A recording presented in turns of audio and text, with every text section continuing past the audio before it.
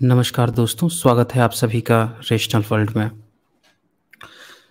दोस्तों आज बहुत ही इम्पोर्टेंट टॉपिक है, आज हम लोग इस बात की चर्चा करने वाले हैं कि कैसे ब्राह्मण धर्म जो है वो कैसे अस्तित्व में आया। और जब भी हम इसकी चर्चा करते हैं तो अक्सर हाँ, हमें इतिहास के उन पन्नों को खोजने की ज़रूरत होती है, जो हमसे छुपा दिया गया है, जिसकी कोई चर्चा नहीं करता, जो आमतौर पर कोई दिखाना भी नहीं चाहता या फिर वो सोचना भी नहीं चाहते। स्कूल में, कॉलेज में जो इतिहास के टीचर हैं, वो आप देखें ये कौन लोग हैं? क्या वो इतनी डेप्थ रिसर्च कर पाते हैं? क्या वो जो सिलेबस उन्हें परोसा जाता है उससे इतर जाकर और जो सच्चाई है, ट्रुथ है, क्या वो सामने लेकर आ पाते हैं? आप पाएँगे नहीं। वो जो सिलेबस में जो किताबों में लिखी गई है एज़ इट इज़ वही पढ़ाई जाती है। बच्चे भी है जो एज़ इट इज़ उसको रटते हैं। ज़्यादातर बच्चों को ये बताया जाता है कि भाई इतिहास बहुत बोरिंग सब्जेक्ट है, उसको नहीं पढ़ना चाहिए, नहीं समझना चाहिए या फिर सिर्फ़ पास होने के लिए पढ़ लो। और इस तरह से आपका इतिहास जो है, जो एक बनाकर परोस दिया जाता है, वो एज़ इट इज़ चलता है। आप तो यूपीएससी की जो कोचिंग चला रहे हैं सब, उनमें देखिए कई सारे यूपीएचई की यूपीएससी की कोचिंग चला रहे हैं और बैठ के आपको जो है स्कंद पुराण, पुराण और हवा हवाई वेद में विज्ञान पढ़ा रहे हैं। ये हालत हो गई ब्राह्मणीकरण कर दिया गया है पूरा इतिहास का। तो दोस्तों सच्चाई जो है ना वो कभी पता नहीं चल पाती है। लेकिन जब आपको सच्चाई खोजनी हो, समझनी हो, तो आपको उन पन्नों को उठाना ही पड़ेगा, जो पन्ने हमसे छुपा लिए गए हैं। तो दोस्तों इस कड़ी में मैं आप लोगों को आज एक एक ऐसी किताब मैं आप लोगों का उसका समालोचना दिखाऊँगा और उस वो किताब जो है उसको कहा जाता है कि वो बुद्धिस्टों की किताब है। तो यहाँ पे बहुत सारे लोग खुश हो सकते हैं कि अच्छा बुद्धिज़्म की आज बात होने वाली है, लेकिन नहीं दोस्तों। मैं उस किताब से आप लोगों को वो पॉइंट दिखाने वाला हूँ, जिसके आधार पर जो ब्राह्मणिकल सिस्टम है, वो बुद्धिज़्म की आलोचना करते हैं। लेकिन इसका सबसे एक प्लस पॉइंट है कि वो जो आलोचना करते हैं, दरअसल वो पूरी बात भी नहीं बताते हैं। उस किताब को पूरी तरह से आपको देखना होगा, समझना होगा कि कैसे उन किताबों का इन लोगों ने पहले ब्राह्मणीकरण किया है और इनका जो अस्तित्व है वहीं से उभर कर आया है। वहीं से इनका ब्राह्मण धर्म बन के आया है।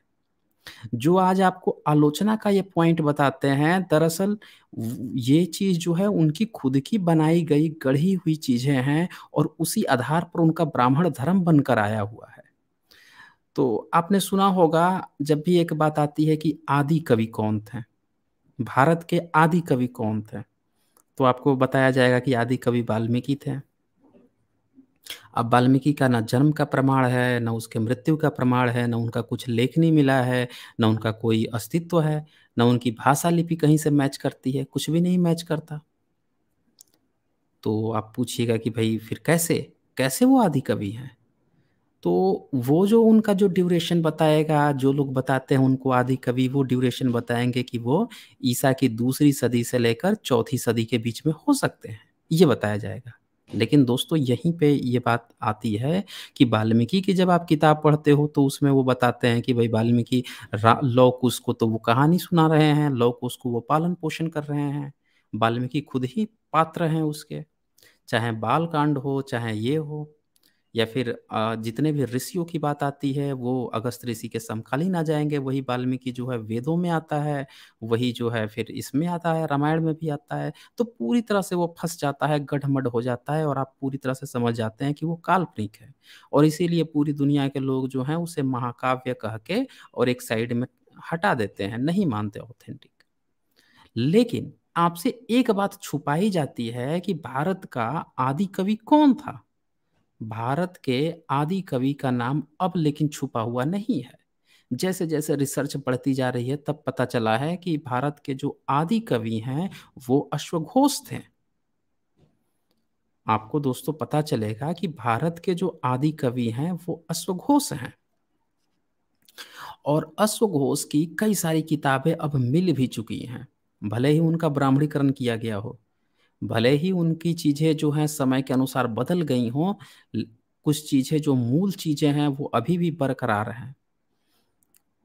तो इनकी जो दो प्रमुख जो महाकाव्य मिले थे इनकी जो शैली थी उसका कंपेयर भी किया गया रामायण से और ये पाया गया कि रामायण के कई सारे सर्ग तो बुद्ध चरितम से कॉपी पेस्ट किए गए हैं कॉपी किए गए हैं यहाँ से उठाकर उस शैली को यानी कि इन लोगों ने रामायण काफ़ी बाद में लिखी है जो एक्चुअल आदि कवि थे वो अश्वघोष थे।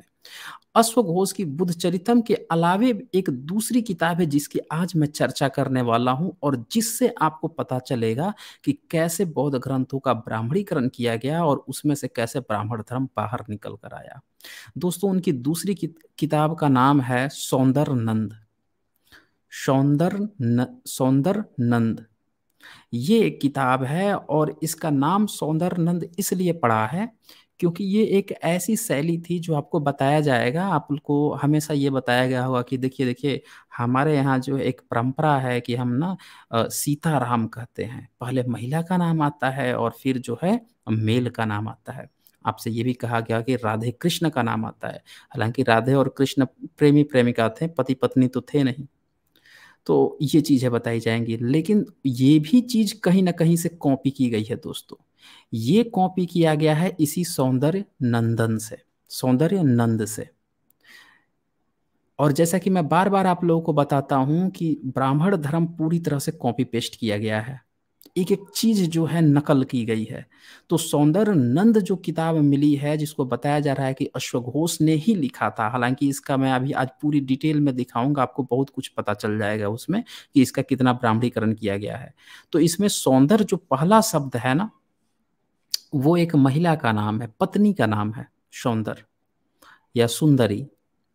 और नंद जो नाम है, वो एक पुरुष का नाम है, पति का नाम है। तो पति पत्नी पत्नी और पति के नाम से ये महाकाव्य लिखा था अश्वघोष ने, जिसका ज़िक्र किया है वेन सॉन्ग ने सेवन सेंचुरी में, जब वो छह सौ उनतीस ईस्वी 629 एडी से लेकर 645 एडी नालंदा विश्वविद्यालय में थे, तब उन्होंने इसकी ज़िक्र भी किया है कि भाई ये उस समय तक जो है सौंदर्य नंदन किताब आ गई थी। लिखा हुआ था अशोक ने लेकिन हुआ क्या कि जब बौद्ध मार्गी नहीं रहे तो इन किताबों को बचाने कौन बचाता? भारत में बौद्धिज्म नहीं रहा, उनके सारे विश्वविद्यालय महाविहार नष्ट कर दिए गए।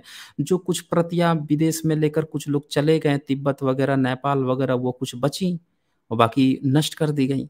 तो ये भी सौंदर्य नंदन जो है, इसका इसको जो है, इसका ब्राह्मणीकरण कर दिया गया है। आप, मैं अभी दिखाता हूँ, चलिए देखते हैं, आप समय न गवाते हुए, ताकि आप लोगों को पूरा पता चल जाए कि कैसे ब्राह्मण धर्म आया है।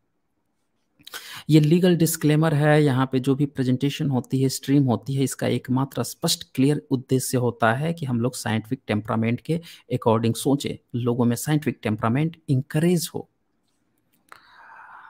अच्छा ये सौंदर्य महाकाव्य जो है, यहाँ पे आप देख रहे हैं कि अश्वघोष का ये दूसरा है और ये जो नंद हैं, नंद जो हैं, उनके भाई हैं। नंद जो हैं, वो भाई हैं बुद्ध के, छोटे भाई हैं। और बुद्ध जो थे, उनका जो आप समझें कि कहा जाता है कि बुद्ध के सौतेले भाई थे, कोई कहता है चचेरे भाई थे इस किताब में सौंदर्य नंदन में बताया गया है कि नंद जो हैं, उनके सौतेले भाई थे और छोटे भाई थे। बुद्ध के पिता का नाम बताया गया है शुद्धोधन। और यहाँ पे जब कवि कहा जाएगा तो आप अश्वघोष को समझें कि अश्वघोष ये बात कह रहे हैं। और ये भी आप समझ सकते हैं कि अश्वघोष तो चूँकि बताया जाता है पहली दूसरी सदी के तो उसके बाद से उनकी लिखी हुई चीज़ें सुरक्षित नहीं रही होगी, बाद में फिर से कई बार लिखी गई होगी तो उस दौरान ये मिलावट की संभावना हो सकती है। लेकिन यहाँ पे वो बुद्ध का नाम सिद्धार्थ लिखते हैं, पिता का नाम शुद्धोधन लिखते हैं और यहाँ पे नंद लिखते हैं उनके छोटे भाई का नाम और उसकी पत्नी का नाम सौंदरा या सौंदर्य ऐसे कहते हैं। तो ये लिखते हैं कि यह मनोरंजन के लिए नहीं है, यह आनंद के लिए नहीं, शांति के लिए है। इसके लिखने का उद्देश्य बताते हैं वो कि मुक्ति धर्म की व्याख्या में शांति लाभ होगा इससे। इसका कतई भी उद्देश्य नहीं है कि इसको पढ़कर आपको आनंद आए या मनोरंजन हो, ये सिर्फ़ शांति शांति के लिए है। हाँ निर्वाण के मार्ग को सरस बनाने के लिए कवि ने काव्य शैली अपनाई है। अब जो निर्वाण होता है, देखिए इस पूरे किताब को जब आप पढ़ेंगे ना तो उसमें आप पाएँगे कि कवि यहाँ पे दरअसल ये बात कहना चाह रहा है कि एक इंसान, जैसे बुद्ध मार्ग में तो सभी लोग घर परिवार छोड़ के चले जाते थे, जिनको बोधिसत्व बनना होता था या फिर जो बौद्ध भिक्खु बनना चाहते थे, एक गृहस्थ वाले जो होते थे, घर में पति पत्नी साथ रहकर भी बौद्ध मार्ग का पालन कर सकते थे। और एक दूसरे होते थे जो प्रॉपर बुद्धिस्ट बनना चाह जो प्रॉपर बौद्ध भिक्खु बनना चाहते थे और प्रचार प्रसार के लिए दूसरे देशों में जाना चाहते थे या बौद्ध बिहारों में रहना चाहते थे, ये दो कैटेगरी होती थी। तो जो वहाँ पे जाना चाहता था, बौद्ध भिक्खुओं के साथ रहना चाहता था, उसके साथ क्या थी कि महिला के साथ तो वो रह नहीं सकता था वहाँ पे। लेकिन बहुत से ऐसे लोग होते थे ना, जैसे आज की ही डेट में आप देखिए कि कोई बंदा अगर आई एस बन जाए, कोई सेलिब्रिटी बन जाए, या फिर कोई जो है बड़ा बड़ा अधिकारी बन जाए या बड़ा कुछ बन जाए तो दूसरे उसके अगल बगल के जो लोग होंगे, उनके मन में ऐसा होता है या जो कोई भी होता है, उसे ऐसा लगता है कि यार काश मैं भी ऐसा बन जाता, कुछ करके बन जाता। हालाँकि उनको नहीं पता है कि उसने कितनी मेहनत की है। उनको बिल्कुल भी कतई नहीं पता है, लेकिन उनके मन में ये रहता है ना कि, अरे, कुछ भी होता ना, मैं भी ऐसा बन जाता। तो इस तरह के भी बहुत सारे उस समय लोग हुआ करते थे, जो चाहते थे कि मैं बौद्ध भिक्खु बन जाऊँ और इनकी तरह मान सम्मान पाऊँ। क्योंकि बौद्ध भिक्खुओं को देखकर तो पूरी दुनिया जो है उन्हें बुलाती थी। चीन का राजा बुला रहा है, कोरिया का राजा बुला रहा है, जापान का राजा बुला रहा है, तिब्बत का राजा बुला रहा है। विदेशों में इनकी डिमांड थी, बुलाते थे लोग ज्ञान शिक्षा के लिए। यहाँ का राजा उनको देखते ही नतमस्तक हो जाता था। तो राजा जिनके आगे नतमस्तक हो रहा है तो लोगों को लगता था कि यार ये तो बड़ा मतलब थोड़ा आसान है, चलो और ऐसा कुछ बन जाए, मान सम्मान भी तो चाहिए ना। इंसान जो होता है, हमने पूरा मनोविज्ञान पढ़िए इंसान का तो उसको क्या चाहिए? मान सम्मान चाहिए, रुतबा चाहिए, पैसे चाहिए। तो इसमें से जो रुतबा वाला पोर्शन था, ये चीज़ था। आज भी लोग अगर बिजनेसमैन बने, अंबानी, अडानी बने तो पैसा तो बहुत कमा सकते हैं। लेकिन लोग बिज़नेस नहीं करते। आरक्षण का रोना रोते हैं कि आरक्षण हटाओ आरक्षण हटाओ। वो गवर्नमेंट जॉब जहाँ पे पैसे मिलते हैं, कितनी पैसे मिलते हैं मतलब एक बिजनेसमैन से तो ज़्यादा नहीं मिलते हैं ना, फिर भी वो उधर भागने की कोशिश। तो उनका कारण ना रुतबे की होती है रुतबे की तरफ़ हम भागे। तो ये चीज़ वहाँ पे भी थी। तो ऐसे केस में ये जो सौंदर्य नंदन महाकाव्य लिखा अश्वघोष ने, उनका स्पष्ट क्लियर इंडिकेशन था कि जो व्यक्ति मतलब लोभ में बन गया है कि मैं बहुत भिक्खु तो बन जाऊँ लेकिन उसके अंदर अगर कामना बची हुई है उसके अंदर जो है आ, कोई तृष्णा और इस तरह की चीज़ें बची हुई हैं उसके अंदर काम क्रोध अभी बचा हुआ है तो उसको दूर करने के लिए क्या क्या उसको सटीक प्रमाण सबूत दिए जा सकते हैं उसके लिए उन्होंने ये किताब लिखा था। तो उसमें ये काफ़ी कई हद तक चले गए हैं अंदर। इस हद तक वो पीछे आगे गए हैं और ऐसा आगे आप देखेंगे कि इसमें एक प्रसंग आएगा नारी निंदा की, कि भिक्खु को ये भी बताया जा रहा है कि नारी निंदा करो। तो ये पोर्शन उठा के पूरा सोशल मीडिया में दिखाया जाएगा कि भाई देखो देखो, बुद्ध मार्ग में ना बुद्धिस्ट जो है ना नारी निंदा लिखा हुआ है। लेकिन उनको ये नहीं पता है कि ये जो है त्रिपिटक का ग्रंथ नहीं है।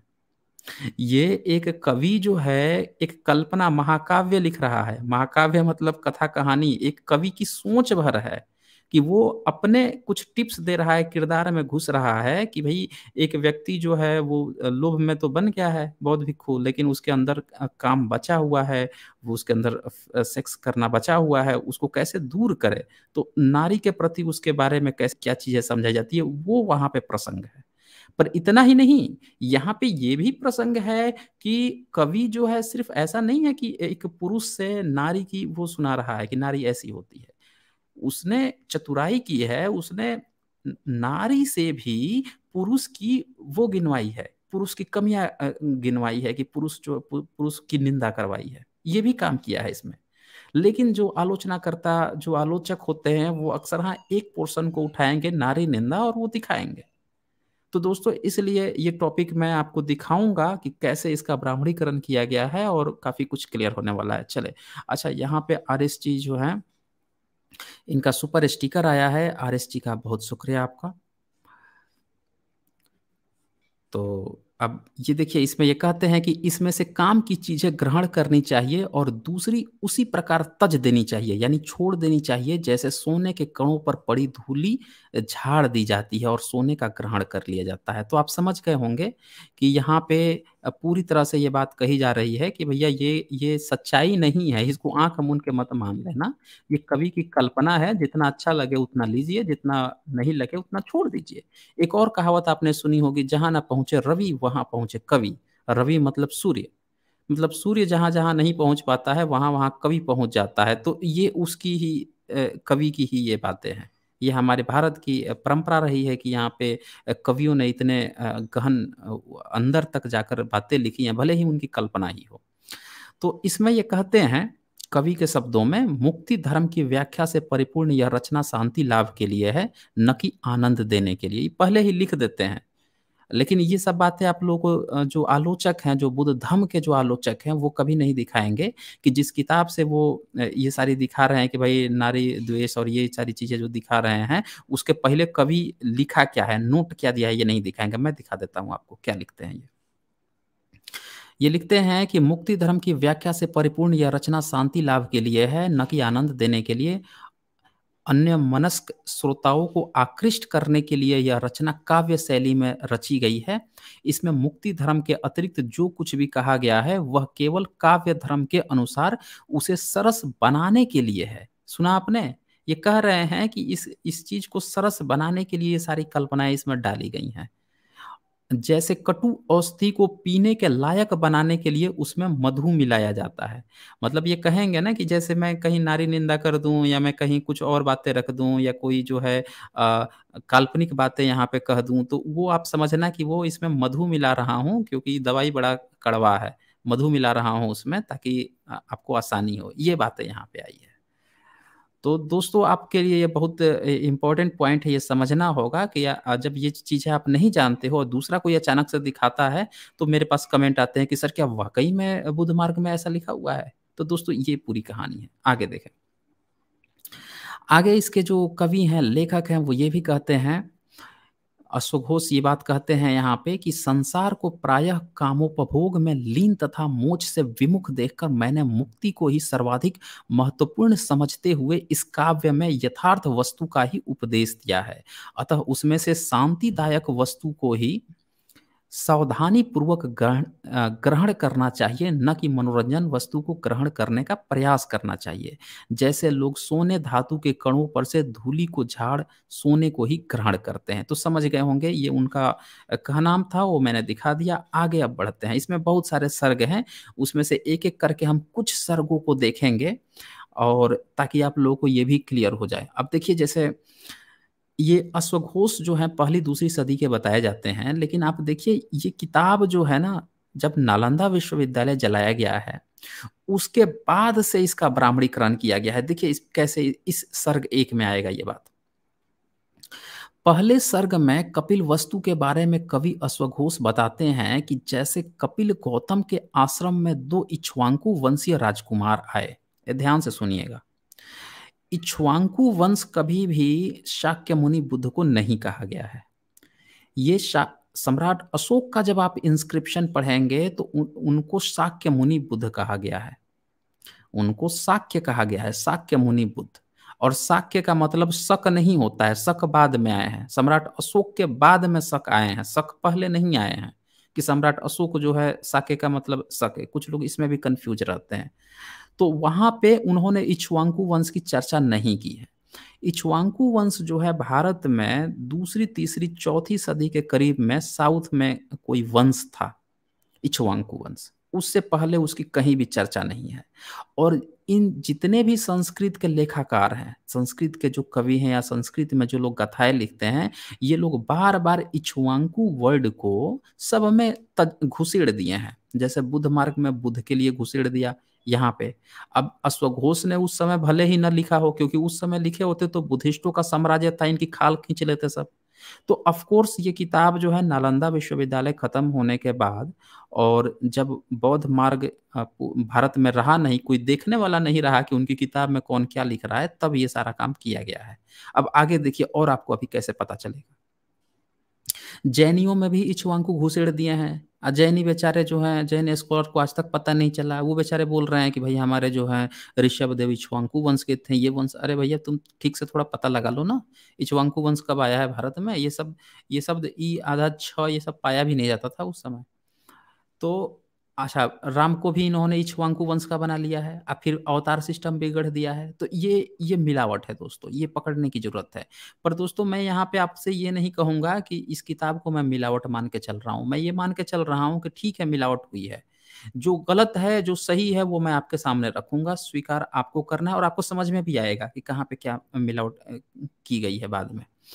अच्छा तो कैसे आश्रम में शोभा से प्रभावित उस मुनि को शिष्य बनाकर यहीं रहने लगे? यह आश्रम क्योंकि साख वन में था, अतः वे साक्य कहलाए।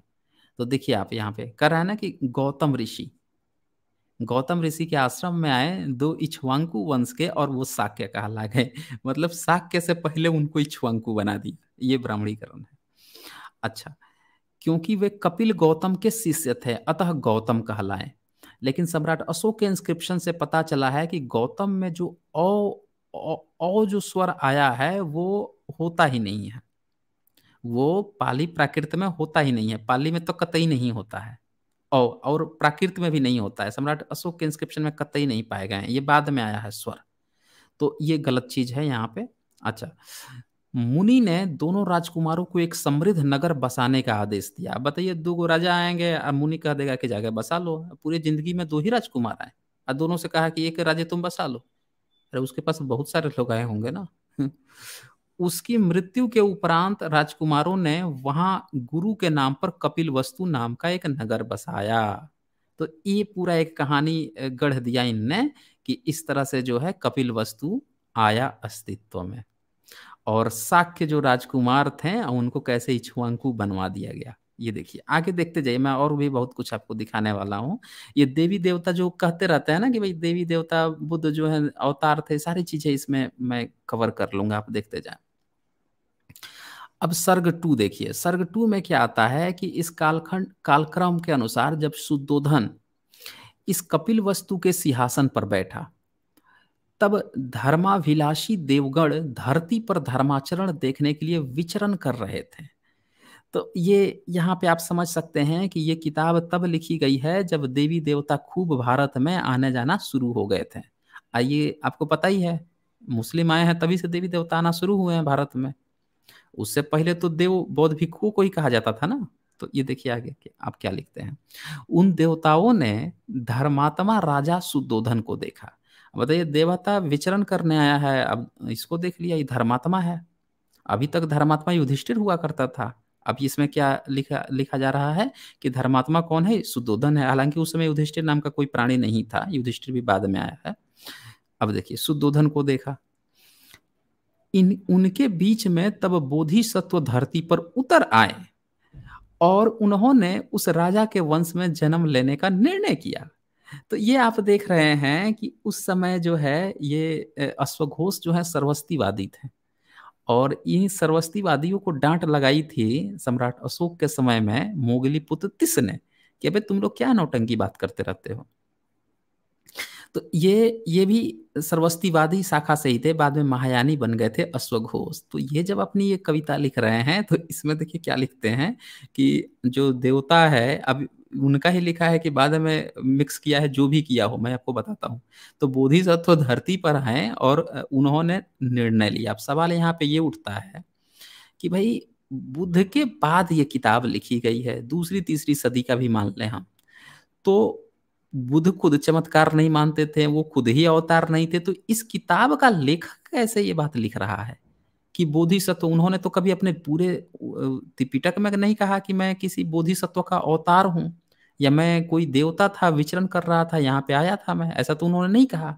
तो ये कवि जो है, इनको महान दिखाने के चक्कर में, इनको देवता दिखाने के चक्कर में पूरा भूमिका करता है। अब पहले लिख भी दिया है नोट्स में कि देखो भाई साहब, ये सब मत सोच लेना कि सारी बातें सच है। सिर्फ़ जो निर्माण वाली जो बात कहा हूँ ना, उसी में से शांति वाला जो पोर्शन अच्छा लगे वही ले लेना। बाकी सब मधु मिलाया हूँ, ये खुद बोल रहा है। अब देखिए आगे। अच्छा इसके बाद से क्या है अब कि जन्म हाँ सुदोधन की महारानी माया के गर्भ से उद उस बोधिसत्व ने जन्म लिया, जहाँ उसका कवि ने सिद्धार्थ नाम नहीं लिखा है। अब ये देखिए, ये ये ध्यान से दीजिएगा, देखिएगा दोस्तों।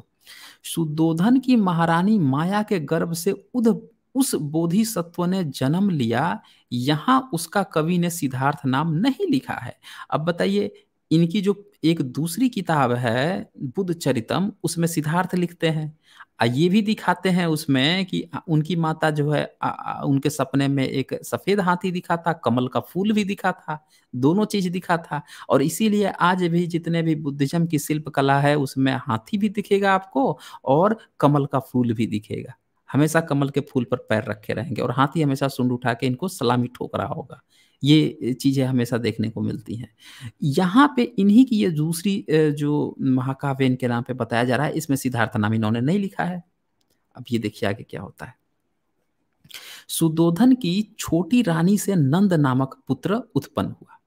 अब देखिए दूसरा, उनका जो दूसरी रानी थी, उससे नंद हुआ।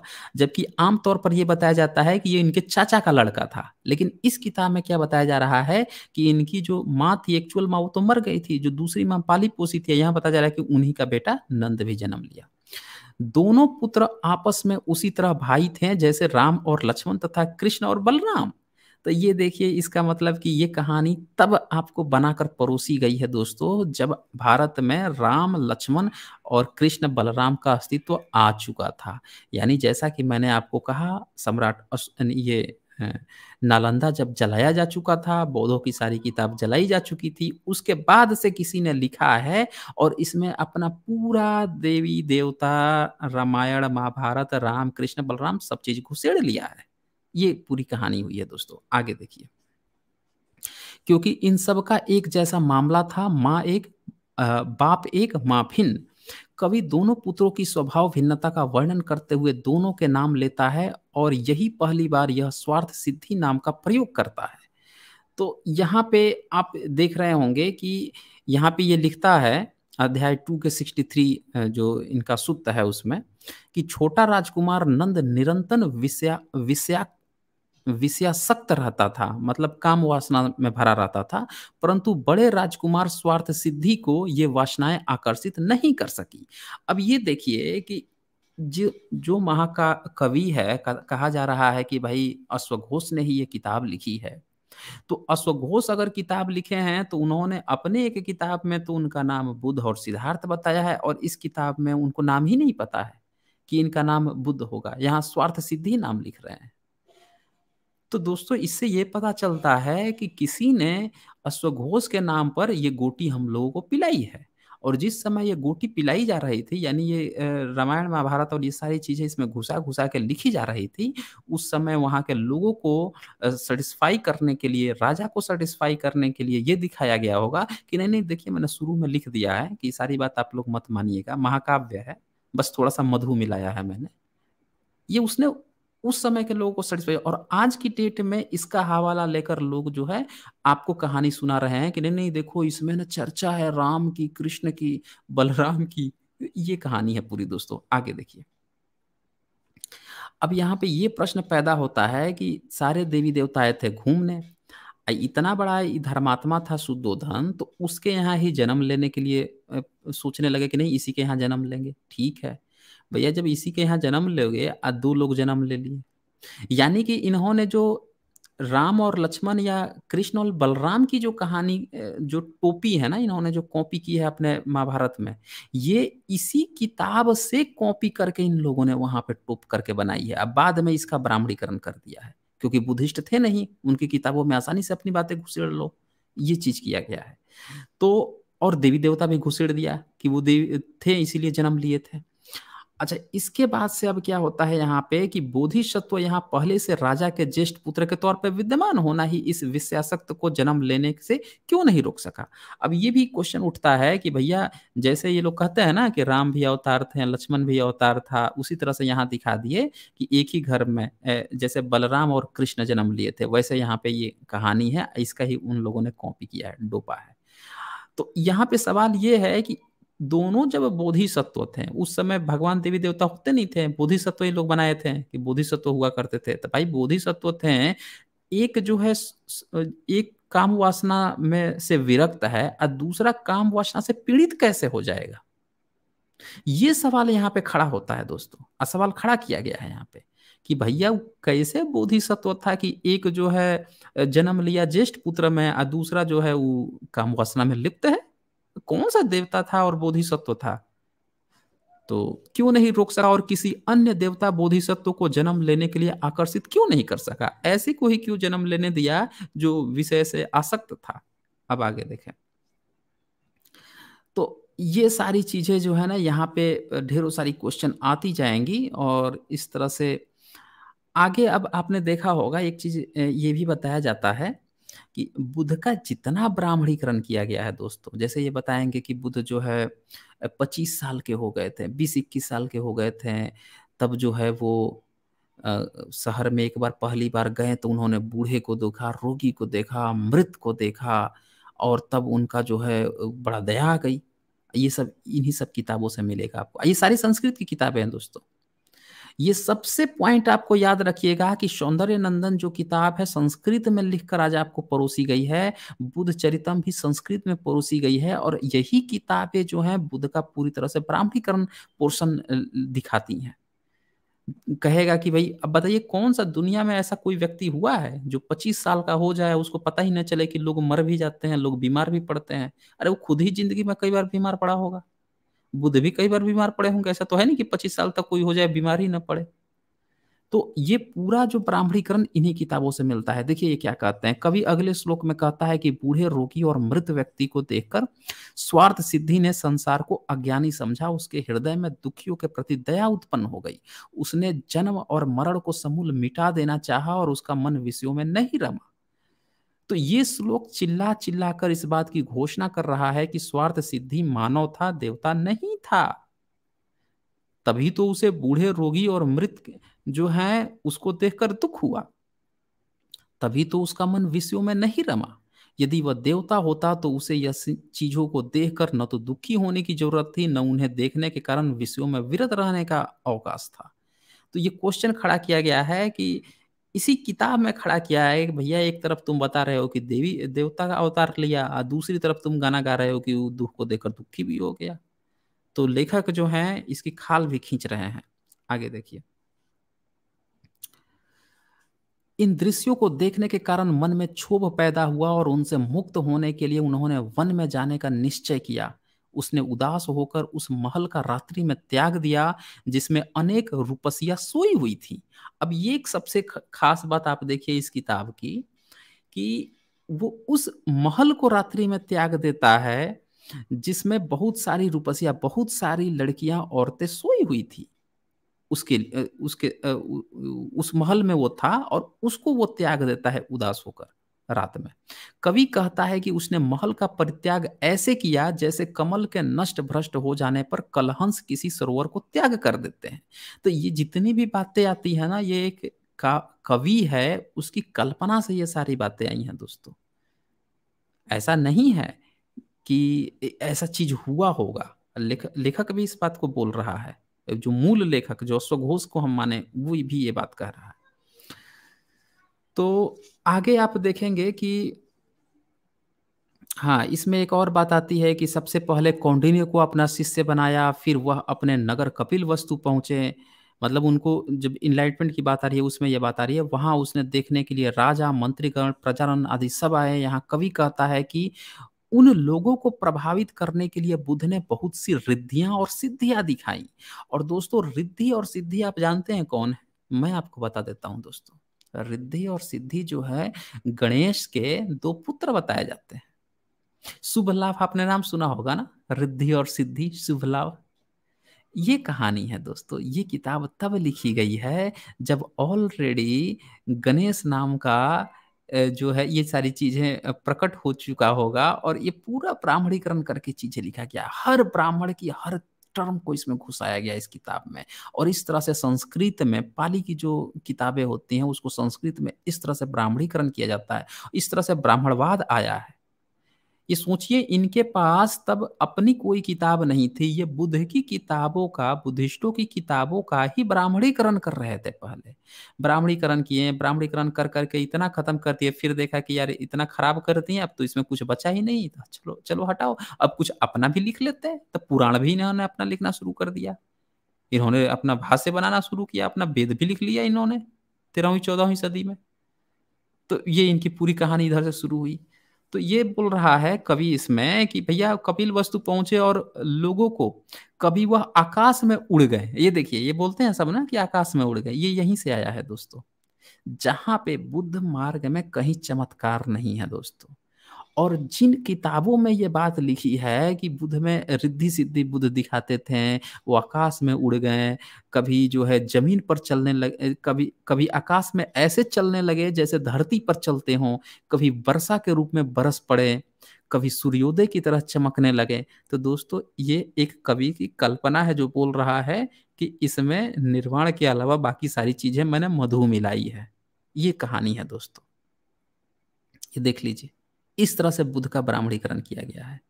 कवियों के माध्यम से बुद्ध का ब्राह्मणीकरण किया गया है।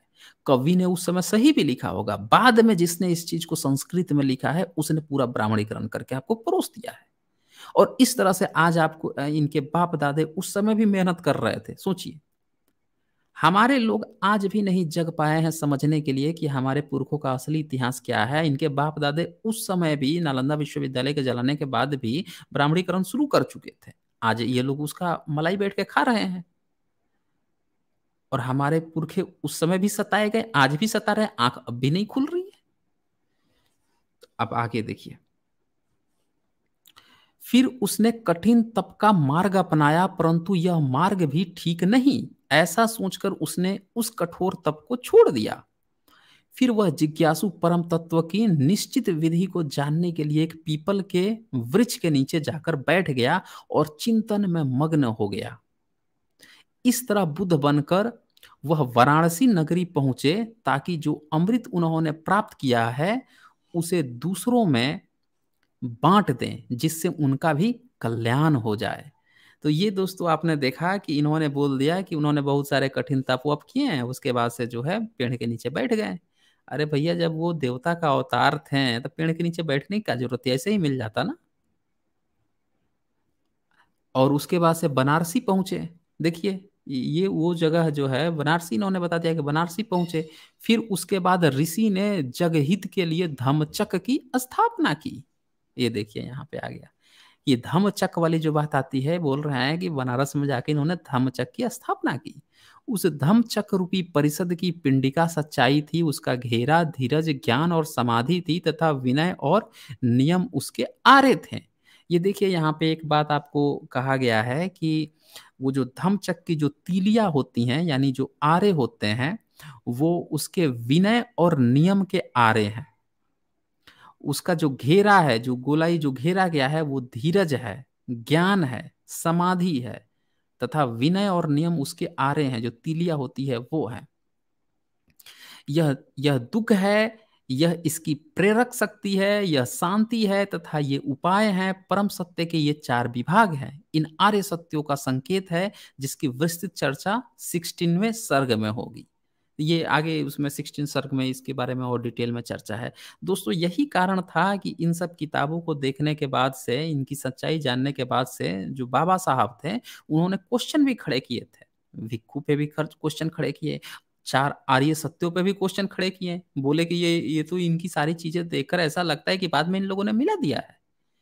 जब बुद्ध मार्ग की जो ओरिजिनल शिक्षाएँ हैं, उसकी जगह पे, जहाँ पे बुद्ध मार्ग की जो बातें आ रही है, वहाँ पे चमत्कार आ रहा है, वहाँ पे ब्राह्मणों के देवी देवता आ रहे हैं। इसका मतलब कि ये सारी चीज़ें ब्राह्मणों ने बाद में खुद मिक्स की है मिलाई है तो बाबा साहब ने भी बहुत सारे क्वेश्चन खड़े किए हैं इस पे। आगे देखें।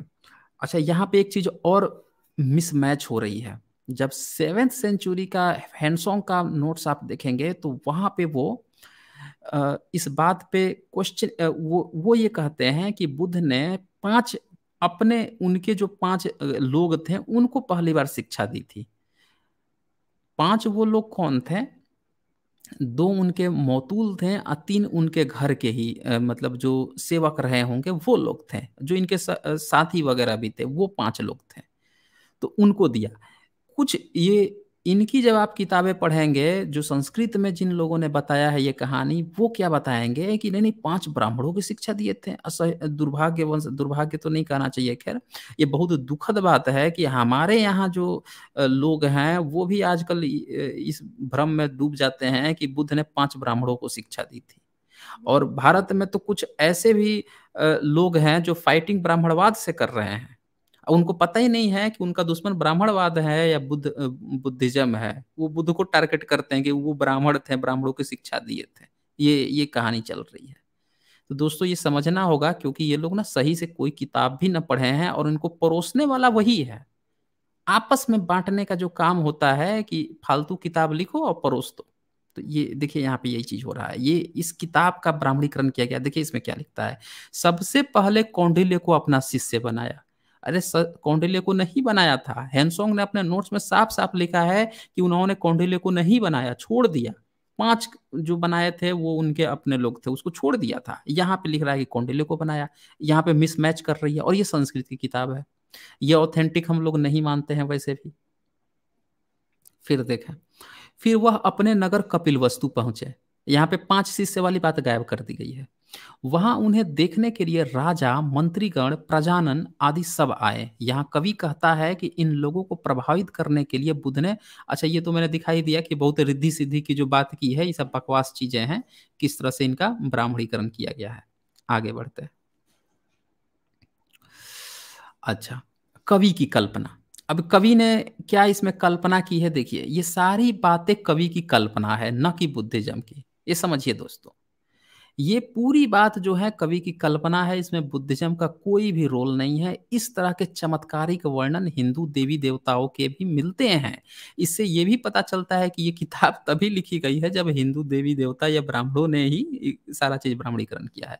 लगता है कवि ने बुद्ध को उनके मुकाबले का सिद्ध करने के लिए ये सारा आडंबर किया हुआ है। हाँ, किए होंगे सब। ये पिछले मुगल शासन काल में अंग्रेज़ों के समय में यही तो किए हैं ना? कि बुद्ध मार्ग की सारी किताबें, इनका अपना कोई है नहीं, इनके नाम पर फर्जी फर्जी लिख के परोस दो कि देखो इनकी किताबें हैं। तो ये सारी चीज़ें यहाँ पे आती है और इसके बाद से जो है हाँ यहाँ पे ये नीचे लिखते हैं कि बुद्ध इस तरह की इंद्रजालिक क्रियाओं से महान नहीं बनते, बल्कि उनके स्तर को गिरते, गिराते हैं जो बुद्धत्वहीन है। तो ये सारी चीज़ें यहाँ पे देखने को मिलती है कि कैसे कवि जो है ना, इस तरह की चीज़ें जो है बुद्ध के नाम पर परोसता है।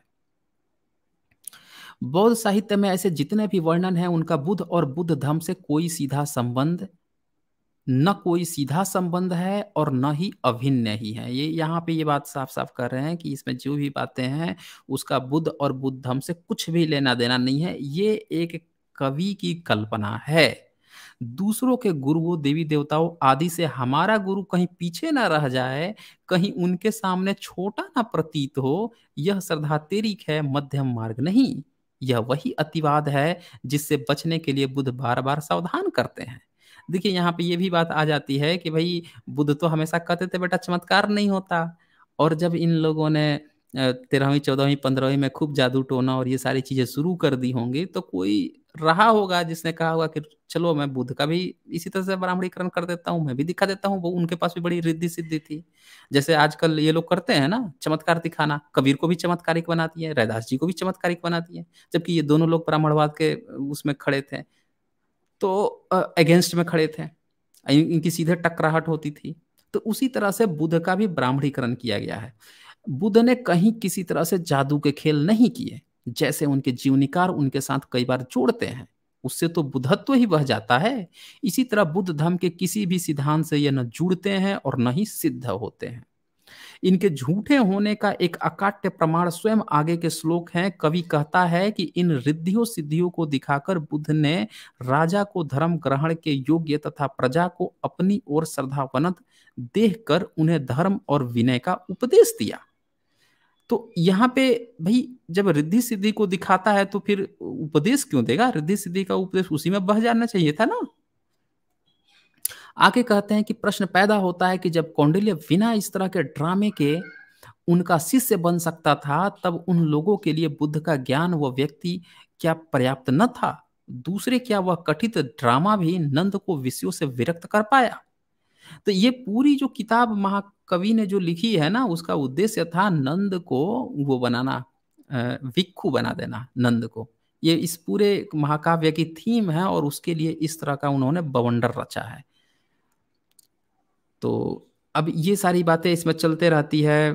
फिर जो है अच्छा ध्यान रहे बाबा साहब डॉक्टर अंबेडकर ने प्राकृतिक को मानने को सदधम नहीं माना है, बल्कि उसे अधम कहा है। फिर भी उनके ग्रंथ में जहाँ तहां कुछ परा प्राकृतिक तत्वों के होने की कई साथी शिकायत करते रहते हैं। ये देखिए समझिए दोस्तों, यहाँ पे। यहाँ पे ये बात आ रही है कि बाबा साहब अंबेडकर ने सीधे सीधे कहा है, कोई परा प्राकृतिक मतलब प्राकृतिक, जो सुपर नेचुरल होता है ना सुपर नेचुरल नेचुरल से ऊपर परा प्राकृतिक ये कुछ भी बाबा साहब न मानते थे, न माने हैं। उन्होंने जो किताब लिखा है, उन किताबों में फिर भी ज़बरदस्ती लोग घुसा देते हैं कि बाबा साहब ने ऐसा कहा अरे, वो खुद नहीं मानते थे भाई साहब। तो ये चीज़ पॉइंट आपको नोट करने की ज़रूरत है। अच्छा अब मैं आपको ना वहाँ पे ले आता हूँ कि होता क्या है, कवि अति, अतिशयोक्ति। सौंदरनंद में कवि जहाँ जहाँ यथार्थ से पलायन करता है और अपनी कल्पना के घोड़े अनर्गल छोड़ता है, वहाँ वहाँ उसकी भावना समझने की ज़रूरत है, न कि उसके शब्दार्थों के पीछे अपने घोड़े सरपट डोराने की। ये बात आपको ध्यान रखना होगा दोस्तों। यही खास बात है बुद्ध धम्म में। बाकी धम्म जो है ईश्वर की किताबें बता देते हैं। जैसे रामायण हो गया, महाभारत हो गया, वेद हो गया, ये सब सीधे ईश्वर की वाणी हो जाती है। कोई ईश्वर जो है बैठ के लिखवा रहा होता है, लिख रहा होता है, उसका पात्र होता है, लेकिन यहाँ पे नहीं है बुद्धम में। साफ़ साफ़ कहा गया है कि कोई लिखी हुई बात भी परोसते ना कि बुद्ध ने कहा है, मत मानना भैया, अगर तर्क, दिमाग के तर्क पर अगर फिट न बैठे तो। ये साफ़ साफ़ इसमें मेंशन है दोस्तों। तो कोई भी अगर इस तरह की चीज़ें उठाकर आपको अगर परोस देता है ये देखिए, ये लिख रहे हैं ना कि इसमें यथार्थ का बयान मान लिया जाता है तब वह कवित्व का हिस्सा न रहकर भूतार्थ बन जाता है, जिससे परिपेक्ष विकृत हो जाता है। ठीक वैसे ही, जैसे नीम चढ़ा करेला, आधा पका न रहकर नीम के पेड़ पर चढ़ी बेल से पैदा हुआ करेला बन जाता है और अकल बड़ी या भैंस का वैस वैस से भैंस बन जाता है। तो ये वही कह रहे हैं कि ये अनर्गल चीज़ें जो कवि की कल्पना है, वो अगर कोई दिखाकर आपको कह रहा है तो वो मानने की ज़रूरत नहीं है। अच्छा इसमें जो है, उनके उपदेश के फलस्वरूप सामान्य जन भी इस पतित युग में दस प्रकार के सुकर्मों का आचरण करने लगे। इन दस कर्मों का श्लोक थर्टी में कवि ने वर्णन किया है। हिंसा न करना, ये सुन लीजिए। जो बुद्ध मार्ग पूछते हैं ना कि भाई बुद्ध मार्ग क्या है? तो बुद्ध मार्ग में जो दस सुकर्म बताए गए हैं, वो यही है, यहाँ पे दिखाया गया है। सुन लीजिए ध्यान से थोड़ा सा। हिंसा न करना, एक नंबर है। दो नंबर है, चोरी न करना। तीन नंबर है व्यभिचार न करना। चौथा है असत्य भाषण न करना मतलब झूठ न बोलना। पांचवा है चुगलखोरी न करना, ठीक है ना? छठा है कठोर वाणी का प्रयोग न करना। सातवां है बकवाद न करना। आठवां है लोभ न करना। नौवा है द्रोह न करना। और दसवां है सम्यक दृष्टि अपनाना। ये दस हैं भिक्षुओं के लिए शुरू के जो पाँच हैं, वो सामान्य जन के लिए है। ठीक है ना? सामान्य जन जो है, उसके लिए पाँच कहे गए हैं। ये एक्चुअल इनका उपदेश है। अच्छा यहाँ यह ध्यान देने योग्य है कि सौंदर्य नन के वर्णन में आठ सुकर्मों का ही उल्लेख उपलब्ध होता है। ऐसा लगता है कि एक श्लोक कहीं खो गया है। डॉक्टर जॉन्स्टन के अनुसार 33 और 34 के बीच का श्लोक लुप्त है, उसमें दो सुकर्मों का वर्णन आया होगा। तो ये जो सौंदर्य नंदन भी प्रोवाइड कराई गई है ना, उसमें से एक श्लोक गायब है, ऐसा बताया जा रहा है, क्योंकि उसमें सिर्फ़ आठ सुकर्म ही अवेलेबल है, नहीं है। अच्छा। हर युग का व्यक्ति अपने समकालीन हालात से हमेशा असंतुष्ट रहा है, उसने अपने चारों नैतिक पतन को मंडराता दिखा है, इसीलिए कवि ने अपने युग को पतित युग कहा है। पुराणों के लेखक तथा दूसरे ब्राह्मणवादी लेखक अपने युग को कली युग कहकर उसे बुराई का प्रतीक बताते हैं। यानी इससे भी ये पता चलता है कि ये किताबें तभी लिखी गई हैं जब ये पुराण लिखे जा रहे थे दोस्तों। बाद में, पतित युग बता रहा है ना, यानी कि ये तभी लिखी गई है, मुस्लिम शासन या उसके बाद ही लिखी गई है, अश्वघोष की ही चीज़ों को उठाकर ब्राह्मणीकरण करके लिखी गई है। चले अब इसके बाद से सर्ग फोर आता है। सर्ग फोर में क्या दिखाया जाएगा कि बुध जो है ना, वो आते हैं यहाँ पे अपने कपिल वस्तु में और उसके यहाँ पहुँचते हैं। नंद के यहाँ, नंद राजा रहता है तो उसके घर में देखते हैं कि बहुत सारी दासियाँ हैं और उनको दासियाँ हैं, पहुँचते हैं, जाते हैं, देखते हैं तो देखते हैं कि सब अपना अपना काम कर रहे हैं। फिर वो वहाँ से झटके से बाहर निकल आते हैं। तो झटके से बाहर निकल आते हैं तो ऊपर खिड़की पर खड़ा होकर राजा देख रहा होता है, देखता है कि हैं, बुध बाहर निकल गए। अब उसके होश फाकता हो जाते हैं, दौड़ के जाता है। जब दौड़ के जाता है तो देखता है कि बुध के आगे पीछे तो बहुत सारे लोग हैं, इतने सारे लोगों में घिरे हुए हैं, वो पहुँच ही नहीं पा रहा है। अब जब पहुँच नहीं पा रहा है तो वहाँ पे वो क्या करता है कि बेचैन हो जाता है कि अरे, देखो हमारे भाई साहब आए हुए हैं, हम उनसे मिल नहीं पा रहे हैं। लोग देखिए आगे पीछे इनकी इतनी भीड़ है, कैसे इनसे मिले हम? तो वो फिर क्या करता है कि किसी तरह भीड़ से चीड़ चाड़ के अब पहुँचता है बुद्ध के पास। जब उनके पास पहुँचता है तो फिर क्या होता है ना कि बुद्ध जो है उसको प्रवज्ञा ग्रहण करवाते हैं। आनंद रहता है, आनंद से इनकी तीनों की बातचीत होती है, प्रवज्ञा ग्रहण करा देते हैं। तो प्रवज्ञा ग्रहण कर देते हैं तो ये जाने से पहले ना इसकी बीवी थी, सौंदरा, उससे बात करता है। तो कि जाऊँ कि नहीं जाऊँ? तो उसकी बीवी जो रहती है ना, सौंदरा, वो ये कहती है कि नहीं, जाओ भाई आपके बड़े भाई हैं, बुद्ध हैं और वो संत महात्मा हैं, ज़रूर जाना चाहिए उनके पास। लेकिन एक काम करना, जो शाम से होने से पहले ही चले आना। मतलब एक टाइम ड्यूरेशन देती है, इससे पहले ही चले आना। तो जाता है। अब वहाँ जाता है और प्रवज्ञा ग्रहण कर लेता है, प्रवज्ञा ग्रहण कर लेता है तो उसके मन में ये भाव रहता है कि यार, बीबी को तो घर पे छोड़ के आया हूँ, बीबी से तो कह के आया था कि यार, मैं आ जाऊँगा। और यहाँ पे तो मुझे समय नहीं मिल पा रहा है, कैसे जाऊँ मैं? अब क्या होता है कि वो बेचैन हो जाता है। तो कवि यहाँ पे ये दिखाना चाहता है कि नंद जो है, देखिए अलग अलग आप पढ़ेंगे ना, इनका बुद्ध चरितम पढ़ेंगे तो वहाँ पे ये दिखाएँगे देवदत्त दिखाएँगे, नंद की जगह देवदत्त दिखाएँगे कि इनका चेरा भाई है, जो भी है, और वो इनसे हमेशा शत्रुता रखता था। यहाँ पे ये दिखाते हैं कि नंद है और इसके अंदर काम वासना चल रही है, उस काम वासना को दूर करने की प्रक्रिया है पूरी ये किताब, ये चीज़ें आती हैं। तो अब ये चीज़ चलती है यहाँ पे, मैं दिखाता हूँ आगे। कि क्या क्या चीज़ है इसमें कहा गया है। बहुत सारी बातें आई हैं और बुद्ध को पूरी तरह से चमत्कारिक यहाँ पे दिखाने का प्रयास किया गया है। ये देखिए, यहाँ पे यहाँ पे ये बात आती है। नंद अपनी प्रिय पत्नी के साथ सांसारिक सुखोभोग में आ आकंठ, मग्न था और बुद्ध उसे इस सबसे निकालकर निर्वाण के पथ का पथिक बनाना चाहते थे। तो ये सारी बातें आती हैं, फिर यहाँ से बिना भिक्षा के वो बाहर निकल आते हैं। फिर हाँ ये हाँ ये कहती है, जब तक यह अंगराग सूख न जाए, उससे पहले आप जल्दी ही लौट आए। ये बात कहती है। उसके बाद से अपना कपड़ा उपड़ा निकाल के, सामान्य कपड़ा पहन के वो जाता है। इसके बाद से यहाँ पे जैसे तैसे अपने को घसीटता हुआ नंद आगे बढ़ने लगा। परंतु तब तक गुरु मतलब बुद्ध काफ़ी आगे निकल गए थे। तो तब तक, क्योंकि तब सुंदरी द्वारा निर्धारित समय सीमा के बीच वापस पहुँचना संभव नहीं होगा। यह सोचकर नंद ने लंबे लंबे डग भरने शुरू किए।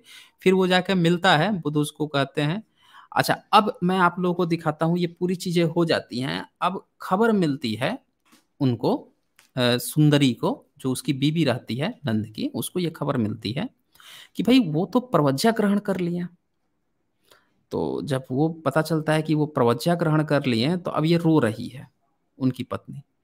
और कवि जो है ना सर्ग सिक्स में इसका वर्णन किए हैं तो यहाँ पे वो पुरुष का वो करती है, निंदा करती है, जो आपको दिखाया जाता है ना कि भाई इसमें इनकी किताब में लिखा हुआ है कि स्त्री निंदा, यहाँ पे पुरुष निंदा दिखाया गया है पहले दोस्तों, ये समझने की ज़रूरत है। यहाँ पे सुंदरी को शक है कि उसका पति किसी अन्य स्त्री को देखकर जो उसके रूप और गुणों की दृष्टि से बढ़कर है, उसी के चक्र में पड़ गया है। इसीलिए घर वापस नहीं आया। ये उसकी बीवी सोच रही है कि भाई मैंने जो टाइम ड्यूरेशन दिया था, उसमें ये आया ही नहीं। अब क्या होता है कि ये इसीलिए वह पुरुषों की बेवफाई की बातें करते हुए कहती है कि जो स्त्रियाँ इस तरह, अर्थात मेरी तरह दुख झेलना नहीं चाहती, उन्हें पुरुषों पर विश्वास नहीं करना चाहिए। ये बात भी लिखी है दोस्तों। तो जो लोग ये कहते हैं ना, स्त्री निंदा लिखी है, वो लोग, उनको ये बात भी दिखानी चाहिए कि कवि यहाँ पे दोनों का पक्ष दिखाया है। स्त्री का पक्ष और पुरुष का पक्ष दिखाया है। कवि जो है, बुद्ध को चमत्कारिक दिखा रहा है तो इसीलिए इससे ये भी पता चलता है कि ये प्रॉपर बुद्धिस्ट का काम नहीं है, ये किताब लेखन ब्राह्मण का काम है। किसी ब्राह्मण ने बाद में ब्राह्मणीकरण किया है, ये पूरा क्लियर इंडिकेशन है।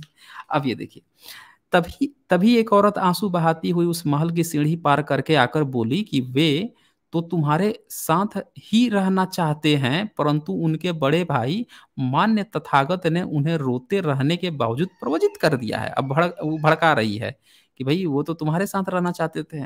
लेकिन उनका बड़ा भाई जो है ना, वो ज़बरदस्ती उनको संत बना दिया, उनको वो बना दिया, प्रवज्ञा ग्रहण करा दिया। क्या करे?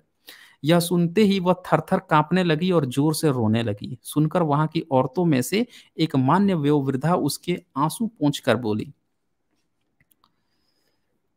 तुम राजर्षि की पत्नी हो, पति के प्रवजित होने पर तुम्हें इस तरह शोक नहीं करना चाहिए, क्योंकि इच्छवांकु वंश में जन्म लेने वाले राजा के लिए तपोवन तो पैतृक संपत्ति की तरह ही होता है। वह आगे बोली, तुम मुक्ति के लिए प्रवजित साक्य श्रेष्ठी की स्त्रियों के बारे में अच्छी तरह जानती ही हो। उन्होंने साध्वी नारी के व्रत को कामोपासना की तरह तथा घर को तपोवन की तरह समझा है। तो ये सारी भी बातें आती हैं कि कैसे उनकी जो बीवी थी नंद की सौंदर्य उसकी कवि चर्चा कर रहा है कि उसको कैसे जो है समझाया गया, बुझाया गया कि क्या चीज़ें हैं। केवल पति के साथ रहना ही ये तुम्हारा वो नहीं है, इस तरह की वो अपनी बातें कह रहा है यहाँ पे। अच्छा उधर नंद प्रवचित होकर भी पत्नी की याद करके रोता रहता है। अब देखिए, मूल मुद्दा आ रहा है। जो यहाँ पे अश्वघोष का जो सौंदर्य नंद जो किताब है, वो मूल मुद्दा अब जाकर आया है इस छठे सर्ग में कि वो बताना क्या चाह रहे थे? वो बताना चाह रहे थे कि ऐसी अगर सिचुएशन आ जाए कि भाई कोई बंदा आ तो गया है यहाँ पे लालच में कि हम बनेंगे, मोंग।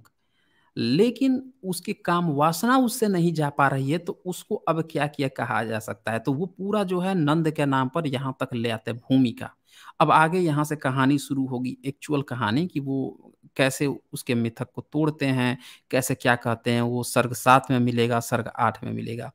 अब नंद जो है पहाड़ की चोटी पर आसन बांधकर बैठे, एक ध्यानमग्न बौद्ध भिक्षु को देखता है और उसके बारे में टिप्पणी करते हुए कहता है, निश्चय ही इसका मन मेरी तरह किसी में आसक्त नहीं है, वह शांत है। और समस्त भोगों से तृप्त हुआ बैठा है, उसे न कोयलों की कुजन की चिंता है, न वसंत की शोभा की। मैं समझता हूँ, प्रिया, इसके चित्त को आकृष्ट नहीं कर रही है, अतः वह कह उठता है, स्थिर निश्चय वाले, कौतूहल व विस्मय से रहित, शांत चित्त वाले, अंतर्मुखी, मनोवृत्त वाले।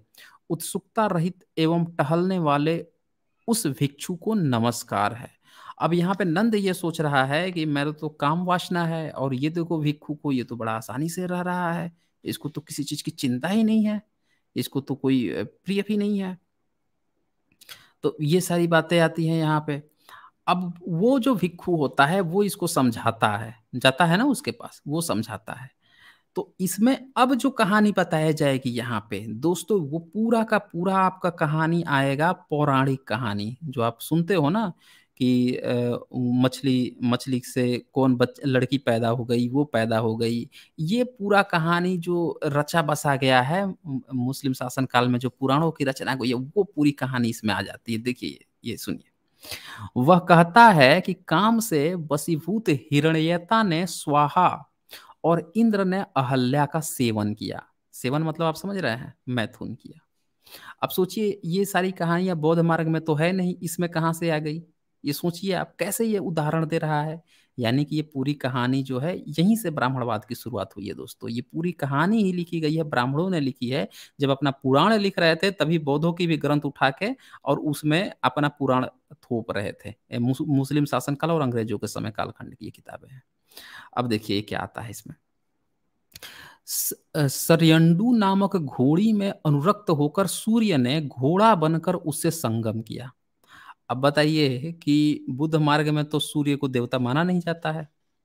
लेकिन लिख रहा है कि सूर्य जो है घोड़ा बनकर असरयंडू से, ये सब पुराणों में आती हैं घटनाएँ कि इंद्र जो है अहिल्या का रिप कर दिया था, हिरण्यता जो है स्वाहा का रेप कर दिया था, ये सब इसी में तो आती है। अच्छा आगे देखिए, जो अश्विनी कुमार देवता है ब्राह्मणों के, उसकी चर्चा इसमें आ गई है। ये देखिए क्या लिख रहा है। और जब सूर्य घोड़ा बन के असरयंडू नामक घोड़ी से फैक्स करता है तो दो बच्चे पैदा होते हैं। अब वो दो बच्चे कौन हैं? दो अश्वनी कुमार हैं। ये अश्वनी कुमार वही हैं जिनके बच्चे पैदा हुए थे ये नकुल और सहदेव, जिसने कुंती जो और माद्री, इन दोनों का जो थे ना ये देवताओं से जिनका नियोग हुआ था। तो वही अश्वनी कुमार के पुत्र थे नकुल और सहदेव। तो उनका जन्म कैसे हुआ ये देखिए यहाँ पे। घोड़ा बन के आया सूर्य। इससे जो है अश्वनी कुमार का जन्म हो गया। ये पूरा यहाँ पे एक भिक्खु बता रहा है, किसको बता रहा है? तो नंद को बता रहा है। ये कवि बता रहा है, कवि की ये कल्पना है। तो कवि ने जब कल्पना ये की है, इसका मतलब कि कवि ये जो है ना, मुस्लिम शासन काल या अंग्रेज़ों के समय कालखंड में ये सारी चीज़ें लिखी गई है। मैं बार बार इसलिए फोर्स दे रहा हूँ दोस्तों, ये समझने की ज़रूरत है। ये ब्राह्म, ये बौद्ध ग्रंथों में ये सब नाम नहीं आते हैं दोस्तों। यहीं से ब्राह्मणवाद आया है और यहीं से बौद्ध ग्रंथों को बर्बाद किया गया है। चले। स्त्री के कारण वैवस्वत और अग्निदेव का वर्षों तक युद्ध चलता रहा। देख लीजिए, अब स्त्री बताया जा रहा है, स्त्री का पाठ पढ़ाया जा रहा है, वो बता रहा है कि स्त्री के कारण ही वैवस्वत और अग्निदेव में वर्षों तक युद्ध चलता रहा। वशिष्ठ मुनि ने काम वासना के कारण चंडाल कन्या अछमाला के साथ संभोग किया। अब देखिए, वशिष्ठ का नाम आ गया इसमें। वशिष्ठ कौन है? रामायण का है ना? रामायण में राम का, दशरथ का इन सबका गुरु है ना, वो क्या कर रहा है? ये देखिए, काम वासना के कारण चंडाल कन्या, देख लीजिए। चंडाल कन्या अछमाला के साथ संभोग कर लिया, ये लीजिए। और ऋषि है, तब भी, जिससे कम, कंपिंजलांद नामक पुत्र पैदा हो गया। देख लीजिए, पराशर ऋषि ने मछली के गर्भ से पैदा होने वाली काली नामक स्त्री, देखिए यहाँ काली नाम है महाभारत में इसका मत्स्य गंधा किए हैं सब। काली नामक स्त्री जिसका दूसरा नाम मत्स्य गंधा है, का सेवन किया। सेवन किया मतलब सेक्स किया। और उसने कृष्ण द्वैपायन वेद व्यास को पैदा किया। ये देख लीजिए, वेद व्यास कैसे पैदा हुआ, ये बातें आ रही हैं। जिसने वेदों का विभाजन किया उस वेद व्यास ने काशी में वैश्या का सेवन किया। अब ये देख लीजिए, वेद व्यास की बात आ रही है कि वेद व्यास जो है काशी में जाकर जो वैश्या होती थी, उनके साथ फैक्स करता था। और उसके बाद से क्या किया उसने? नुपुर वाले पैरों के प्रहार से हैं ब्रह्मा के पुत्र अंगीरा ने कामवश सरस्वती का सेवन किया। अब देख लीजिए, ब्रह्मा जो है, वो तो अपनी पुत्री उसकी जो थी, उसके साथ उसने फैक्स किया ही था। उसका जो पुत्र अंगिरा था अच्छा ब्रह्मा के पुत्र अंगिरा ने काम वश सरस्वती का। अब अंगिरा भी सरस्वती का सेवन कर लिया। ये लीजिए भाई बहन का ये हो गया, बाप, बेटी का और भाई बहन का हो गया। क्या क्या पुराणों में क्या क्या बातें लिखी हैं दोस्तों, देख लीजिए। और सारस्वत नामक पुत्र को पैदा किया राजा दिलीप के यज्ञ में। देखिए, यज्ञ की बात आ गई ना बुध मार्ग में यज्ञ होता नहीं है। तो यानी कि ये पूरी की पूरी कहानी ही मैं बार बार क्यों बोलता हूँ कि जो भी लोग आपको जब भी दिखाएँ बुद्ध मार्ग में जो किताब है, वो ध्यान से पढ़ा कीजिए।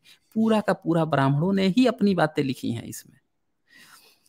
तो राजा दिलीप के ये असंस्कृत की किताब है। राजा दिलीप के यज्ञ में पुरोताही करता हुआ कश्यप सुंदर स्त्री को देखकर इतना कामातुर हुआ कि उसका वीर्य चूने लगा। अब बताइए स्त्री को देखकर उसका वीर्य चूने लगा। ये सब पुराणों में लिखा है कि ब्रह्मा जो है पार्वती का पैर देख लिया तो उसका वीर्य चूने लगा था। और उसने उसी शुरुए से उसमें घी भरकर यज्ञ आहुति में डालता था। लीजिए भाई साहब, वीर्य चू रहा है और उसको जो है डाल के आहुति में डाल रहा है। ये ये इनकी कहानी है। ऐसा प्रतीत होता है दोस्तों जैसे कोई ब्राह्मण जो था ना जब ये बन रहे थे ये ये, ये पूरा ब्राह्मण धर्म खड़ा कर रहे होंगे तो क्या हुआ होगा कि वो बुद्ध का ब्राह्मणीकरण कर रहे होंगे। और जो बुद्ध वाले होंगे ना जो बुद्ध में का कुछ बचे होंगे वो कहे होंगे कि रुको मैं तुम्हारे पूरी कहानी इसमें डाल के तुम्हारा मैं खल खींचता हूँ ये चल रहा होगा ऐसा कहानी देख कर लग रहा। अब क्या होता है, ये आगे देखिए। अपना वीर्य भरा तथा उसमें अग्नि में डाल दिया। लीजिए, लड़की को देख अब ये बताइए, हवन चल रहा होगा, उसमें कोई ऋषि बैठा है तो उसका वीर्य टपक रहा होगा, उसको पता भी नहीं चलेगा कि वीर्य है। उसको उठा के आगे में डाल रहा है, भर भर के, अग्नि में डाल दिया, जिससे असित का जन्म हो गया। अब ये देखिए, असित मुनि का जन्म बता दिया सब, कि असित मुनि का जन्म कैसे हो गया? वीर्य कोई आगे में डाल दिया, उससे जन्म हो गया। और सुने। इसी प्रकार अंगद तपस्या पूरी कर लेने के बाद भी यमुना के पास जा पहुँचा और उसने रथितर नामक पुत्र पैदा कर दिया। ऋषि श्रृंग मुनि दशरथ की पुत्री शांता को देखकर धैर्य खो बैठा, ये लीजिए। और उसने उसे अपनी पत्नी बना लिया। ये तो बड़ा गजब इन लोगों का निंजा टेक्निक था। किसी को देख को, देख लो, धैर्य खो जाए तो तुम्हारी बीवी ही वो बन जाएगी सीधे सीधे अच्छा ये लीजिए। राज्य छोड़कर तपस्या के लिए वन में आया हुआ विश्वामित्र धृताक्षी नामक वैश्या के साथ दस वर्षों तक विषयों का सेवन करता रहा। ये लीजिए, विश्वामित्र की भी इसने खींच ली कि विश्वामित्र जो है, ये धृताची नामक वैश्या के साथ दस साल तक फैक्स किया। और ये लीजिए, स्थूल सिरा रंभा स्थूल सिरा मतलब उसमें स्थूल मतलब मोटा होता है, स्थूल सिरा रंभा को देखकर मूर्छित तो होता रहा। अब बताइए, स्थूल सिरा रंभा को देखकर मूर्छित हो जाता था और उसके साथ धृताची के साथ दस साल तक फैक्स करते रहा। प्रियतमा प्रमद, प्रमदवरा के कारण रुरु सर्पों को मारने में लगा रहा। अब ये प्रियतमा प्रदमवरा कोई थी, उसके कारण जो है सांपों को मार रहा था ये। और तप से हाथ धो बैठा। चंद्र का नाती एवं बुद्ध का पुत्र एड उर्वशी का चिंतन करते करते उन्मत्त हो गया।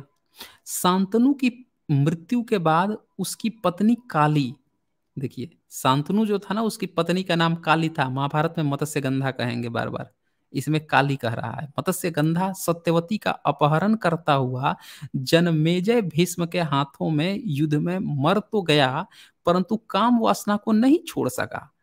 और पांडु को पता था कि स्त्री से संगम करने पर मृत्यु निश्चित है तो वह भी माद्री से सहवास करने लगा और मर गया, पर काम वासना को न छोड़ सका।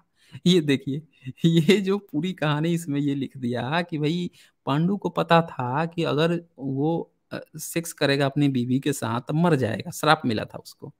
तो वो क्या कर रहा है कि मादरी के साथ सेक्स कर रहा है करते करते मर गया उसी में काम वासना में। ये पूरी कहानी जो है यहाँ पे आपको देखने को मिल रही है ये बता रहा है उसको। तो आप ये देख रहे हैं ये सारी पौराणिक कहानियाँ हैं दोस्तों। ये पिछले 300, 400, 500 साल से पहले नहीं पाई गई हैं। और ये सौंदर्य नंदन को संस्कृत में जब इन लोगों ने लिख कर परोसा है अंग्रेज़ों के समय में तब ये सारी चीज़ें इन्होंने इसमें डाल दी घुसेड़ी हुई हैं। इसीलिए ये समझना होगा कैसे ब्राह्मणीकरण कब हुआ है। अच्छा इस तरह से तप से, भ्रष्ट सदाचार से विमुख काम के किंकरों, सच्चरित से च्युत और मैदान से भागे ऋषियों, मुनियों, देवर्षियों आदि के किस्से याद करके नंद कहता है कि जब इनका यह हाल था तो मेरा इस तरह विह्वल होना उचित ही है।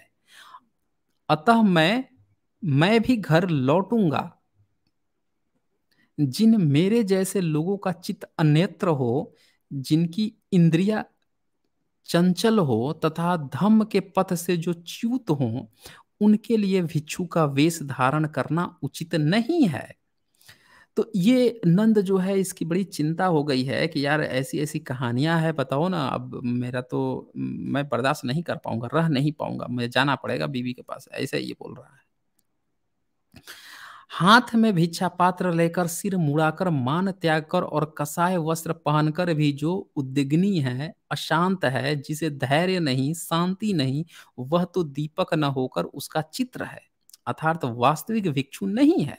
जैसे दीपक के चित्र से प्रकाश नहीं हो सकता, उसी तरह ऐसा भिक्षु बेकार है। जो घर से निकल गया है, परंतु जिसका काम राग नहीं निकला, जो कसाय वस्त्र धारण करता है, परंतु खुद निष्काय चितमल से रहित नहीं है, जो पात्र धारण करता है, परंतु स्वयं सदगुणों का पात्र नहीं है, वह भिक्षु का वेश धारण करता हुआ भी गृहस्थ है और न ही भिक्षु है, न ही गृहस्थ है और न ही भिक्षु है। यहाँ पे ये बातें आ रही है कि भैया तुम्हारे अंदर अगर इस तरह की काम भावना है तो तुम न घर के हो, न घाट के हो। ये बातें यहाँ पे आ रही है। अब वन से घर। तो इसके बाद नंद उन लोगों के उदाहरणों को याद करता है जो तपोवन से फिर घरों में भाग गए हैं। जो भिक्षु बनकर फिर गृहस्थी बन गए, वह कहता है, पुत्र सहित साल्वराज, अम्बरीश, अंधराज संकृति, अतिदेव, इन सबने वलकल वस्त्र छोड़कर फिर भी रेशमी वस्त्र धारण किए थे और जटवाए कटवाकर सिर पर मुकुट सजाए थे। इन्हें याद करके वह अपने मन से उस तनाव को दूर करने का प्रयास करता है, जो उस विचार से पैदा हो गया था कि अब यदि मैं भिक्षु के चीवर का परित्याग करके घर लौटूँगा तो लोग क्या कहेंगे? आ, ये भी एक बहुत बड़ी बात थी कि भैया आप जो है साधु बन जाइए। साधु बन के आप घर जाइए तो लोग मज़ाक उड़ाएँगे, कहा भैया बर्दाश्त ना होगा लौट आए। तो ये यहाँ पे ये भी बात आई है तो कुल मिला के जो कवि है, वो जो दिखाना चाहता है एक व्यक्ति का कि उसके साथ क्या क्या सिचुएशन हो सकती है, जब बौद्ध भिक्खु बनेगा, वो सारी चीज़ें यहाँ पे दिखाई गई हैं और फिर जो है उसको समझाता है, उसका सॉल्यूशन देता है। अब यहाँ पे जो है सर्ग आठ जो है, नंद को मंगलमयी आँखों से देखते हुए किसी भिक्षु ने उसे मैत्रीपूर्ण कहा, तुम्हारा आंसुओं से भींगा हुआ यह मुँह तुम्हारे मन के मैल को व्यक्त कर रहा है, धीरज रखो और मनोवेग को रोको। क्योंकि आँसू और शांति एक साथ नहीं शोभते नहीं वास्पस्ट समझ शोभते। तो ये ये आप यहाँ पे समझ पा रहे होंगे कि पूरी एक भूमिका लेखक ने तैयार की है और ये भूमिका ऐसी हो गई है कि भैया इसको अब कैसे स्त्री से दूर किया जाए? ये तो मान ही नहीं रहा है। सारी कहानी, इतनी सारी कहानी बता दी गई, सुना दी गई, फिर भी इसको समझ में नहीं आ रहा है। तब अब एक नया गेम खेलता है यहाँ पे कवि। अब वो एक नया पैतरा अपनाता है। अब वो सोचता है कि जिसके प्रति इसकी आसक्ति है, जैसे मान लेते हैं कोई शराब पीता है, अब उसको आप समझाइए कितना भी कि यार शराब गलत है गलत है, शराब जो है उसको छोड़ दो, गलत है, वो नहीं समझ रहा है। तो अब आप ऐसा करो कि शराब की ही बुराई बताना शुरू कर दो। ये समझिएगा दोस्तों, ये बहुत बड़ा पॉइंट है यहाँ पे। तो लेखक इस मनोदशा में पहुँच गया है। इसका जो कवि है, अब वो यहाँ पे एक नया पैतरा अपनाएगा। अब वो ये क्या करेगा कि जो स्त्री होती हैं, उसके प्रति इसके मन में नफरत भरने की कोशिश करेगा। ये पात्र है दोस्तों। और यही ये पोर्शन है कि लेखक उस कल्पना के दौर में घुसता है कि अब स्त्री के बारे में इतना इसको खराब बताओ कि ये स्त्री से विरक्त हो जाए। यहाँ पे स्त्री की निंदा करना इसका उद्देश्य नहीं है दोस्तों। ये बात आप समझिएगा। यहाँ पे अभी तक आपने देखा पूरा एक माहौल बन रहा है कि एक व्यक्ति को इतनी सारी चीज़ें बताने के बाद भी वो स्त्री विरक्त नहीं हो पा रहा है, तब ये गेम खेला गया है। अब आगे यहाँ पे आपको मिल जाएगा स्त्री निंदा, कि अब वो बताता है कि भैया जो है तुम्हारी मानसिक ये समझ तो पा नहीं रहे हो तो चलो जो है मैं तुम्हें अब वो चीज़ बताता हूँ कि ये स्त्रियाँ कैसी होती हैं। तो ये ये देखिए ये। इस प्रकार काम शोक से बिहवल नंद का ध्यान करके वह भिक्षु उसके हित की कामना से ऐसे वचन बोला, जो थे तो गुणयुक्त, परंतु श्रोता को जो अप्रिय लग रहे थे, वह कहने लगा, तुम्हारे पास प्रज्ञा की आँखें नहीं है। अतः श्रेय के प्रति तुम्हारी अरुचि स्वाभाविक ही है। मूर्ख काम सुख में सुख अनुभव करता है, परंतु सत पुरुष ज्ञान से भोग को जीत कर शांति में आनंद का अनुभव प्राप्त करता है। बाकी रही घर लौटने की इच्छा तो सुनो, जिस तरह वायु के वेग से पहाड़ का झुकना उचित नहीं, उसी तरह विख्यात, बुद्धिमान, कुलीन एवं आदरणीय वेश धारण करने वालों के लिए घर लौटने की इच्छा करना उचित नहीं।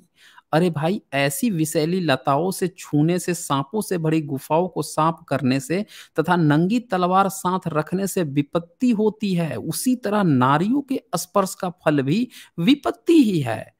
तो आपने देखा होगा कि बहुत सारे लोग कहते हैं कि भाई बुद्ध में बड़ी नारियों के बारे में ये लिखा गया है, वो लिखा गया है, वो यहाँ से आती है दोस्तों, एक कवि की कल्पना है।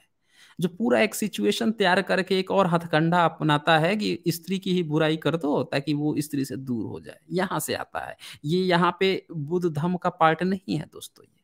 और न ही बुद्ध का ये हिस्सा है। ये ये जो है सौंदर्य नंदन में एक प्रसंग है, जो एक कवि का हिस्सा है, कवि के कही गई बाणी है। तो यहाँ पे अब ये क्या कहता है, देखिए, औरतें अपनी को, मैं सारा चीज़ दिखाऊँगा दोस्तों, कुछ भी नहीं छुपाऊँगा, जो गलत है गलत है, जो सही है, वो सही है, देखना सब चीज़ आपको है, कुछ भी छुपाना नहीं है। तो औरतें अपनी को अपनों से और मित्रों को मित्रों से अलग करती हैं वाणी से आकर्षित करती हैं, जो हृदय से तीव्र चोट करती हैं।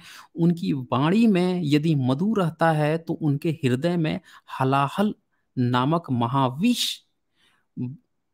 तो ये कह रहा है कि हलाहल नामक विष भी रहता है। मुँह से अच्छा बोलती हैं तो वैसे रहता है। ये स्त्रियों के लिए नहीं है, बल्कि स्त्रियों के नफरत पैदा किया जा रहा है उस व्यक्ति का, भिक्षु का, जो, ताकि वो स्त्रियों से जो उसकी काम है, काम भावना दूर हो जाए। आगे देखिए ये क्या कहता है इसमें, कवि। आदमी जलती हुई आग पकड़ सकता है, क्रुद्ध सांप को पकड़ सकता है, परंतु स्त्रियों के मन को नहीं पकड़ सकता, उसे नहीं जीत सकता।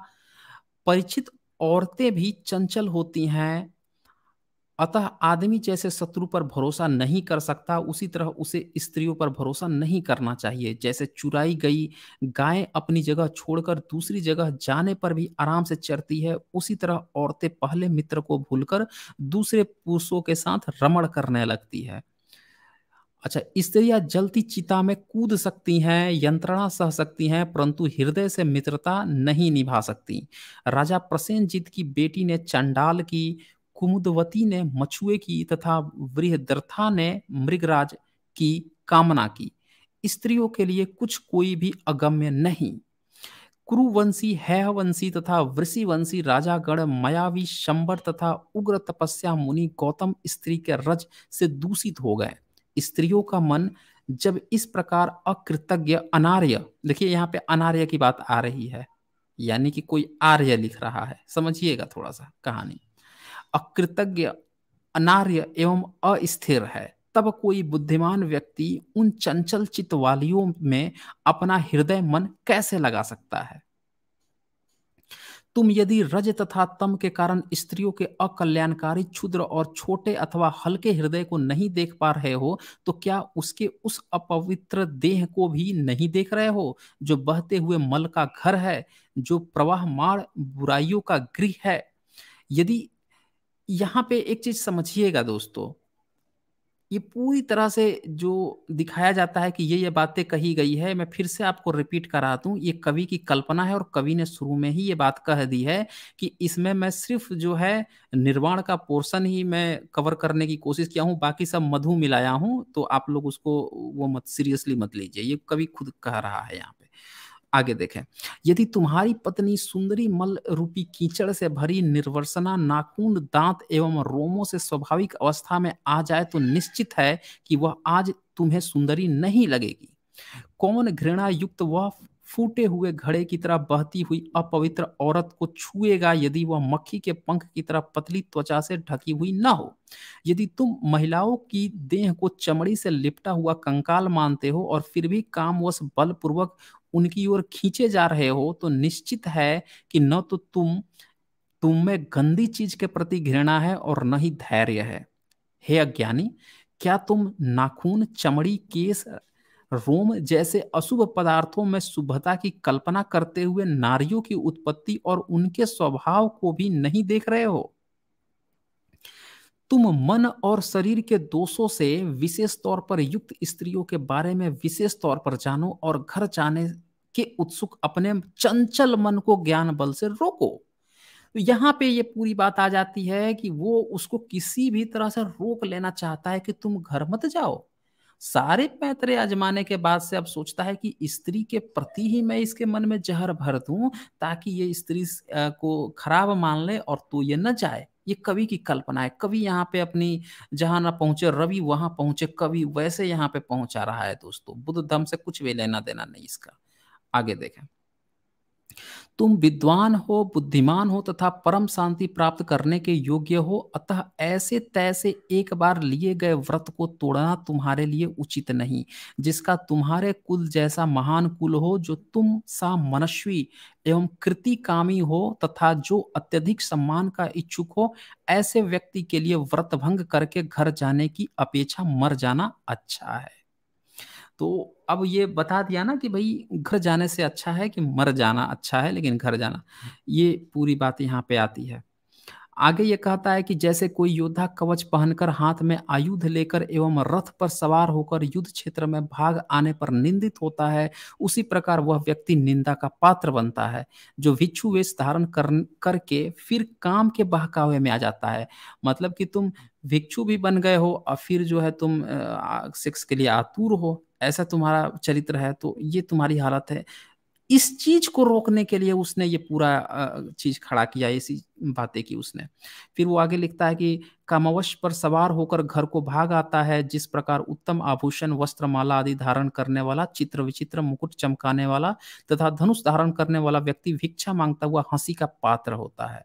उसी प्रकार भिक्षु का वेश धारण करके भिक्षा में प्राप्त दूसरों का अन्न खाने वाला हँसी का पात्र बनता है, यदि वह तृष्णा पूर्वक घर के सुख की ओर अभिमुख हो। तो ये पूरी बातें यहाँ पे आती है। आगे वो ये भी कहता है कि जैसे सुअर अच्छा अन्न खाकर वह सुंदर पलंग पर सोकर भी बंधन मुक्त होते ही अपनी परिचित गंदगी की ओर दौड़ता है, उसी प्रकार श्रेय को सुनने के बाद गुण युक्त एवं शांत सुख का आस्वादन करने पर भी काम तृष्णा से पीड़ित इंसान शांत तपोवन को छोड़कर घर की ओर भागता है। परंतु घर पर स्त्रियों का संसर्ग बहुत प्रकार के अनर्थों के कारण होता है, इसीलिए स्त्रियों के मन एवं शरीर में नियत इन दोषों को जानकर अपनी अनुपम बुद्धि का मोछ में लगाओ तथा घर जाने के लिए उत्कंठित होना छोड़ दो, क्योंकि वह ठीक नहीं। तो दोस्तों, ये ये सारी बातें जो हैं सौंदर्य नंदन में लिखी हुई हैं और जितने भी विश्लेषक लोग हैं, उन लोगों में से दो तरह के लोग हैं। एक जो कहते हैं कि ये मिलावटी है लोगों ने मिलावट की है ब्राह्मणों ने, क्योंकि बौद्ध भिक्खु नौवीं, दसवीं, ग्यारहवीं, बारहवीं सदी के बाद थे नहीं। उनकी किताबों को संस्कृत में लिखकर इन्होंने जानबूझ के इस तरह की मिलावट की है। और भी आपने ऊपर भी प्रसंग देखा, वो सारी चीज़ें एग्जिस्ट नहीं करती बौद्ध मार्ग में। ब्राह्मणों की सारी बातें आ रही हैं, पुराणों की कहानियाँ आ रही हैं, इससे भी पता चलता है कि पौराणिक काल के बाद ही ये किताब लिखी गई है। तो एक पक्ष जो है, ये बात कहता है, दूसरा पक्ष कहता है कि चलो मान लेते हैं कि ये ओरिजिनल ही पुस्तक है। मान लेते हैं कि ओरिजिनल पुस्तक तब हम क्या करेंगे? तो इस पे जो विश्लेषण है, ये भी मैं आपको बता देता हूँ कि जो एक्सपर्ट्स हैं, उनकी क्या राय है। यहाँ पे ये चीज़ कह रहे हैं कि नारी निंदा के इस प्रश्न को हम दो हिस्सों में बांट कर देख सकते हैं। पहली बात, जो यति, सन्यासी, ब्रह्मचारी आदि अप्राकृतिक तौर पर काम का दमन करते हैं, वे ऐसे ही नारी निंदा पुराण पढ़ा करते हैं। इसके सहारे वे अपनी कमज़ोरी पर पर्दा डालने की कोशिश करते हैं, क्योंकि किसी यति सती को कोई औरत उसके पास जाकर कुछ नहीं कहती। वे खुद ही अपने मंग, मन में उठने वाले विचारों, चित्रों, सकलों सूरतों आदि में बेचैन रहते हैं, परंतु गालियाँ देते रहते हैं औरतों को।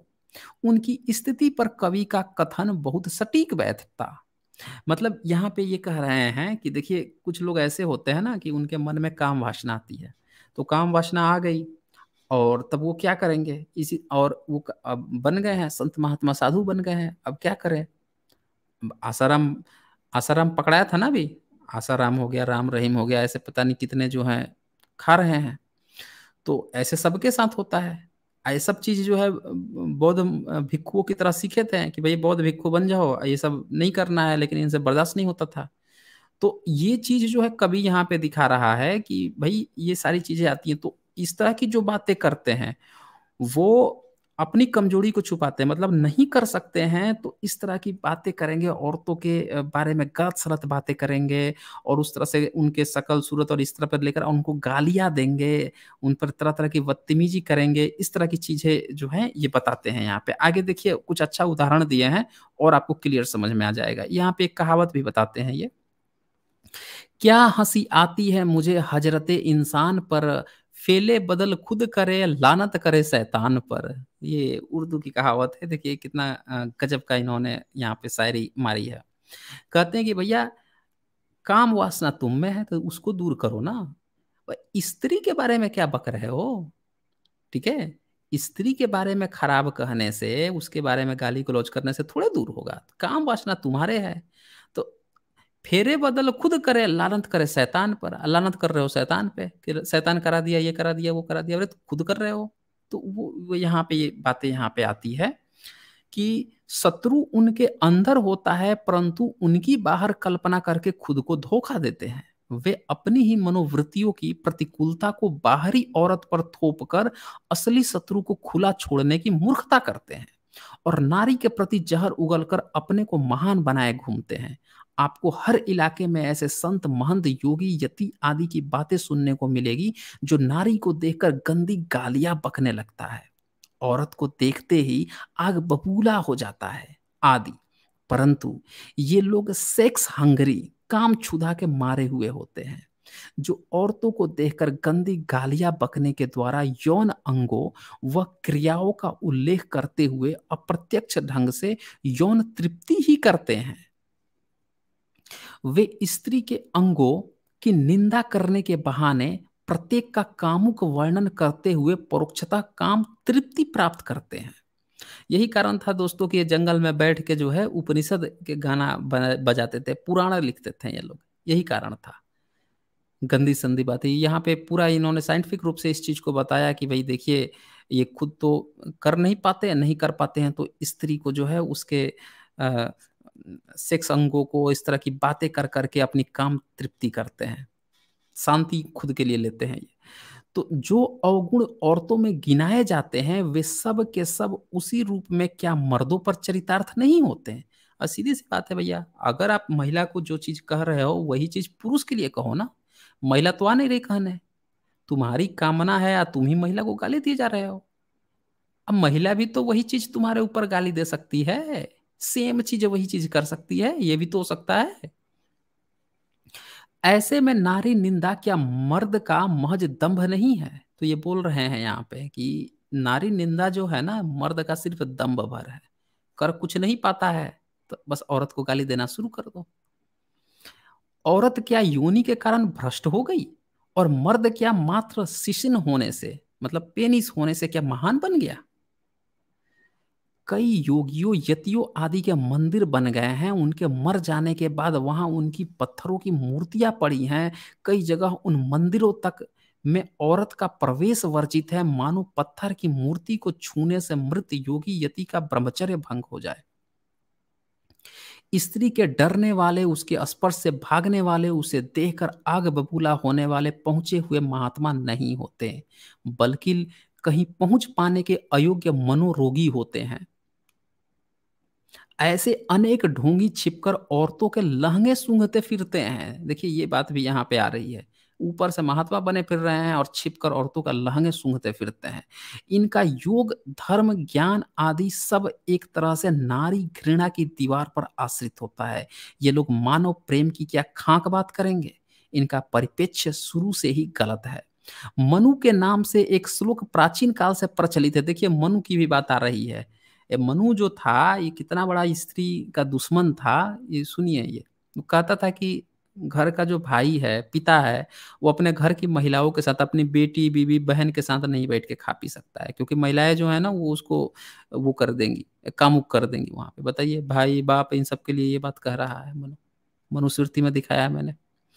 तो यहाँ पे ये बोलते हैं कि मनु के नाम से एक श्लोक प्रचलित है, जिसमें कहा गया है कि नारी घी के घड़े के समान है। और पुरुष आग के समान है। समझदार व्यक्ति इस घड़े और आग को एक जगह इकट्ठे न होने दे। ये ये मनुस्मृति में कहा गया है, बताइए। कि स्त्री और पुरुष को एक जगह नहीं रखना है। आज स्कूलों, कॉलेजों में शिक्षा है, दफ्तरों में स्त्री पुरुष इकट्ठे काम करते हैं, कहीं ना घी पिघलता है, ना आग जलती है। यदि कहीं किसी मामले में कुछ होता है, वह अपवाद है, जिसे सामान्य स्थिति का परिचायक नहीं माना जा सकता। उपयुक्त श्लोक जिसने भी बनाया, उसने अपनी विकृत मानसिकता को ही लिपिबद्ध किया है। अब यहाँ बोलते हैं कि भ्रांत धारणा। भ्रांत धारणा है कि भैया आप ब्रह्मचारी बन जाओगे। ब्रह्मचारी की खूब बात करते हैं ब्राह्मण धर्म में, खूब चर्चा है ब्रह्म। ये भी एक भ्रांत धारणा है दोस्तों। वीर्य की रक्षा से आदमी उधर्वरिता होता है, उसे ज्ञान की प्राप्ति होती है। विज्ञान ने इस अंधविश्वास का भंडा फोड़ कर दिया है। यदि वास्तव में वीर्य रक्षा से वैसा कुछ होता तो बधिया किए हुए मतलब जिनका जो है जो आप कह सकते हैं, हिंदी में आंड कहा जाता है, निकाल दिया जाता है बहुत सारे पशुओं का, जैसे बकरी जो है, उसके जो बच्चे होते हैं, खोसी। उनका निकाल दिया जाता है तो बकरा नहीं बन पाते हैं, बैल का भी निकाल दिया जाता है, वो सांड नहीं बन पाता है। तो उनका तो वीर्य जो है, जब निकाल दिया गया तो सबसे तो वीर्यवान पुरुष वो हो गए, कभी बाहर ही नहीं निकला उनका। है? तो ये यहाँ पे पूछते हैं इस चीज़ को कि भैया ये तो सबसे बड़े ब्रह्मचारी लोग हो गए। तो ये तो अगर इस तरह का कोई इंसान करता है ना ज़्यादा ब्रह्मचारी के पीछे भागता है तो वो बोल रहे हैं कि काम भावना से ज़िंदगी भर वो जूझता है और अंत में मनोरोगी बन जाता है। मानसिक बीमारी पकड़ लेती है। जिन भी लोगों को ब्रह्मचर्य का भूत सवार है, दरअसल वो मानसिक रोगी ही हो जाते हैं, ये समझिएगा इस बात को। दूसरे, यहाँ पे ये कह रहे हैं लेखक का ये कहना है और लिखा है इन्होंने तो कुछ सोच के ही लिखा होगा, ऐसा नहीं है कि अनप्रैक्टिकल चीज़ है। दूसरे इन लोगों का लोकोत्तर ज्ञान यह बताता है कि स्त्री मुक्ति प्राप्त कर ही नहीं सकती। मानो पुरुष शरीर की बनावट या मुक्ति से कोई विशेष संबंध हो, जो नारी शरीर की बनावट में संभव नहीं, नारी के गर्भ से जन्मे पुरुष का दंभ का हाल तो देखो। बुद्ध समझते थे कि यह सब बकवास है। अतः उन्होंने भिक्षु संघ के समान भिक्षुड़ी संघ की स्थापना की। देखिए, यहाँ पे एक्चुअल पॉइंट आया है दोस्तों, आपको समझना होगा कि ब्राह्मण धर्म में कहीं भी स्त्री को अधिकार नहीं दिया गया, लेकिन बुद्ध जो है, इन बातों को समझते थे। और उन्होंने पहली बार पूरे दुनिया के इतिहास में ऐसा पहली बार संभव हुआ कि जब उन्होंने जिस तरह से पुरुषों का संघ बना था, महिलाओं का भी संघ उन्होंने बनवाया, अब तो गुजरात के वाडनगर हो या कई जगहों पे महिला भिक्खुओं के आवास भी मिल गए हैं, सबूत मिल गए हैं महिला भिक्षुओं के। तो उन्होंने पूरा जो है भिक्षुणी संघ की स्थापना की थी और सुदूर अतीत में नर व नारी की समान समान प्रतिष्ठा की थी, प्रतिष्ठित की थी। अब हम प्रश्न के दूसरे हिस्से को लेते हैं कि फिर यहाँ सौंदर्य नंदन में नारी निंदा का औचित्य क्या है? अब ये दूसरा पॉइंट आ जाता है कि भाई एक तो पॉइंट ये हो गया कि चलो अगर ऐसा कोई निंदा कर रहा है तो उसका मानसिक बीमारी है ठीक है? दूसरा पॉइंट आता है कि सौंदर्य नंद, नंद जो है किताब है इसमें लेखक की मंशा क्या है? वो क्यों ये बात कह रहा है? तो वो यहाँ पे ये बताते हैं कि जब कोई शराब का आदि हो जाता है तब उसके घर वाले उसकी शराब की बोतल तोड़ते हैं। और शराब का नाम लेकर छाती पीटते हैं। जब कोई जुए की लत का शिकार होता है, तब वे जुए को कोसते हैं। ऐसे ही जब कोई पर नारियों के चक्कर में पड़कर अपना बेड़ा गर्क करने की राह पर चलने लगता है, तब उन औरतों की निंदा की जाती है, उन्हें गालियाँ दी जाती है। उन उदाहरणों से स्पष्ट है कि जब जैसा शत्रु होता है, तब उसकी वैसी ही निंदा होती है। जब शत्रु शराब होती है, जब जुए की नहीं, शराब की निंदा की जाती है। परंतु जब कोई औरत किसी को चंगुल में फंसाकर बर्बाद कर रही होती है, तब उस शिकार हुए व्यक्ति की माँ, बहन और पत्नी सब खुद उस औरत की ही निंदा करने लगते हैं। वह निंदा उन या वैसी नारियों की निंदा होती है, वह भी उन नारी के शत्रु की भूमिका निभाने के कारण। यही स्थिति सौंदर्य नंदन में है। यहाँ नंद कल्याण मार्ग से न शराब के कारण भाग रहा है, न जुए के कारण, बल्कि नारी के कारण वह अपने पाँव पर कुल्हाड़ी मारने को उद्धत हो रहा है। अतः उसके प्रति निंदा लक्षित है, जो शत्रु की भूमिका निभा रही है। यहाँ कोई नारी ही यह भूमिका निभा रही है अतः शत्रुता के प्रसंग के कारण उस नारी से नंद को विमुख करने के लिए जो उपयुक्त समझ रहा है लेखक, वो वहाँ पे उस चीज़ को करवा रहा है। क्योंकि कहने, कहते हैं कि प्रेम और शत्रुता के मामले में हर चीज़ जायज़ होती है। अतः सौंदर्य नंदर में की गई, नारी निंदा सामान्यतः नारी निंदा नहीं है, बल्कि एक नारी के शत्रुत्व के कारण है। तो ये समझ में आ गया होगा दोस्तों आप लोगों का, मैंने दोनों तीनों सारे पक्ष दिखा दिया यहाँ पे कि जो लोग सोशल मीडिया में प्रचार करते हैं तो सबसे पहला पॉइंट कि वो बुद्ध मार्ग का हिस्सा नहीं है। दूसरा पॉइंट कि भाई यहाँ पे सारे नारी की बात नहीं हो रही है। तीसरा पॉइंट कि ये लेखक की मानसा सिर्फ़ एक उस नारी के लिए ये उसको बता रहा है, क्योंकि वो चाह रहा है कि वो ना जाए। ये लेखक की कल्पना है दोस्तों। तो बस इतना सा ही इसमें पॉइंट मैं दिखाना चाहता था। और कुल मिला के आप लोगों को एक बात तो समझ में आ गई होगी कि जिस तरह से सौंदर्य नंदन हो या जो भी आजकल आपको किताबें परोसी जा रही हैं, ये कब लिखी गई हैं और किस तरह से ब्राह्मण धर्म जो है अस्तित्व में आया है इन्हीं बौद्ध मार्ग की जो किताबें हैं, इन्हीं का ब्राह्मणीकरण करते करते उन लोगों ने अपना एक नया धर्म खड़ा कर लिया। मुस्लिम शासन काल में। उनके पास था नहीं कुछ भी। बुद्ध को अवतार बना दिया, उनको बोधिसत्व बना दिया, पहले देवता को बोधिसत्व कहते थे, ये दिखाया भी है इसमें। तो इस तरह से करते करते और धीरे धीरे करते करते उनको लगा कि यार बुद्ध का तो पूरा ब्राह्मणीकरण कर दिए चलो अब एक नया धर्म ही खड़ा कर लेते हैं और इस तरह से पूरा एक ब्राह्मण धर्म खड़ा हो गया। चले अब मैं लिंक दे देता हूँ। और जिनको डिबेट करना हो साथियों, नए साथियों को थोड़ा भेजिएगा। जो लोग डिबेट डिबेट करना चाहते हैं, उनका मोस्ट वेलकम है। और उनको ही प्रेफरेंस भी दिया जाएगा।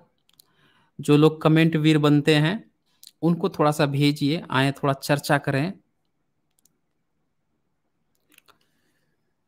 क्या उनके पास पॉइंट है, क्या डिबेट करना चाहते हैं? बहुत सारे लोगों के पास बहुत सारे प्रश्न होते हैं। तो आए, जरा दिखाएँ हमें। अच्छा जी लॉजिकली आए हैं चले इनसे थोड़ी बातें करते हैं। जी लॉजिकली बताएँ क्या कहना चाहते हैं। हेलो हाँ जी हाँ बताएँ। अच्छा वो अभी ना कुछ आवाज़ में डिस्टरबेंस आ रही है आप मेरे को पाँच मिनट बाद ले लीजिए। अच्छा जी ठीक है। अच्छा जी यहाँ पे हेमंत कुमार आए हैं चले इनसे थोड़ी बातें करते हैं। जी हेमंत जी बताएँ क्या कहना चाहते हैं? हेलो। हाँ जी हेलो। आ, सर मेरी आवाज़ साफ़ आ रही है? आ रही है आ रही है बोलिए। अरे सर सर आपके मैं काफ़ी टाइम से काफ़ी दिनों से मैं जुड़ना चाहता था और आज सौभाग्य देखिए कि मैं जुड़ गया। आ, हम्म।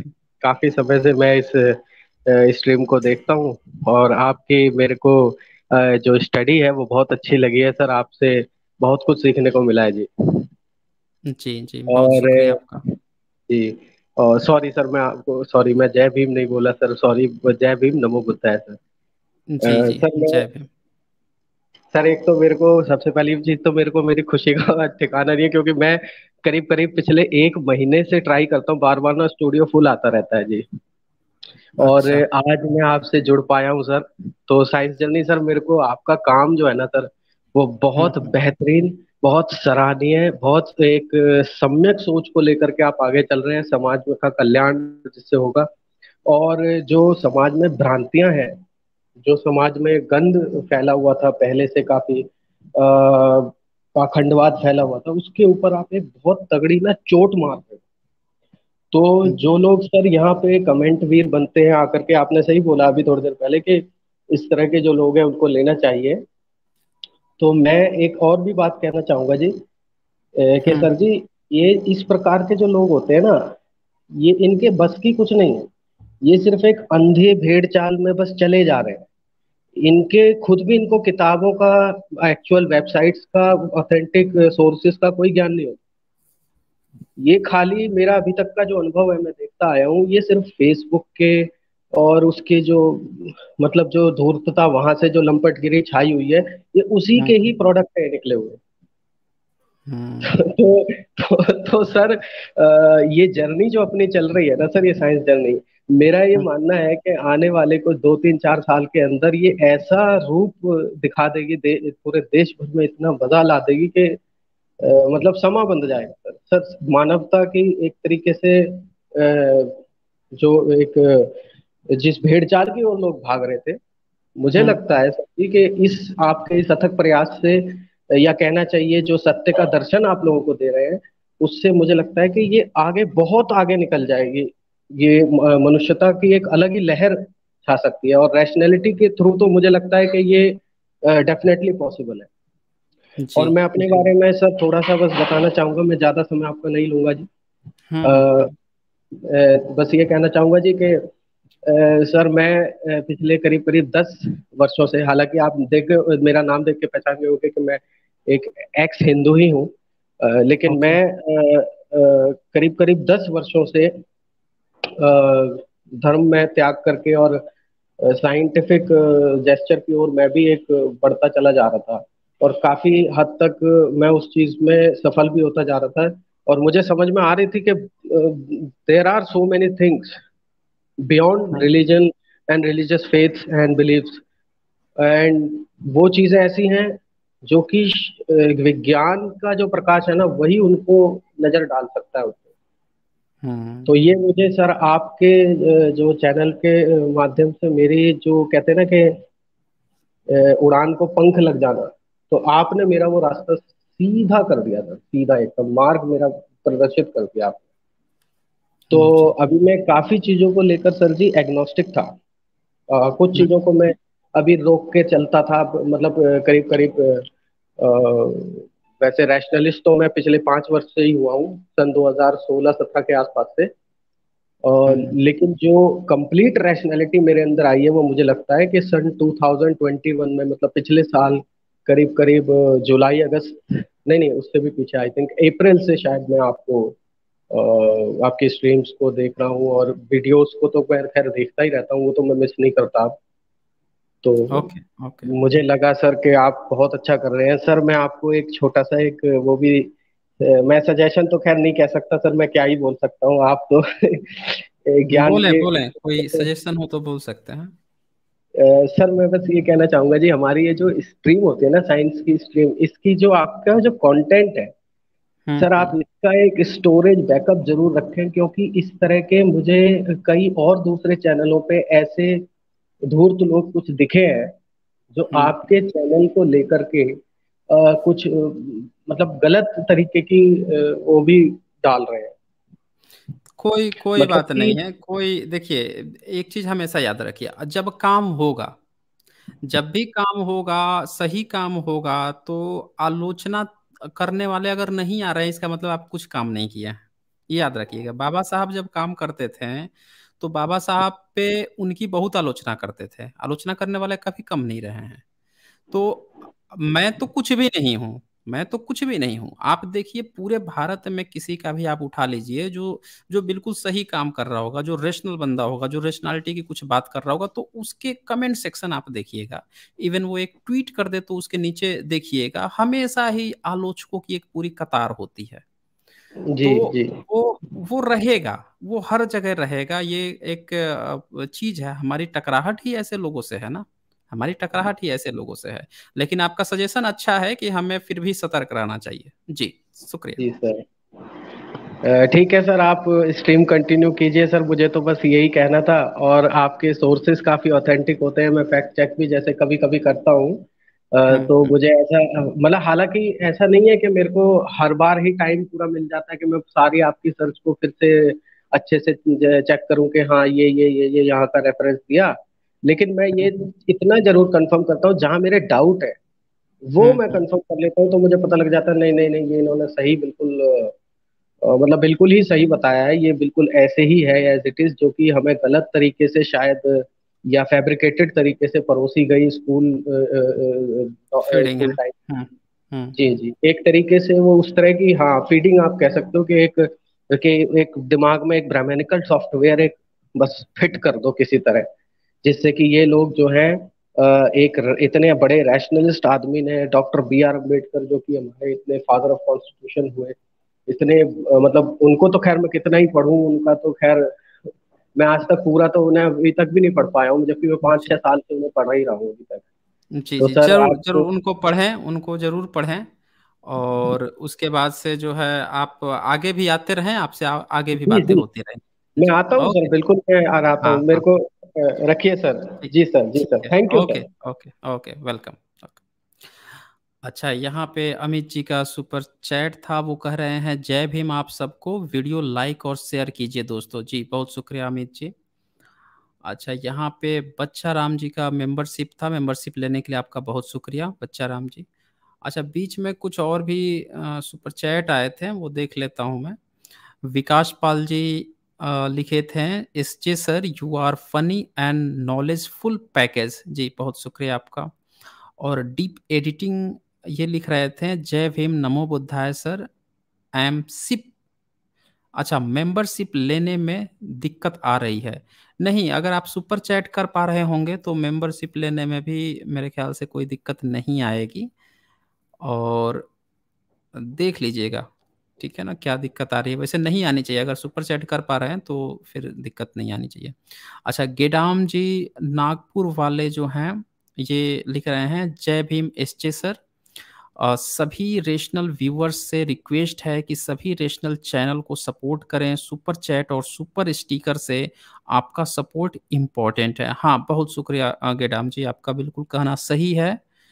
सपोर्ट से काफ़ी हेल्प मिलती है हम लोगों को। जी। अच्छा इसके बाद से जो है अब कौन आए हैं? थोड़ा देखें हम लोग। हम्म। अच्छा यहाँ पे आए हैं। सेनेशन आए हैं। इनसे बातें करते हैं। जी सेनेशन बताएँ क्या बात करना चाहते हैं? Hello hello sir. हाँ हाँ हेलो। हाँ हेलो सर वो वो सर मेरा एक क्वेश्चन था। हम्म हम्म पूछे। हाँ। क्वेश्चन थे। ये जो टुन्नी है वो थोड़ा मतलब प्रोपेगेंडा फैला रहे हैं कि बुद्धिज्म में कास्ट सिस्टम है और बुद्धिज्म कास्ट सिस्टम जो है वो बुद्धिज्म की देन है। जैसे कि उन्होंने एक ये दिया है प्रूफ अच्छा जी। इसका थोड़ा डिबंक करिए इसका थोड़ा डिबंक कर दीजिए। दे दिया है हूँ। उनने? हाँ मैं पढ़ के बताता हूँ आपको सर। अच्छा जी। हाँ बोलिए बोलिए बोलिए। ये जो हो जैसे तो कि शेयर कर दीजिए। शेयर कर देंगे तो ज़्यादा आसानी रहेगी। स्क्रीन शॉट है सर कैसे शेयर करूँ? अरे तो स्क्रीनशॉट तो व्हाट्सएप लिखा यूनिवर्सिटी से कुछ भी लिख देते हैं ना वो चक्कर तो ये है ना। सर सुनिए सुन लीजिए आप तो फिर पता चलेगा आपको। ऊँची अच्छा। जाति वाले बुद्ध जो हैं जैसे कि थेरवाद महायान व्रजयान हनयान हम्म। क्या ये सब लगाते हैं ऐसे कुछ बोल रहा था। और हम्म। त्रिलोक गारा दारा बेता बहुत ऐसे कुछ फैला रहे हैं सर इसका थोड़ा डिबंक करेंगे? नहीं तो जब तक आप दिखाएँगे नहीं शेयर नहीं करेंगे तब तक हम कैसे बताएँगे कि क्या कह रहे उनका हैं? बोलना है ऊँची जात वाले त्रेवांद महायान वज्रयान ये हम्म। सारे सर सरनेम लगाते हैं। ये सब अच्छा बुद्ध जी। बनते हैं। हम्म। ऊँची जाति वाले। अच्छा तो ये जितने भी थे भारत में जितने भी बुद्धिस्ट थे उनका क्या सरनेम था? थोड़ा बताएँ बताएँ ना थोड़ा ये लोग। जितने भी त्रिपिटक या पुरानी जो किताबें आई हैं सम्राट अशोक का क्या सरनेम था? उनका सर सरनेम तो नहीं पता लेकिन मौर्य मूरी बोलते हैं सर कुछ लोग मूरी। अरे तो मौर्य आज बोल रहे हैं ना उन्होंने तो हाँ, कभी मौर्य लिखवाया नहीं ना? हाँ मौर्य हैं मौर्य हम्म। हाँ तो उन्होंने अपने को तो कभी खुद लिखवाया नहीं कि उनका सरनेम क्या था? तो जब उनका सरनेम नहीं पता है अच्छा मोगली पुत्र सम्राट अशोक के समय में जो तृतीय संगति कराया था उसका क्या सरनेम था?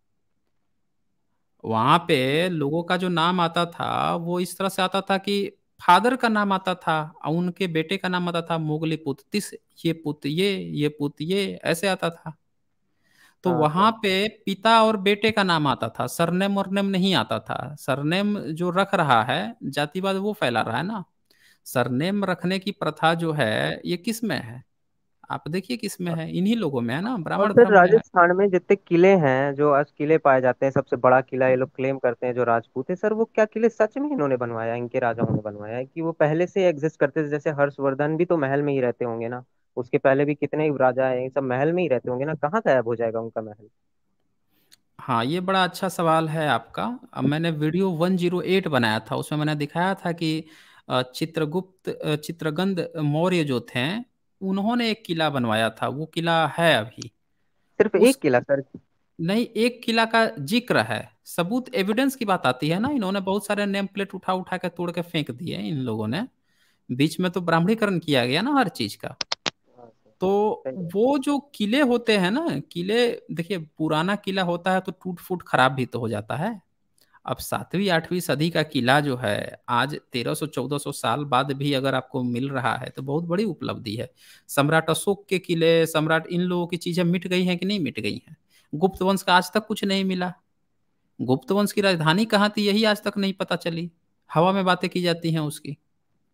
सम्राट अशोक चंद्रगुप्त मौर्य इन लोगों का मिल गया जलाया हुआ पूरा अवशेष तक मिल गया महलों का। गुप्त वंश का आज तक नहीं पता चला। और जबकि गुप्त वंश बाद में में है ये हम्म इंडिका में ये जो चीज़ें बोली गई हैं कि हरक्यूलिस राजा से कंपेयर किया गया था एक मूर्ति दिखी थी उसको क्या नाम है बलराम की मूर्ति। तो कैसे इंडिका में इसका ज़िक्र आ गया? नहीं इंडिका में कहीं भी बलराम की चर्चा नहीं है। थोड़ा एक मिनट रुकिएगा यहाँ पे। विजय कुमार शाह जी का सुपर स्टिकर है शुक्रिया आपका।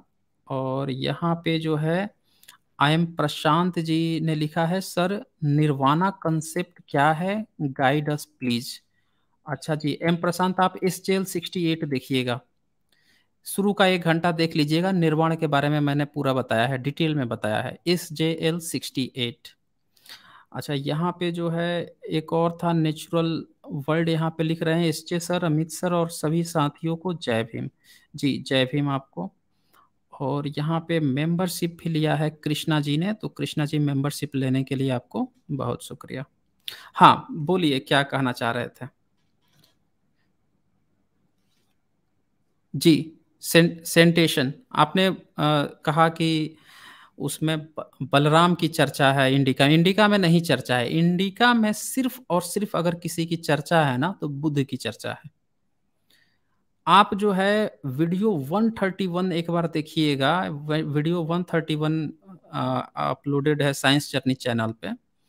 उसमें मैंने दिखाया है कि पूरे इंडिका में, जो चंद्रगुप्त मौर्य के समय में कहा जाता है कि जब आया था मेगस्थनीज और पाँच से बारह साल तक रुका था, तब उसने पूरे भारत में अगर किसी की चर्चा की थी तो बुद्ध की चर्चा की थी। और किसी का भी, महावीर की चर्चा तक नहीं है उसमें। उसमें जो है, न वेद की चर्चा है, न गीता रामायण, महाभारत की चर्चा नहीं है, ब्राह्मणों का कोई चर्चा नहीं है उसमें। आजीवकों की चर्चा ज़रूर है। और जो ब्रेचमेंस शब्द आ रहा है, बमड़ समड़ की जो बात आ रही है श्रमंस और ब्रेचमेंस की बात आ रही है, वो ब्रेचमेंस नंगे होते थे, आजीवक की बात आ रही है उस पर तो वहाँ पे कोई भी चर्चा नहीं है, किसी भी जो ब्रह्मनिकल सिस्टम है उसकी। तो जो लोग कहते हैं ना कि उसमें बलराम की और इसकी चर्चा झूठ बोलते हैं ना, बेवकूफ़ है वो लोग, महाबेवकूफ़ है। अरे भैया, आप ग्रीक के जितने भी वो हैं ग्रीक के जो क्वाइंस हैं, उनको आप ध्यान से देखिए ना। वो सारे उन्हीं के क्वाइंस को तो इन लोगों ने आज अपना देवी देवता बनाया, है ना? तो जोड़ लेते हैं उसी से कि इनके ग्रीक गॉड हैं। ये चक्कर है। जी कैंटेशन सेंटेशन आई थिंक इनकी आवाज़ चली गई है। अच्छा चले। चले, जब आइएगा तब बात होगी। अच्छा एस आए हुए हैं। चले, इनसे भी बातें कर लेते हैं। जी एस एस बताएँ क्या कहना चाहते हैं?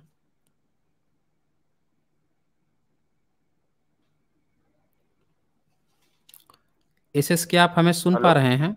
हाँ बोलिए। हेलो। हाँ जी बोलिए। हाँ।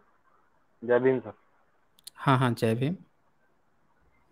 हाँ सर मेरे को ये क्वेश्चन पूछना था कि एक जगह पे मैंने ये जो है वो वीडियो में सुना था कि जिसमें वो बता रहे थे कि बाबा साहब ने इक्कीस साल तक जो है वो हर धर्म को पढ़ा समझा और एनालाइज करा और फिर उन्होंने एक बुक में जो है वो ये बता रखा है जो ट्वेंटी वन वॉल्यूम्स उनके आते हैं जिसमें लिखा हुआ है कि उन्होंने जो है वो बुद्ध धर्म को ही क्यों चुना और बाकी के सारे धर्मों को क्यों छोड़ दिया तो उसके अंदर ये अच्छा। बता रखा है कि आ, कि जैसे जो आ, क्या बोलते हैं जैसे जो अब्राहमिक रिलीजन है जैसे क्रिश्चियनिटी है ये सब है अगर इसकी तरफ़ वो चूज़ कर लेते यानी कि क्रिश्चियन है इस्लाम या फिर आ, जो भी तीसरा जो कौन सा रिलीजन है अब्राहमिक रिलीजन जो होते हैं बेसिकली तो उसमें अगर हम्म, हम्म। जाते तो वो हमारी जो मूल जो जैसे जो हमारा जो भारत है, इससे हमें दूर कर देता और हमें किसी बाहर की जो फॉरेन लैंड है, उसके ऊपर जो है वो हमारी लॉयल्टी शिफ्ट कर देता। माने कि जैसे अगर आज की डेट में क्रिश्चियन के उसमें हो जाते तो हमारा वेनिस की तरफ़ झुकाव हो जाता जेरूसलम की तरफ़ झुकाव हो जाता इंस्टीड ऑफ़ भारत। क्योंकि मतलब हम भारत में पैदा हुए हैं, लेकिन रिलीजन वाइज हमारा जो लॉयल्टी शिफ्ट हो जाती, उधर की तरफ़ हो जाती, इसलिए उन्होंने बुद्ध को चुना। अब कई लोग इसमें बताते हैं कि जो बुद्ध है का जो रिलीजन है इसमें ये एक तरीके से निराशावादी धर्म है जो बुद्ध धर्म है। तो क्या ये बात जो है वो मतलब सच है? और वो लोग ये भी कहते हैं कि जो बुद्ध धर्म है निराशावादी धर्म है ये बाबा साहब ने खुद ने कहा है। और ये निराशावादी होने के बाद भी कुछ चीज़ें उन्हें पॉजिटिव जो लगी है उनको आ, मान करके उन्होंने जो ये रिलीजन को एक्सेप्ट कर लिया था। तो ये क्वेश्चन पूछना चाहता हूँ कि ऐसा सच में है या फिर ऐसे ही बोला जा रहा है ये पूरी तरह से फेक न्यूज़ है पूरी तरह से झूठ है, ऐसा कुछ भी नहीं है। देखिए, अगर बाबा साहब जो थे, उन्होंने साफ़ साफ़ लिखा है कि उन्होंने बुद्ध मार्ग को पढ़ाई किया था। बुद्ध धम्म जो है, उन्होंने बोला है कि उन्होंने अपने ज़िंदगी के 35 से 45 साल जो है, लगाए हैं उसके स्टडी में। और लगाकर उसको देखा है। इसका कोई मतलब ही नहीं था कि अब, अब वो इसलिए बुद्ध मार्ग अपना रहे थे कि लोग अब्राहमिक रिलीजन की तरफ़ न झुक जाए ऐसा उनका कोई मतलब ही नहीं था। उनका। पूरा कोर जो है होल सोल जो बातें हैं वो इस बात पे है कि हम जो है बुद्ध मार्ग को इसलिए अपना रहे हैं क्योंकि ये मानवता का धर्म है। उन्होंने 22 जो प्रतिज्ञा ली है उसमें क्या कहा है। ट्वेंटी टू जो उनका इसको नहीं मानूँगा हाँ। हाँ हाँ। तो उस बाईस प्रतिज्ञा में उत्तर तो दे ही तो रहे हैं वो। वो बोल रहे हाँ, हैं कि मैं हाँ, बुद्ध धर्म का ही जो है वो पालन करूँगा इनको हाँ। ही मानूँगा। तो ये सबसे बड़ा उत्तर है वो ट्वेंटी टू वो तो कहीं भी मिल जाएगी। ये लोग जो हवाला देते हैं कि इस किताब में ये लिखा है वो किताब में कहीं पे कुछ नहीं लिखा है सब बकवास ये लोग करते हैं।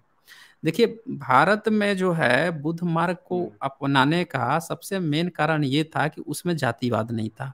बाकी जितने भी लोग आए सब में जातिवाद था। सब में है। यस सब में है। इस्लाम जो है पहले ही सिया सुन्नी में बटा हुआ है।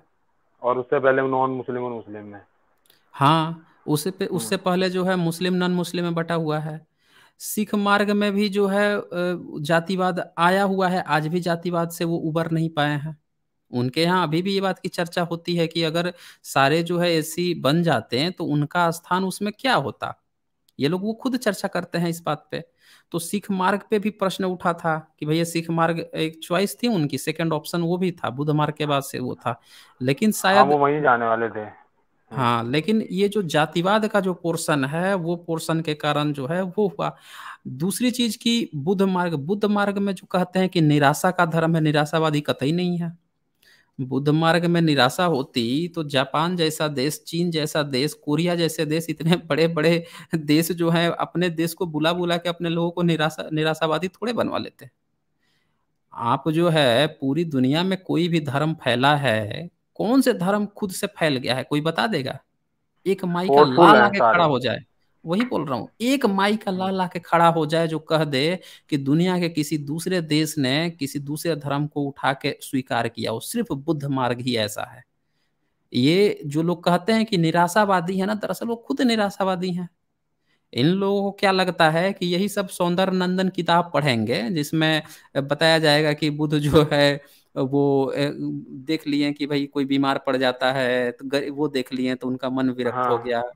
फिर हाँ, वो देख लेंगे बुढ़ापा आता है रोग आता है हाँ, जर आता है। हाँ, तो कवि की कल्पनाएँ पढ़ पढ़ के जो गाथा सुनाते हैं आप लोगों को वो लोग दरअसल बेवकूफ़ लोग हैं। वो सच्चाई थोड़े बता रहे हैं आपको।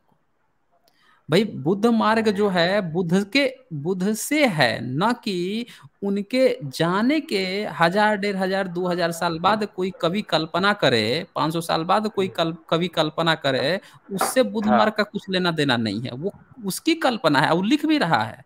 शुरू में ही वो लिख दे रहा है कि भैया देखो इसमें जितना भी चीज़ लिखा हूँ तो मैंने जैसे कड़वी दवाई के साथ मधु मिलाया जाता है, वैसे मधु मिला दिया हूँ, जो अच्छा लगे लेना, नहीं लगे तो उसको तज देना, छोड़ देना। वो खुद कह रहा है कवि। तो ऐसी किताबों में से जो मसाला बोल रहा है कि मैं मसाला मिलाया हूँ, उसमें से पढ़ के या जो ज्ञान देने चले हैं कि बुद्ध मार्ग ऐसा है, वो फिर वही कहेंगे, निराशावादी। आप ये बताइए, निराशावादी रहते तो ये जो है चीन जो है अपने यहाँ से बुला के लोगों को अब मैं कल सेकंड पार्ट रेज करूँगा। साइंस हम्म, जर्नी पे हम्म। कल सेकंड पार्ट लाऊँगा विदेशों में बुद्ध कैसे पहुँचे फ़र्स्ट पार्ट में लॉन्च कर चुका हूँ ऑलरेडी हाँ वो मैंने वीडियो देखा था उसमें आपने बताया हाँ, था कि मतलब ना किसी की तलवार से ना किसी के किसी फोर्स से लोगों को हाँ, बुला बुला करके जो है वो अपने यहाँ पे इन्होंने धर्म जो है वो मतलब विदिन हाँ, आपने बताया था कि इसमें इतने से मतलब साठ सत्तर सालों में उससे भी कम समय में जो वो पूरा का पूरा बोध में हो गया था देश। हाँ हाँ वही वही चीज़ है कि हाँ, इतनी हाँ. जल्दी दुनिया के सारे देश जो हैं बुला बुला के हम्म। उनको बना रहे हैं।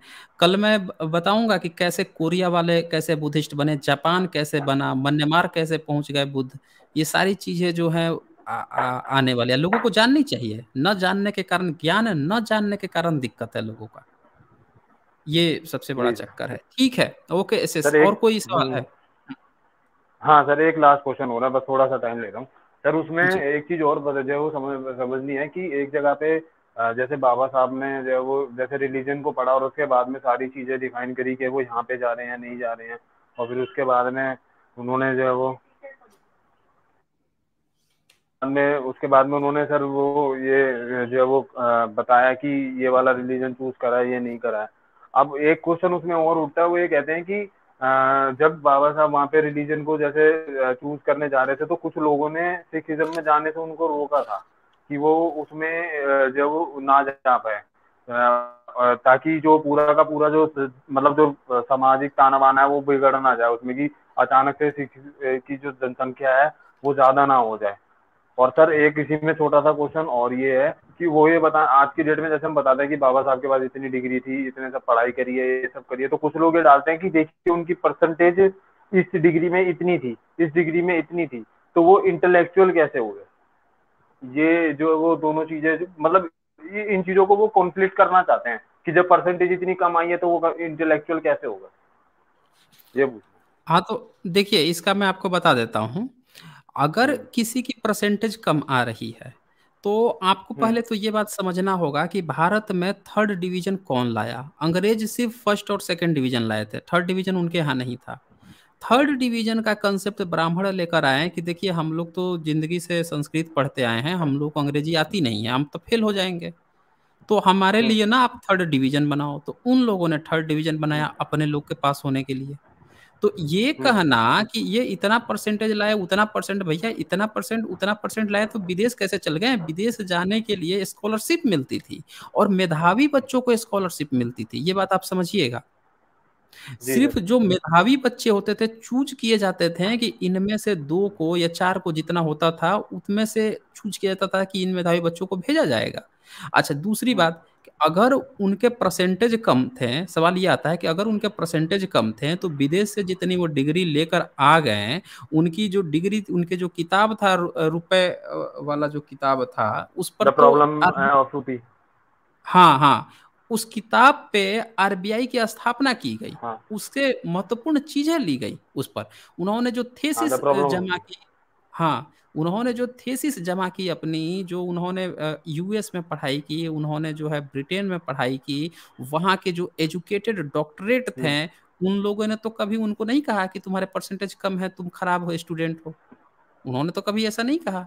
बिल्कुल। इवन इवन वो जो है इतनी सारी डिग्री लेकर अगर वो खराब स्टूडेंट होते तो वहाँ फेल हो जाते ना डिग्री नहीं मिलती ना फिर। अगर ये लोग कह रहे हैं कि यहाँ जब पढ़ते थे तो इन लोगों ने नहीं दिया उनको परसेंटेज नहीं दिया परसेंटेज काट दिए गुरु द्रोणाचार्य बन गए ये लोग। आए उनको एकलव्य बना दिया कि तुमको मार्क्स नहीं देंगे कम कर देंगे तो भैया विदेश में गए तो विदेशी भी तो फेल कर देना चाहिए था ना भाई तुम तुम तो तुम्हारा बेस ही खराब है। तुम तो खराब स्कूल से खराब तुम्हारा तो कोई मार्क्स नहीं है तो तुम विदेश आ गए हो यहाँ भी फेल हो गए। अगर खराब स्टूडेंट तो फेल हो जाते ना पढ़ ही नहीं पाते वो। मतलब वो इंटेलिजेंस तो लेवल ही नहीं होता ना वहाँ पे क्योंकि वहाँ पे तो जो वो किसी तरीके का नहीं था ना कि वो नंबर लाने के लिए वो कुछ उनको एडमिशन ही नहीं होता ना वहाँ पे तो। एडमिशन नहीं होता। अच्छा एडमिशन भी हो जाता तो बार बार जो एग्ज़ाम होता है उसमें फेल हो जाते हैं। लेकिन वो सारी चीज़ें डिग्री उगरी इतनी सारी लेकर आकर भारत का कॉन्स्टिट्यूशन लिख दिए हैं और ये लोग कहानी आज आपको बताने चले हैं। ये दो दो रुपए पर ट्विटर हैंडल पर दो दो रुपए पर ट्वीट करने वाले लोग आपको कहानी बताने चले हैं कि भाई ये जो है पढ़े लिखे इनके परसेंटेज कम थे विद्वान। अच्छा कम विद्वान थे कॉन्स्टिट्यूशन लिख दिए हैं? ये ये लोग इतने ज्ञानी होते हैं कि ये बैठ के जो है मनु स्मृति रामायण महाभारत लिख देते हैं। कौन सी डिग्री लेकर आए थे ये लोग? इनके ऋषि मुनि कौन कौन सी डिग्री लेकर आए थे? कितनी क्लास तक पढ़ाई किए थे? कितना परसेंटेज था इनका? जिनको किताब को ये सर उसकी बात उसकी बात नहीं करते। उसकी बात नहीं करते। वो कहते हैं उनके लिए कि वो तो इन सबसे ऊपर थे। डिग्री वगैरह इन सबसे ऊपर थे। हाँ तो बाबा साहब उनसे भी ऊपर थे ना फिर। ऐसा ही जब गपूड़ गाथा करना है, है तो हाँ फिर इनसे बहुत ऊपर थे। अच्छा इसके साथ आपने और एक दो सवाल पूछे थे। इसके साथ में हाँ। और भी आपने कुछ पूछा था। सर वो सिखिज्म के ऊपर पूछा था उसमें ये बताया था कि सिखिज्म बाबा साहब ज्वाइन करने वाले थे तो पंजाब में एक जगह पे गए भी थे। तो वहाँ पर जो है वो उनको कुछ लोगों ने अब पता नहीं वो कौन से उसके थे तो उन्होंने सिखिज्म ज्वाइन करने से रोक दिया था। तो क्या ये बात सच है? क्योंकि सर सिखिज्म के जो रिलीजन है उसमें जो गुरुज हैं उन्होंने कहीं पे भी किसी भी कास्ट को नहीं माना है। और उन्होंने उसको हटाने के लिए ये सारा जो चलाया कि मतलब ये वो क्यों जो कतार में बैठ करके खाना खाते हैं जो लंगर होता है कि भाई सारे एक साथ बैठ करके खाना खाते हैं। वो बातें जो गुरु ने बोली है, वो ठीक है, वो सारी चीज़ें हैं, लेकिन वो सोसाइटी में रेप्लीकेट होती हुई नज़र नहीं आती। ये लोग, ये सिख खुद भी मानते हैं बात को, कि वो चीज़ें नहीं है सोसाइटी में। सोसाइटी में दिख जाता है वो। मतलब ऊंच नीच का जो होता है, वो दिख जाता है कि सोसाइटी में नहीं है। तो जो वो मतलब रिलीजन में नहीं है, सोसाइटी में जो वो जो वो ये कास्ट बेस्ड डिस्क्रिमिनेशन है। तो मैं ये पूछना चाह रहा हूँ कि आप किसी ने बाबा साहब को रोका था जाने से इसमें, या ये उनका खुद का ही फैसला था? जैसा उन्होंने बाकी धर्म को रिजेक्ट करा तो इसको भी करा। नहीं देखिए इसमें बहुत सारी बातें हैं। एक तो बात ये थी कि बाबा साहब जब एनहिलेशन ऑफ़ कास्ट लिख रहे थे तो उसमें उन्होंने वर्णन किया है कि पंजाब लाहौर में जब वो अपने भाषण देना था उनको और ओबीसी और जनरल इन लोगों ने मिलके पिछड़े वर्ग ने जो बनाया था मंच जात पात तक तोड़क आंदोलन उसमें इनको अध्यक्ष बनाने के लिए ऑफ़र दिया गया। फिर जब ये भाषण देने वाले थे तो उनको रोका गया नहीं वो किया गया। तो बहुत सी ऐसी चीज़ें चल रही थी पैरल में। ठीक है ना? बहुत सी ऐसी चीज़ें थी जो इंटेलेक्चुअल इतने होने के बाद भी सिर्फ़ जाति के कारण जो है ये लोग आगे नहीं बढ़ने देना चाहते थे। लेकिन सिख सिखिज्म ने रोका ऐसा अब देखना पड़ेगा। एग्जैक्ट जो सबूत है वो देखना पड़ेगा कि क्या सिखिज्म ने वास्तव में रोका था। अच्छा सिखिज्म में एक बात आपने सही कही है कि जो कोर है धर्म का जो कोर है उसमें जातिवाद नहीं है लेकिन प्रैक्टिकली अभी लोगों में जातिवाद दिख रहा है। ये बात सही है। ठीक है ना? हम्म। कोर में हम्म। मैंने किसी गुरु गुरु के वाणी या इसमें मैंने नहीं पाया है या नहीं देखा है हम्म। कि कोई ऐसा कहता हो कि हाँ जातिवाद रहेगा। जैसे ब्राह्मण धर्म में तो इनके धर्म का ही हिस्सा है जातिवाद। और ये लोग हाँ, तो कहते भी हैं। हाँ ये लोग तो सीधे हाँ, सीधे हैं कि भाई हाँ इनके कोर का हिस्सा है लेकिन सिख मार्ग में नहीं कोर का हिस्सा है लेकिन जो है हम्म। बाहर लोग प्रैक्टिस कर रहे हैं शादी विवाह में भी आ, मेरे ख्याल से जातियाँ देखी जा रही हैं उनमें भी। बिल्कुल तो बिल्कुल। हाँ ये चीज़ें हैं। अच्छा दूसरी बात की जो बाबा साहब ने जो सिख मार्ग अच्छा मैं आपको ये बता देता हूँ मैं आपको जो है ना बाबा साहब ने क्यों जो सवाल खड़ा किया गया था कि बुद्ध धर्म उन्होंने क्यों अपनाया उनका क्या हम्म। जवाब था वो मैं आपको बता देता हूँ बाबा साहब ने जो ये पुस्तक लिखी है ना बुद्ध और उनका धर्म तो हम्म, उसका जो भूमिका है हाँ बुद्धा एंड सम्मा। तो उसका जो परिचय पोर्शन है, परिचय पोर्शन में ये आता है, उसमें उन्होंने लिखा है, एक प्रश्न मुझसे हमेशा पूछा जाता है कि मैं इतने उच्च स्तर की शिक्षा कैसे प्राप्त कर सका? और दूसरा यह कि मेरा झुकाव बौद्ध धर्म की ओर क्यों हुआ? ये प्रश्न इसलिए पूछे जाते हैं क्योंकि मैं अस्पृश्य माने जाने वाली जाति में पैदा हुआ था। पहले प्रश्न का उत्तर देने के लिए यह भूमिका एक उपयुक्त स्थान नहीं है, किंतु यह भूमिका दूसरे प्रश्न का उत्तर देने के लिए उपयुक्त स्थान हो सकती है। दूसरा प्रश्न मतलब मेरा झुकाव बौद्ध धर्म की ओर क्यों हुआ? तो इस पे वो कहते हैं, सीधा सा उत्तर यह है कि मैं बुद्ध के धर्म को सर्वश्रेष्ठ मानता हूँ। कोई भी अन्य धर्म इसकी तुलना नहीं कर सकता है।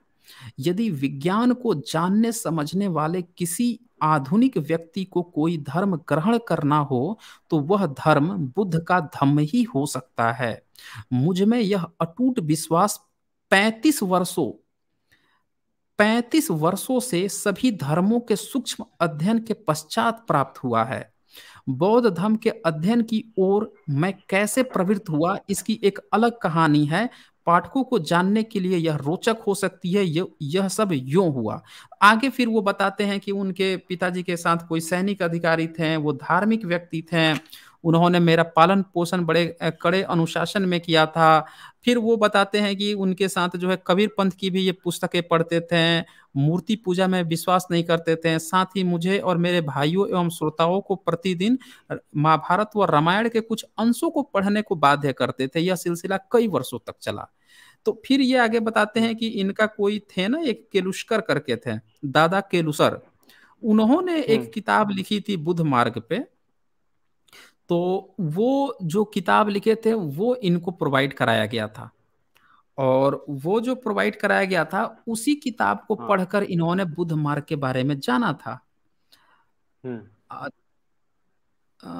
इसमें बहुत सारा चीज़ है मैं सारा चीज़ नहीं कवर करूँगा क्योंकि ज़्यादा लेंदी हो जाएगा तो जी जी सर वो आप थोड़ा जो ब्रीफ में ही बता दीजिए। बुद्ध एंड धम्मा के बारे में तो मैंने पढ़ा था कि हम्म, बाबा ने हम्म। बाबा साहब ने जो बताया इसमें कि उन्होंने धर्म को हाँ देखिए मैं मैं बोल देता हूँ आपको। जिस वर्ष मैंने अंग्रेज़ों अंग्रेज़ों के चौथे स्टैंडर्ड की परीक्षा उत, उत्तीर्ण की थी तो मेरे सजातीय लोग मुझे बधाई देने के लिए उस अवसर पर एक सार्वजनिक सभा आयोजित करना चाहते थे। अच्छा एक ये जस्ट था मैंने बहुत एस्टोनिशिंग था मेरे लिए भी। हाँ हाँ थोड़ा सा यहाँ यहाँ थोड़ा सा रुकिएगा। यहाँ पे प्रदीप जी का और योगेंद्र राम जी का सुपर अच्छा मेंबरशिप था शुक्रिया आप दोनों का। हम्म, अब मैं आगे पढ़ देता हूँ। अन्य जातियों में शिक्षा की अवस्था अवस्था की तुलना करने के लिहाज से जश्न मनाने का यह आयोजन मुश्किल से ही उपयुक्त अवसर था। अब देखिए इन्होंने पास किया था ना फोर्थ स्टैंडर्ड तो उसके लिए उनके जो साथ वाले थे वो सार्वजनिक सभा करना चाहते थे और ये लोग बोल रहे हैं कि पढ़ने में वो कमज़ोर थे बताइए। अच्छा दूसरी तरफ़ किंतु आयोजनकर्ताओं ने यह महसूस किया कि उनके समुदाय में इस स्थान तक पहुँचने वाला प्रथम लड़का था। ये इसके लिए बधाई देना चाहिए कि ये प्रथम लड़का थे उस समुदाय से तो इनको बधाई देना चाहिए और बेवकूफ़ लोग कैसी बातें करते हैं? तो मेरे पिताजी ने यह कहते हुए साफ़ इनकार कर दिया इससे तो लड़के का दिमाग सातवें आसमान पर। देखिए बैकग्राउंड साउंड आ रहा है आपका। हाँ, सातवें आसमान पर पहुँच जाएगा। तो ये हुआ फिर वे दादा केलुस्कर के पास गए। बाकी सभी लोग जो चाहते थे कि मनाया जाए, जो मेरे पिता के ही एक व्यक्तिगत मित्र थे, उनसे हस्तक्षेप करने की याचना की, जिस पर वह सहमत हो गए, थोड़े से बहस मुहावसे के बाद पिताजी मान गए और सभा आयोजित की गई। अपने भाषण के अंत में दादा केलुस्कर ने सयाजी राव ओरिएंटेड श्रृंखला बड़ौदा के लिए बुद्ध के जीवन पर स्वयं द्वारा लिखी पुस्तक की एक प्रति मुझे भेंट की। मैंने बड़ी ही जिज्ञासा व रुचि से रुचि से पुस्तक को पढ़ डाला और पढ़कर अत्यंत प्रभावित एवं द्रवित हुआ। मैंने यह पूछना शुरू कर दिया कि मेरे पिता हम सबको बौद्ध साहित्य से परिचित क्यों नहीं कराते हैं? और हमें महाभारत और रामायण पढ़ने पर इतना ज़ोर क्यों देते हैं, जो ब्राह्मणों तथा क्षत्रियों की महानता और शूद्रों एवं अछूतों की निष्कृष्टता को प्रतिपादित करने वाले वृत्तांतों से भरे पड़े हैं? तो ये पूरी कहानी आप यहाँ पे देख पा रहे हैं कि दादा केलुष्कर जो थे उनने जो किताब दी थी उसके आधार पर इन्होंने बताया कि इनको पहली बार पढ़ा और पढ़ते ही मन में क्वेश्चन खड़े हो गए कि यार रामायण महाभारत तो बेकार चीज़ है। इसको क्यों हम लोग को पढ़ाया जा रहा है? तो ये है कहानी। वो उसमें हमारे लिए तो कोई बातें थी नहीं ना तो उसमें हम्म। बाबा साहब को तुरंत ही पता चल गया होगा कि ये इसमें हमारे रिलेटेड तो कुछ है ही नहीं। हमारी कहानियाँ नहीं है कुछ नहीं है इसमें। हम्म, हम्म। ठीक है okay okay S S ji. जय भीम सर हाँ ओके, जय भीम। अच्छा इसके बाद से जो है विजय कुमार सौ जी का प्रश्न है, सर, बौद्ध धर्म को हटाकर ब्राह्मण धर्म को लाने के पीछे क्या वजह थी? बौद्ध धर्म को लेकर आगे क्यों नहीं गए? हाँ ये बड़ा खूबसूरत प्रश्न है कि बौद्ध धर्म को हटाकर ब्राह्मण धर्म क्यों लाया गया? जी, देखिए, सबसे पहले तो जैसा कि आपने ये सौंदर्यनंद को देखा ही कि इसमें एक प्रसंग आ रहा है, स्त्री के प्रति कामुकता। तो ऐसे कुछ धूर्त जो हैं, ये जब कब्जा करना शुरू किए बौद्ध महाविहारों पे तो इनके अंदर की जो कामना थी ना, जो वासना थी, वो गई नहीं थी। इनको चाहिए थी हाँ इनको अपनी सेविका चाहिए थी, इनको देवदासियाँ चाहिए थी, इनको औरतें चाहिए थी जो इनकी भोग का सामान बने। तो इन्होंने अपने आप को एक खड़ा किया, देवदासी प्रथा की इन्होंने शुरुआत की। इनका शैव मार्ग आ गया, इनका वैष्णव मार्ग आ गया, ये अपने मंदिरों टेम्पर में देवदासियाँ रखना शुरू कर दिए। अभी भी कई जगहों पे देवदासियाँ पाई गई हैं।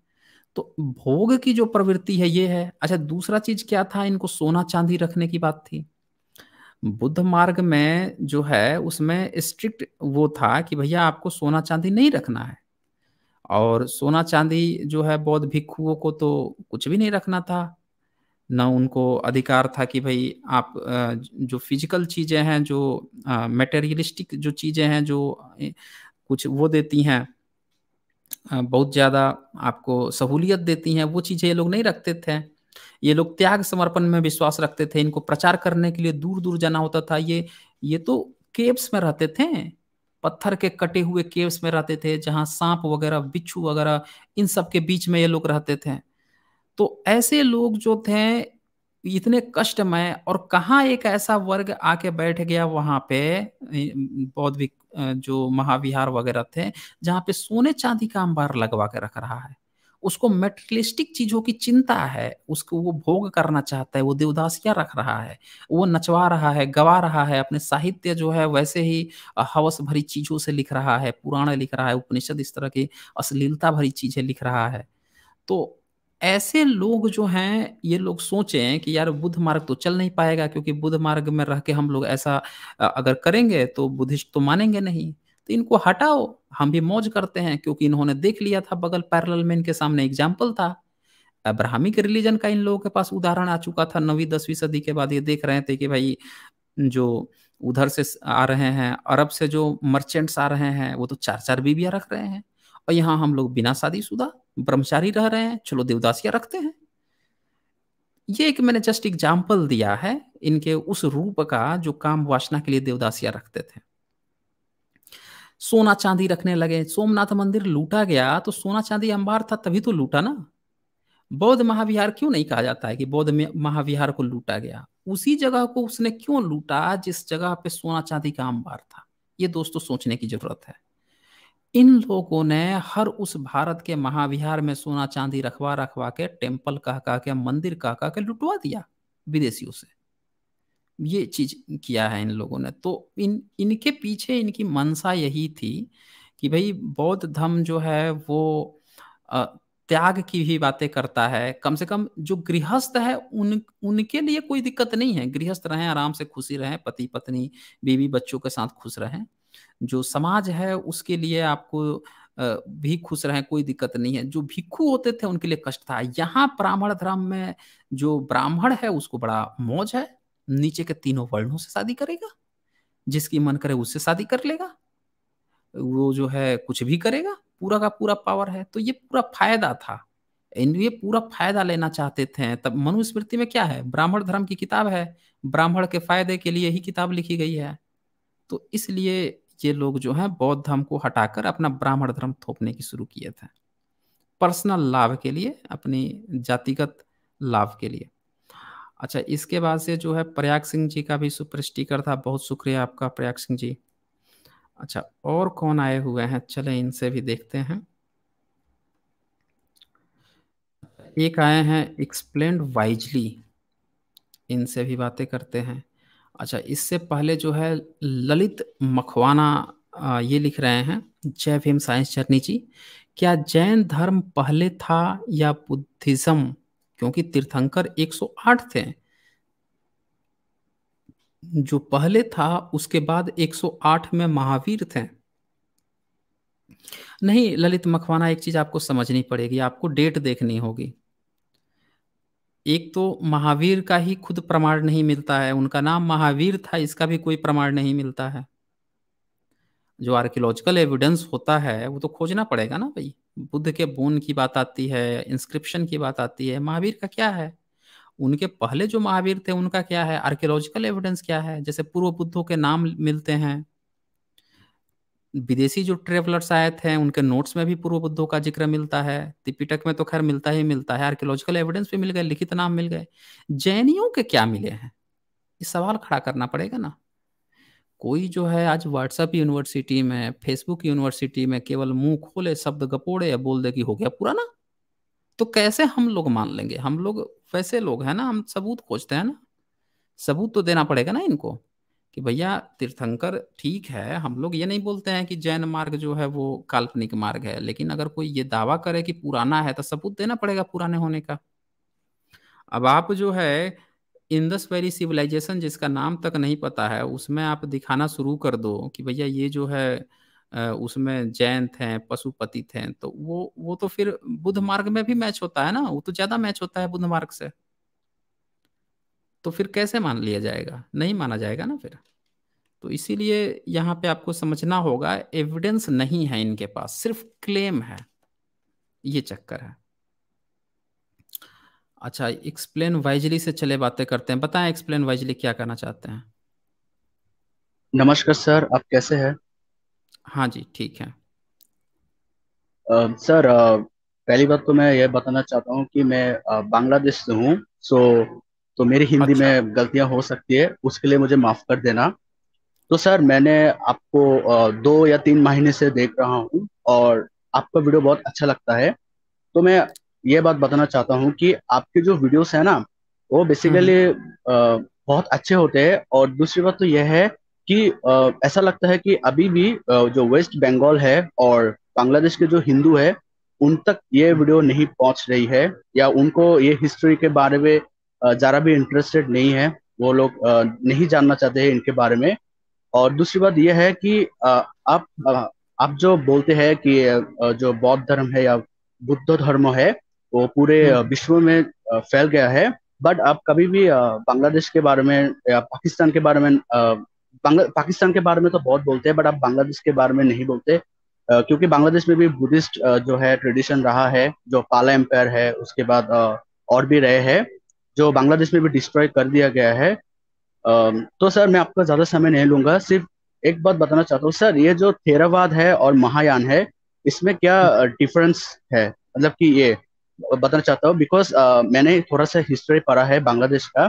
तो पहले ना हम लोग का महायान और वज्रयान थे जो अतिश दीपंकर है या अतिशा बोलते हैं उसको वो भी बेसिकली महायाना और वज्रयाना टीचर थे जो तिब्बत में गए थे। तो पहले हम महायानी और वज्रयानी थे क्योंकि हमारी जो बांग्लादेश में जो बुद्धिस्ट कम्युनिटी है उनमें का, काफ़ी हद तक जो है जो है हिंदू ट्रेडिशन देखने को मिलता है। जैसे मेरी जो सिस्टर है जो मेरे माता है वो कभी कभी सिंदूर लगाती है। बट जब हम बाहर की बुद्धिस्ट कंट्रीज़ में देखते हैं तो वहाँ पे शादी के बाद जो है सिंदूर नहीं लगाया जाता। ऐसे बहुत से ट्रेडिशन है। तो सर मैं आपसे पूछना चाहता हूँ कि ये अभी तो हम लोग थेरावादी बुद्धिस्ट है। तो सर मैं आपसे पूछना चाहता हूँ कि ये थेरावाद और महायान और ये बजरयान में क्या डिफरेंस है? अगर डिफरेंस नहीं होता तो शायद ये लोग अब अपना अपना कम्युनिटी नहीं बनाते, अपना ब्रांच नहीं निकलते। जी जी। देखिए, जो पुराना बुद्ध का जो एक्चुअल जो पाथ है, उसको जनरली थेरवाद के नाम से जाना गया है कि वो थेरवादी हैं, वो लोग जो भिक्खु भी हुआ करते थे, सम्राट अशोक जिनको भेजते थे, उन लोगों का नाम भी महाथेरो महादेव थेर, इस तरह से थेर लगा हुआ होता था। तो थेरवादी जो होते हैं, वो मूर्ति पूजक नहीं होते हैं, मूर्ति पूजा नहीं करते हैं, वो विपश्यना को अपना प्रेफरेंस देते हैं। और उनके यहाँ आप ये देखेंगे कि बुद्ध की मूर्ति बना के उसकी पूजा अर्चना ऐसा करना इसका ज़्यादा प्रचलन नहीं है। विपश्यना को प्रेफरेंस दिया जाता है। महायान जो शाखा है, उसमें मूर्तियाँ दी जाती हैं प्रेफरेंस मूर्तियाँ बनाई जाती हैं और मूर्तियों की जो पूजा पाठ का जो कार्यक्रम है, वो भी इन लोगों ने बाद में शुरू कर दिया था, जो अभी भी कंटिन्यूड है। और जब महायान जो शाखा है, इसमें बुद्ध के अलावे भी बोधिसत्व भी होते हैं और वो बोधिसत्व जो हैं, वो महिला बोधिसत्व भी होती हैं और पुरुष बोधिसत्व भी होते हैं। और इनके जो चित्र होते हैं, उसमें मल्टीपल हाथ हो सकते हैं, बहुत सारे हाथ होंगे, बहुत सारे सर होंगे, जो हेड होते हैं, वो हो सकते हैं। उनमें हाथों में तरह तरह के हथियार वगैरह हो सकते हैं, इस तरह की भी चीज़ें हैं। तो ये चीज़ें होती हैं महायानियों में। महायान जो शाखा है, उसने संस्कृत जो है, हाइब्रिड संस्कृत बनाया संस्कृत बनाया, उसमें भी ये प्रचलन में रहा है। और जो थेरवाद है, वो पाली प्राकृत को प्रेफरेंस देते रहे हैं। अच्छा जो वज्रयान शाखा है, वो महायान से भी आगे निकल गया। उसने क्या किया कि मूर्तियों की और भी ज़्यादा एक्सपेरिमेंटेड मूर्तियाँ बनानी शुरू कर दी। और उसमें बोधिसत्वों की तो लाइन से झड़ी लग गई। इतने ज़्यादा बोधिसत्व हुए जो आजकल अभी भी विदेशों में बुद्ध मार्ग का हिस्सा है, लेकिन भारत में चूँकि बुद्ध मार्ग नहीं रहा तो ब्राह्मण धर्म ने उनको अपना देवी देवता बना लिया है। अब वो उन मूर्तियों को, वज्रयान की जो मूर्तियाँ हैं, उनको अपना ये किसी ने ब्रह्मा बना लिया, विष्णु बना लिया, किसी ने शिव बना लिया, किसी ने काली बना लिया, दुर्गा बना लिया, इस तरह से बना लिए हैं। तो ये जो मूर्तियाँ होती हैं ये वज्रयानियों की मूर्तियाँ होती हैं और यही अंतर है जी सर दूसरी बात यह है कि आपने अभी बोला कि महायान जो होते हैं वो मूर्तियाँ होते हैं और वज्रयान तो आगे निकल गया वो मुझे पता है सर बट हम्म, मैंने। देखा हुआ कि हमारे यहाँ पे लोग खुद को थेरावादी बोलते हैं बट हमारे यहाँ पे टेम्पल्स में जो है ना अगर आप गूगल हम्म। में सर्च करेंगे चिटागोंग चिटागोंग में जो हाँ, रांगामाटी हाँ, है वहाँ पे आप देखेंगे तो दे, देखिएगा कि उसको देख के ऐसा लगता है कि वो महायानी है बट वहाँ के जो भिक्षु होते हैं वो खुद को थेरवादी बोलते हैं। और दूसरी बात हमारे साइड में ही बर्मा है तो वहाँ पे भी थेरावाद है बट वहाँ पे भी कहीं कहीं जगह पे जो है मूर्तियाँ रखी हुई है ठीक है? उसके बाजू में जो हम्म, थाईलैंड है पर्सनली थाईलैंड से बहुत भिक्खु लोग जो है हमारे यहाँ पे आते हैं वो भी कहते हैं कि वहाँ पे उनके जगह पर भी जो है मूर्तियाँ रखी हो, होती है। तो मैंने उनसे पूछा था कि कि भंते आप मूर्ति क्यों रखे होते हैं? क्या बौद्ध धर्म जो है मूर्ति पूजक है? तो उन्होंने कहा था कि हम प्रतीक के हिसाब से रखते हैं बाकी जो अन्य धर्म है उसका मुझे पता नहीं है। तो इसलिए आपने अभी बोला कि थेरावादी मूर्ति नहीं रखते बट थाईलैंड को कैम्बोडिया है और म्यांमार है और बांग्लादेश के कुछ हिस्सों तो थेरावादी बोलने वाली बुद्धिस्ट ही मूर्ति रखते हैं इसका मुझे समझ में नहीं आया। क्या आप बता सकते इसके बारे में? हाँ देखिए, यहाँ पे जो थेरवादी है ना, वो उनका जो मेन पर्पस है, वो बोधि बोधिसत्व, उनकी टकराहट है। महायान से जो इनकी टकराहट है, वो इसी बात की टकराहट है कि वो बुद्ध के कोर विचारों को लेकर चलने के पक्ष में थे और महायान एक्सपेरिमेंट के दौर में था। वो तरह तरह की मूर्तियाँ बनाता है, विचित्र बनाता है पूजा पाठ करता है, वो महायान चीन में ज़्यादा पाया गया ना। चीन में, जापान विदेशों में, ज़्यादातर देशों में वर्मा को छोड़कर और श्रीलंका के कुछ हिस्सों को छोड़कर पूरी दुनिया में महायान ही फैला है। तो मूर्ति कला जो है ना, ये पूरी दुनिया में जो जो फैली है, महायानियों की ही फैली है। थेरवादी जो है, ये बाद में, ये टेंपल बनाते हैं, लेकिन मूर्तियाँ नहीं रखते हैं थेरवादी।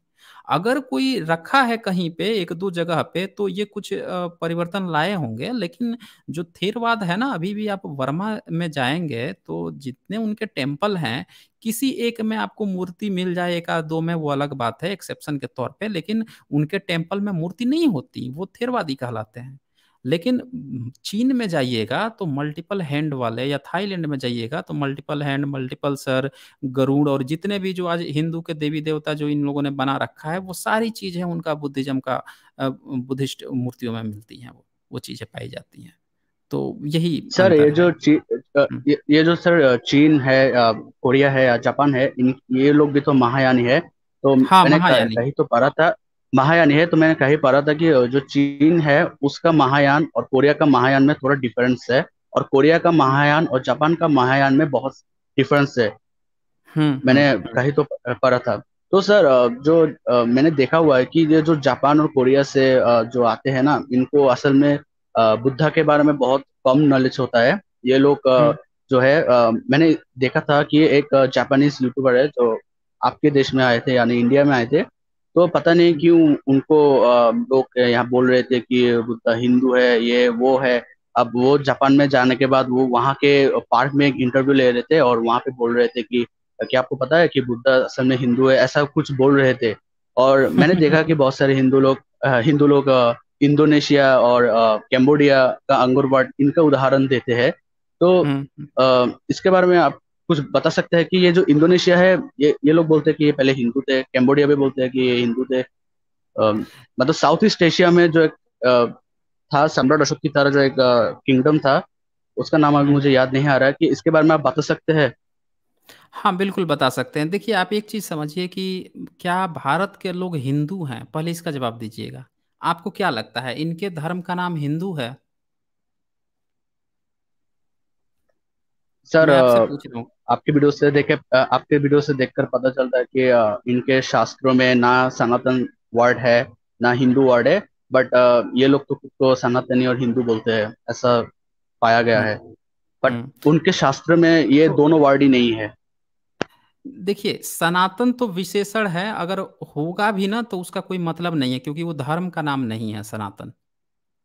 ठीक है ना? अगर कोई अपने को सनातन धर्म कह रहा है ना तो इसका मतलब वो कह रहा है कि मैं एक ऐसे धर्म से हूँ, जो बहुत पुराना है, शुरू से चला रहा है, जैसा शुरू में था, वैसा अभी भी है। वो ये कह रहा है, नाम नहीं बता रहा है। नाम उसको बताना पड़ेगा तो नाम वो हिंदू बताते हैं, लेकिन आप ये बताइए, इन, इनके किसी भी धर्म ग्रंथ में या इनके किसी भी जो गुरु थे, किसी ने अपने को हिंदू नहीं कहा। आज जिनको आप हिंदू कहते हैं, शैव मार्ग, वैष्णव मार्ग और शाक्त मार्ग इन्होंने कभी अपने को हिंदू नहीं कहा, इनके फाउंडर ने भी कभी हिंदू नहीं कहा, इनके किसी ने भी आज तक हिंदू नहीं कहा। ये हिंदू हैं ही नहीं। कोई ये कह रहा है ना कि भारत के लोग हिंदू हिंदू थे या ये हिंदू थे? हिंदू थे ही नहीं ना। हिंदू कैसे, बुद्धा कैसे हिंदू हो जाएँगे? जब ये लोग नौवीं, दसवीं दसवीं, ग्यारहवीं, बारहवीं, चौदहवीं सदी तक में अपने को हिंदू नहीं कह पाए हैं ये लोग तो ये बुद्धा छब्बीस सौ साल पहले कैसे हिंदू हो जाएँगे? इनको बताना पड़ेगा पहले। कि ये लोग अपने को कहते क्या थे? सनातन धर्मी कहने का मतलब है ना कि सनातन धर्मी ये कि वो आदि है, आदि और अंत एक ही जैसा है। सनातन का मतलब ये होता है। उसका ये मतलब नहीं होता है कि वो किसी धर्म का नाम बता रहे हैं। कुछ लोग कहते हैं कि देखिए, कोई शब्द जो है ना, वो संज्ञा भी हो सकता है, विशेषण भी हो सकता है। अरे हो सकता है, लेकिन यहाँ धर्म के नाम पूछा जा रहा है। आपसे किसी शब्द का उसका विशेषता या उसका जो है संज्ञा ये नहीं पूछा जा रहा है यहाँ धर्म का नाम पूछा जा रहा है कि किस धर्म में, किस आपके फाउंडर ने, किस रिलीजियस टेक्स्ट ने आपको हिंदू कहा है? नहीं कहा है है ही नहीं। अच्छा ये जो आपने कहा कि जापान में कोई बंदा आया था, उन लोगों को नहीं नॉलेज होती है, बुद्धा के बारे में जाके वहाँ हिंदू कहते हैं हाँ आप कहेंगे ना। उनको बिल्कुल भी नहीं नॉलेज है। जब भारत के ही यहाँ के जो मूल निवासी बंदे हैं, उनको अपने पिताजी छब्बीस सौ साल पहले कौन थे नहीं पता है तो वहाँ के लोगों को क्या पता होगा, जापान के लोगों को?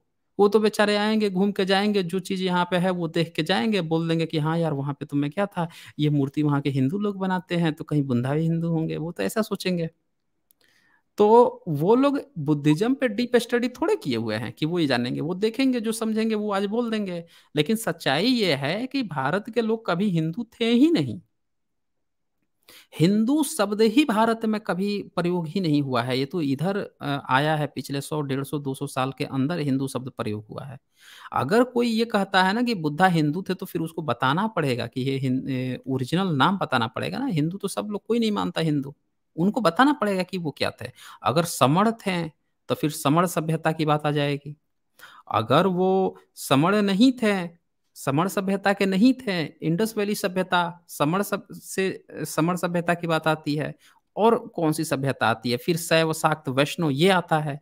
अब बुद्धा काल आता है, जैनियों का आता है, और किसका आता है? यहाँ पे हिंदू नाम ही नहीं है कभी। अगर हिंदू होता तो बौद्ध ग्रंथ भी तो लिखते ना। बौद्ध ग्रंथ लिखे होते हैं, जैनियों ने लिखा होता है कि हाँ हमारे अलावा यहाँ पे हिंदू भी पाए जाते हैं। किसी ने तो लिखा होता। कोई विदेशी आया ट्रेवलिंग करने के लिए, वो भी लिख के जाता कि भारत में हिंदू रहते हैं। वो भी कभी नहीं लिखा है। उसने, अलबरूनी ने ग्यारहवीं सदी में सबको हिंदू कह दिया। सुप्रीम कोर्ट सबको हिंदू कहता है जियोग्राफिकल रीजन बताता है, उसके अनुसार तो हिंदू कोई धर्म ही नहीं है। यहाँ पे रहने वाले सभी लोगों को हिंदू कह रहा है, उसमें तो बौद्ध, जैन, सिख, ईसाई, मुस्लिम सब आ जाते हैं उसमें।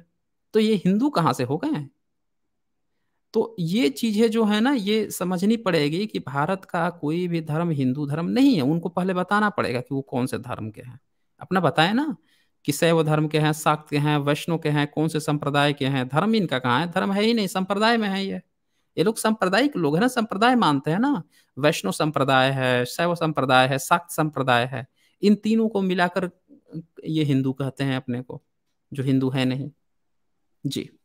सर और दूसरी बात यह है कि जो मैंने देखा है कि ज़्यादातर जो ब्रिटिशर्स थे, उन्होंने बहुत सारे जो है यूनिवर्सिटी से बुद्धिस्ट जो है साइट्स है, उनका एक्सकवेशन किया है। तो इसका मतलब तो ये होता है कि ये जो खुद को आदिकाल से है, या आदिकाल से धर्म जो धर्म है, चला हुआ आ रहा है, ऐसा बोलते हैं, इनको असल में पता ही नहीं था। ये लोग तो सम्राट अशोक को भी भूल चुके थे। हाँ हाँ सम्राट अशोक को इनके बारे में नहीं पता था ना। इन, तभी तो बोल रहा हूँ ना मैं, इनको धर्म ही नहीं पता है। जो व्यक्ति ग्यारहवीं, बारहवीं सदी में और जिसकी किताब भारत में आती है, उन्नीसवीं सदी में, उस किताब में हिंदू लिखा है, उसके आधार पर कोई अपने को हिंदू कह रहा है। तो समझिए कि वो जानबूझ के अपना ओरिजिनल नाम छुपा रहा है ना, अपने धर्म का ओरिजिनल नाम छुपा रहा है। इनके किसी भी धर्म ग्रंथ में नहीं लिखा गया है कि इनका कोई वैदिक धर्म है इनका कोई हिंदू धर्म है इनका कोई सनातन धर्म है। नाम नहीं बताया गया है कहीं पे भी। कैसे हम लोग मान लें? ये तभी हो सकता है जब कोई जो है ज़बरदस्ती किसी दूसरे धर्म का हो ज़बरदस्ती किसी दूसरे को अपना बाबूजी बनाने की कोशिश कर रहा हो फंस गया हो यार नाम क्या रखें? तो इसलिए है ये यहाँ पे चक्कर। Okay sir thank you sir इतने इन्फॉर्मेशन देने के लिए। धन्यवाद। हम्म, हम्म। चले, ओके। अच्छा यहाँ पे वर्ल्ड ऑफ़ मोरालिटी जी का एक बड़ा खूबसूरत क्वेश्चन था। Sir trying to find origin meaning of the word Jambudvipa land of Jambu trees seems a very basic explanation is there more to it हाँ ये आपने बिल्कुल सही कहा है। जो जम्बू के पेड़ होते थे ना, उसी के कारण कहा गया है। बद्री जो क्षेत्र है, बद्रीनाथ बद्री के पेड़, बैरी के पेड़ जो कहा गया है। तो और जामुन जामुन का पेड़, जम्बू द्वीप। भारत जो है ना, यहाँ पे जामुन और कई ऐसी चीज़ें हैं जो ज़्यादा जगहों पे नहीं पाई जाती है। जैसे चंदन है, वो भारत, नेपाल में ही पाया जाता है। बहुत कम अलग जगहों पे पाया जाता है। तो जम्बू द्वीप का जो कहा गया है ना द्वीप नहीं होगा, दीप होगा। आपने दीपा लिखा है, सही लिखा है, बिल्कुल सही लिखा है। कुछ लोग द्वीप लिख देते हैं। द्वीप का मतलब होता है कि चारों बगल समुद्र से घिरा हुआ कोई टापू, वो नहीं है। द्वीप है, जो लैंड ऑफ़ जम्बू ट्री बिल्कुल सही कहा है आपने। अच्छा यहाँ पे जो है, जयप्रकाश सिंह जी का भी मेंबरशिप था, आपका भी बहुत शुक्रिया। अच्छा जी, और कौन आए हैं? चले देखें, कोई डिबेट के लिए आया हो। भाई, कहाँ गए कमेंट वीरो?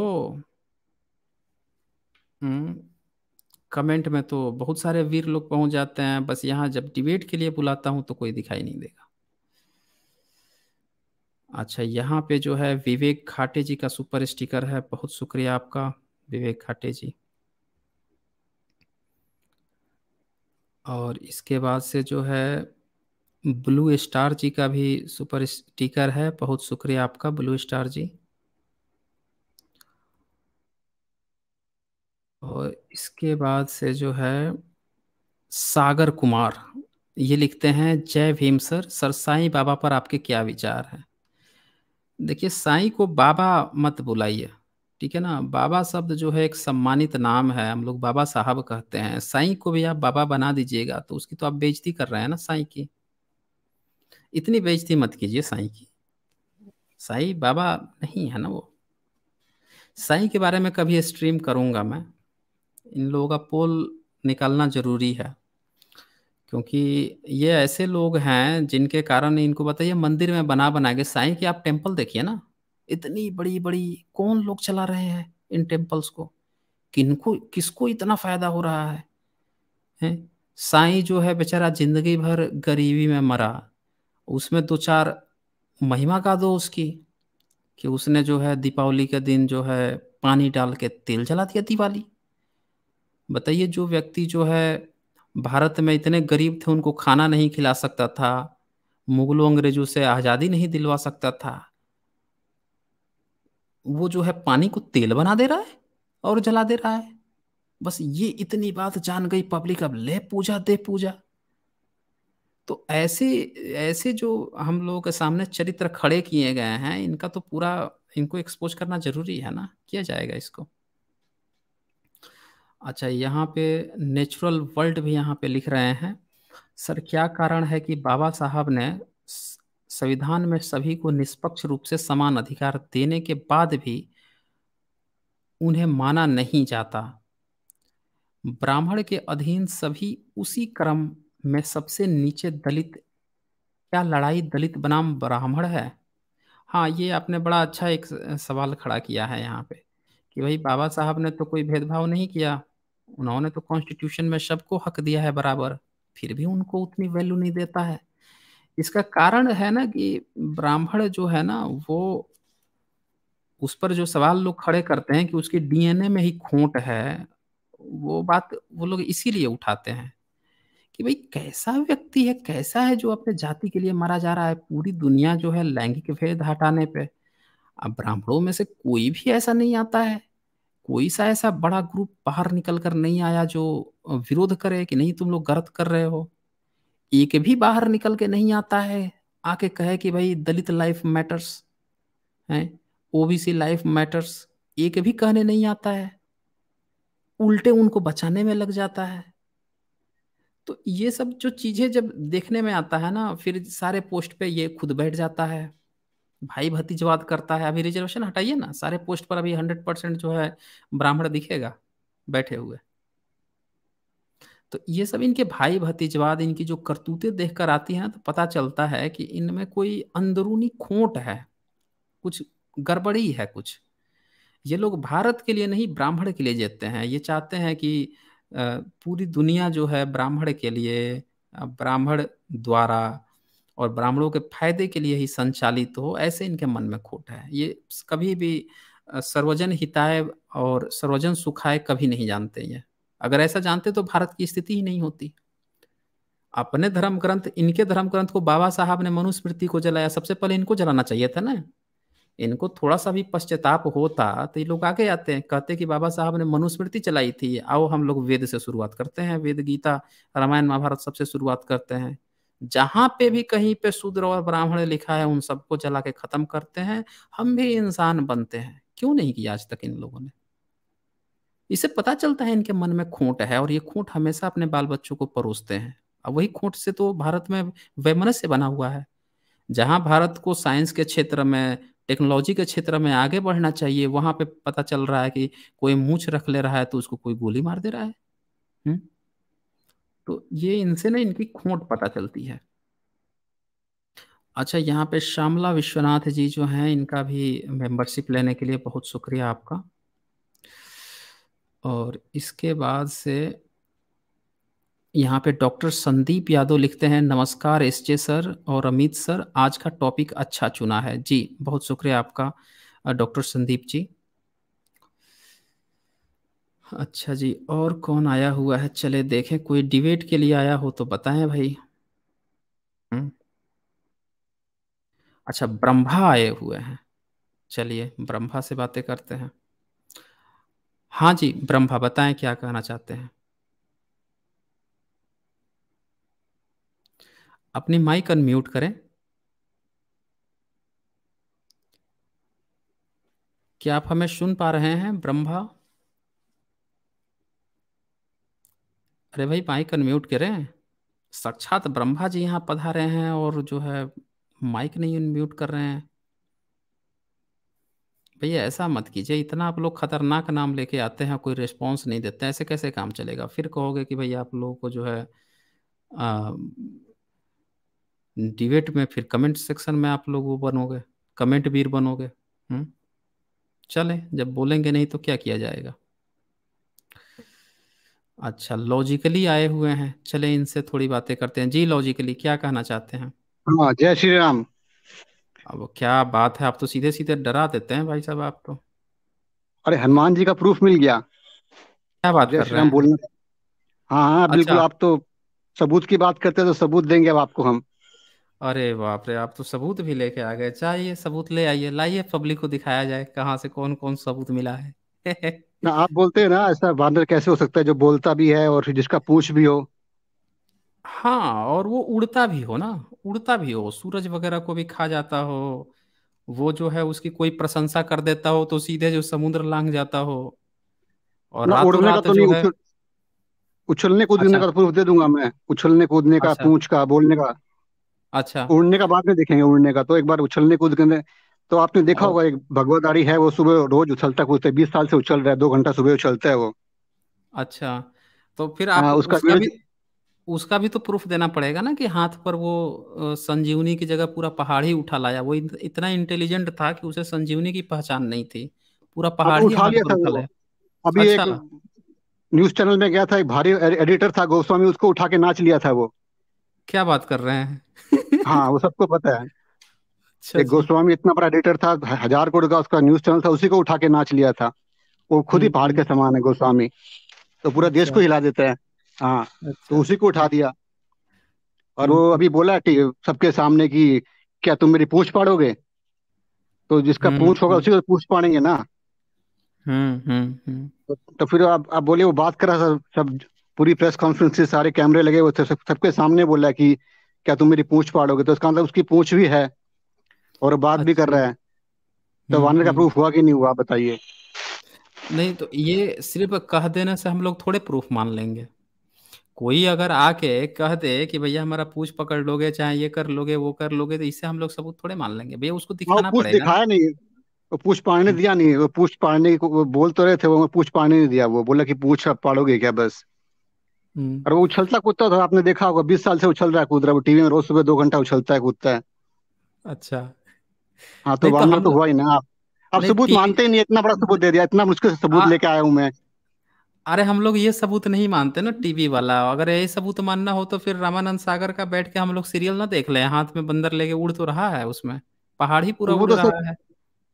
वो भी तो टीवी में ही उछल रहा है। खुद ही बोल रहा है। वो साक्षात सबके सामने बोल रहा है कि मेरी पूछ फाड़ोगे क्या? तो इसका मतलब उसकी अच्छा। पूछ है और वो बात तो, भी कर रहा है। तो वानर हुआ कि नहीं हुआ बताइए। वो उछलता कूदता भी है डेली बीस साल से उछल रहा कूद रहा है। अरे तो किसी के उछलने कूदने से इसे थोड़े ही हो जाएगा। उसको कम से कम हिमालय जो पर्वत है, उसको रात में एक बार उठा के तो लाना, दिखाना पड़ेगा ना उसको। पहले हिमालय पर्वत कितना बड़ा है, फिर इसका हाथ कितना बड़ा है, फिर ये हाथ पर उस पर्वत को रख के कैसे रातों रात जो है उत्तर से लेकर दक्षिण लेके पहुँच जाएगा। भाई वहाँ पहुंचेगा ना दक्षिण में जहाँ पे पुल बना था लंका। रात में गया और उड़ के लेकर चला आया उत्तर से। ना वो भी करेगा अभी तो पूछ दिखाई है उसने अभी क्या पता पहाड़ भी उठा अच्छा। लेगा अभी तो पूछ दिखाई दी उसने। हाँ पहाड़ भी उठाएगा। अच्छा ये पहाड़ उठाने की आप आप आपके यहाँ पहाड़ उठाने के बड़ा प्रचलन है। कभी कृष्ण जो है बारिश होता है तो वो देखिए निंजा टेक्निक सीधे लगाता है हाथ और नीचे गहराई भी नहीं देखता पत्थर की कि कितना नीचे तक पहाड़ है। बस जहाँ से हाथ लगाता है वहीं से प, पूरा पत्थर कट जाता है हाथ से ही और सीधे उंगली से उठा देता है ऊपर। तो छाता छाता का जो कॉन्सेप्ट वहीं से छतरी का कॉन्सेप्ट वहीं से है ना छाता का? वो पहाड़ अच्छा से तो आया है, इसी तो इसी हाँ। पहाड़ को आपने छाता बनवा दिया बड़ा अच्छा है। आप आप देखिए ना छाता का शेप देखिए पहाड़ का शेप देखिए बस वो थोड़ा बड़ा छाता है। अच्छा। साइज़ का अंतर है खाली है छाता ही वो। नहीं तो छाते में हाँ। तो वो होता है ना एक बीच में तो पूरा गैप भी तो होता है ना इसमें गैप थोड़े ये तो सॉलिड है ना ये। हाँ तो सॉलिड छाता हुई तो सॉलिड छाता है ये लिक्विड मतलब अच्छा। हल्का नहीं जो हवा में उड़ जाएगा भारी छाता है ये। अच्छा ये भारी ये छाता मतलब है। हाँ हवा भारी वाला ना मतलब चाइनीज़ नहीं है ये इंडियन है। अच्छा चाइनीज़ माल नहीं है हल्का वाला नहीं है। आ- अच्छा एक चीज़ और बताइए मुझे मान लीजिए कि हनुमान जब पहाड़ लेके उड़ रहा था हथेली पर तो हाँ। पहाड़ के साइज़ में उसका शरीर जो है पहाड़ के नीचे था या फिर उसका शरीर इतना बड़ा था कि पहाड़ उसके हथेली पर था एक हाथ पर था? हाँ एक हाथ पे तो साथ देखते नहीं है फ़ोटो में आप देखे ना रमा, रामायण ने पूरा दिखाया तो था। अच्छा अच्छा। तो इसका हाँ मतलब कि बस उसका शरीर जो है काफ़ी बड़ा हो गया होगा फिर तो? हिमालय से काफ़ी बड़ा हो गया होगा? अच्छा साबू बड़ा हो सकता है वो बड़ा नहीं हो सकते। जब साबू बड़ा होता है आप उसको मानते हैं साबू को चाचा चौधरी में। और हनुमान जी को अच्छा। मानने में तकलीफ़ है। आप लोग इतना पैसा देके सुपरमैन स्पाइडरमैन देख के आते हैं वो करोड़ों रुपए कमा लेते हैं और आपको हनुमान जी से तकलीफ़ है। तो चाचा चौधरी के मैगजीन इतनी कॉमिक्स बेच बेच के करोड़ों रुपए कमा लिया। वो अच्छा। च- इतना साबू जुपिटर से आया था। तो क्या हम्म हनुमान हम्म। जी अपना साइज़ बड़ा नहीं कर सकते? अच्छा अच्छा। अच्छा चित्र में दिखाता हूँ। थोड़ा सा चित्र देख के थोड़ा अंदाज़ा लगेगा कि कितना बड़ा उठा सकते हैं। अच्छा ये एक मिनट। हम्म। ये दिख रहा है ना ये शरीर ये दिख रहा होगा? हाँ। और शरीर में एक हाथ में गदा होगी हाँ। और एक हाथ में पहाड़ है। हाँ। तो पहाड़ के तुल पहाड़ तो कितने मुझे तो लगता है कि ये अ, कितने सैकड़ों आ, सैकड़ों नहीं हज़ारों किलोमीटर लंबा है। हिमालय माउंटेन जो है वो तो हज़ारों किलोमीटर लंबा है ना? तो वो एक पहाड़ उठाया था ना पूरा पूरा पूरा पर्वत शिला थोड़ी उठाए थे वो एक कोई छोटा वाला उठा के ले आए होंगे ना? नहीं तो सब पहाड़ आपस में कनेक्टेड है ना? जो पहाड़ हिमालय जो पर्वत है वो तो पूरा कनेक्टेड है। तो तो उनको थोड़ी देर लगती है नीचे हाथ हाथ मारा और अलग कर लिया बस उसमें जब उनको थोड़ी टाइम लग रहा था कृष्ण जी ने नहीं उठा लिया पहाड़? ये पहाड़ आपके आपके लिए बड़ी चीज़ है उस टाइम सतयुग में और त्रेता युग में बड़ी बड़ी बात नहीं थी वो वो लोग खेलते थे उठा लिया कहीं भी गिरा दिया कहीं भी ले गए कहीं भी उठा के ले गए। देखिए ये ये लिख रहा है कि ये तेईस सौ किलोमीटर तेईस सौ किलोमीटर बता रहा है। चौदह सौ हाँ माइल वो फोर्टीन हंड्रेड माइल तेईस सौ किलोमीटर लंबा है। अब मान लीजिए तेईस सौ किलोमीटर लंबा पहाड़ को कोई उठाएगा तो अगर ये साइज़ जो है तेईस सौ किलोमीटर की आप क्योंकि हनुमान है ना तो वो बीच से काट उठ के थोड़े लाए होंगे इतना मेहनत थोड़े किए होंगे उठाए होंगे तो पूरा पहाड़ी हाथ में आ गया होगा। भाई बीच में अलग अलग छोटा छोटा टुकड़ा पठार की तरह थोड़े था हिमालय। हिमालय तो पूरा एक सीरीज़ है ना चैन है। तो गदा उठाए आपने गदा देखी? गदा गदा अच्छा। किस लिए थी आपके आप देख रहे गदा का क्या यूज़ था? दो गदा मारी अच्छा। दोनों साइड में टूट गया। क्या आप लॉजिक लगाइए। अच्छा। आप लॉजिक नहीं लगा लॉजिक की बात करते लॉजिक नहीं अच्छा। गदा किस लिए लेके गए थे वो? गदा अच्छा। एक गदा अच्छा यहाँ मारी एक गदा बताइए। टूट गया। चलिए हाँ। ठीक है ठीक है। मान लेते हैं कि आपका जो हिमालय पर्वत था उसका रेंज मान लेते हैं कि चलिए तेईस सौ किलोमीटर नहीं रहा होगा। सौ किलोमीटर मान लीजिए क्योंकि जड़ी बूटी जो है कोई ज़रूरी थोड़े है कि एक ही जगह पर? अगर एक जगह पर आपके बोलने से क्यों माने? अच्छा तो आप बताइए कितना मान लिया जाए। वो तो जिसकी जितनी श्रद्धा है हम हम लॉजिक का चश्मा नहीं पहनते हम श्रद्धा। ये श्रद्धा की बात है। जिसकी जितनी हिम्मत उतना जिसका जैसे श्रद्धा उतना मान ले। मेन बात है पहाड़ उठाए थे बस और उसमें जड़ी बूटी थी ये मेन बात है। मतलब जितना मुँह खुले उतना लंबा हम उसको खींचते दें हाँ ये। फेकोलॉजी नहीं जानते आप? फेकुलॉजी क्या होता है? फेकोलॉजी नहीं अच्छा। सुने? हाँ हाँ। हाँ। तो ये तो का कॉन्सेप्ट है। है।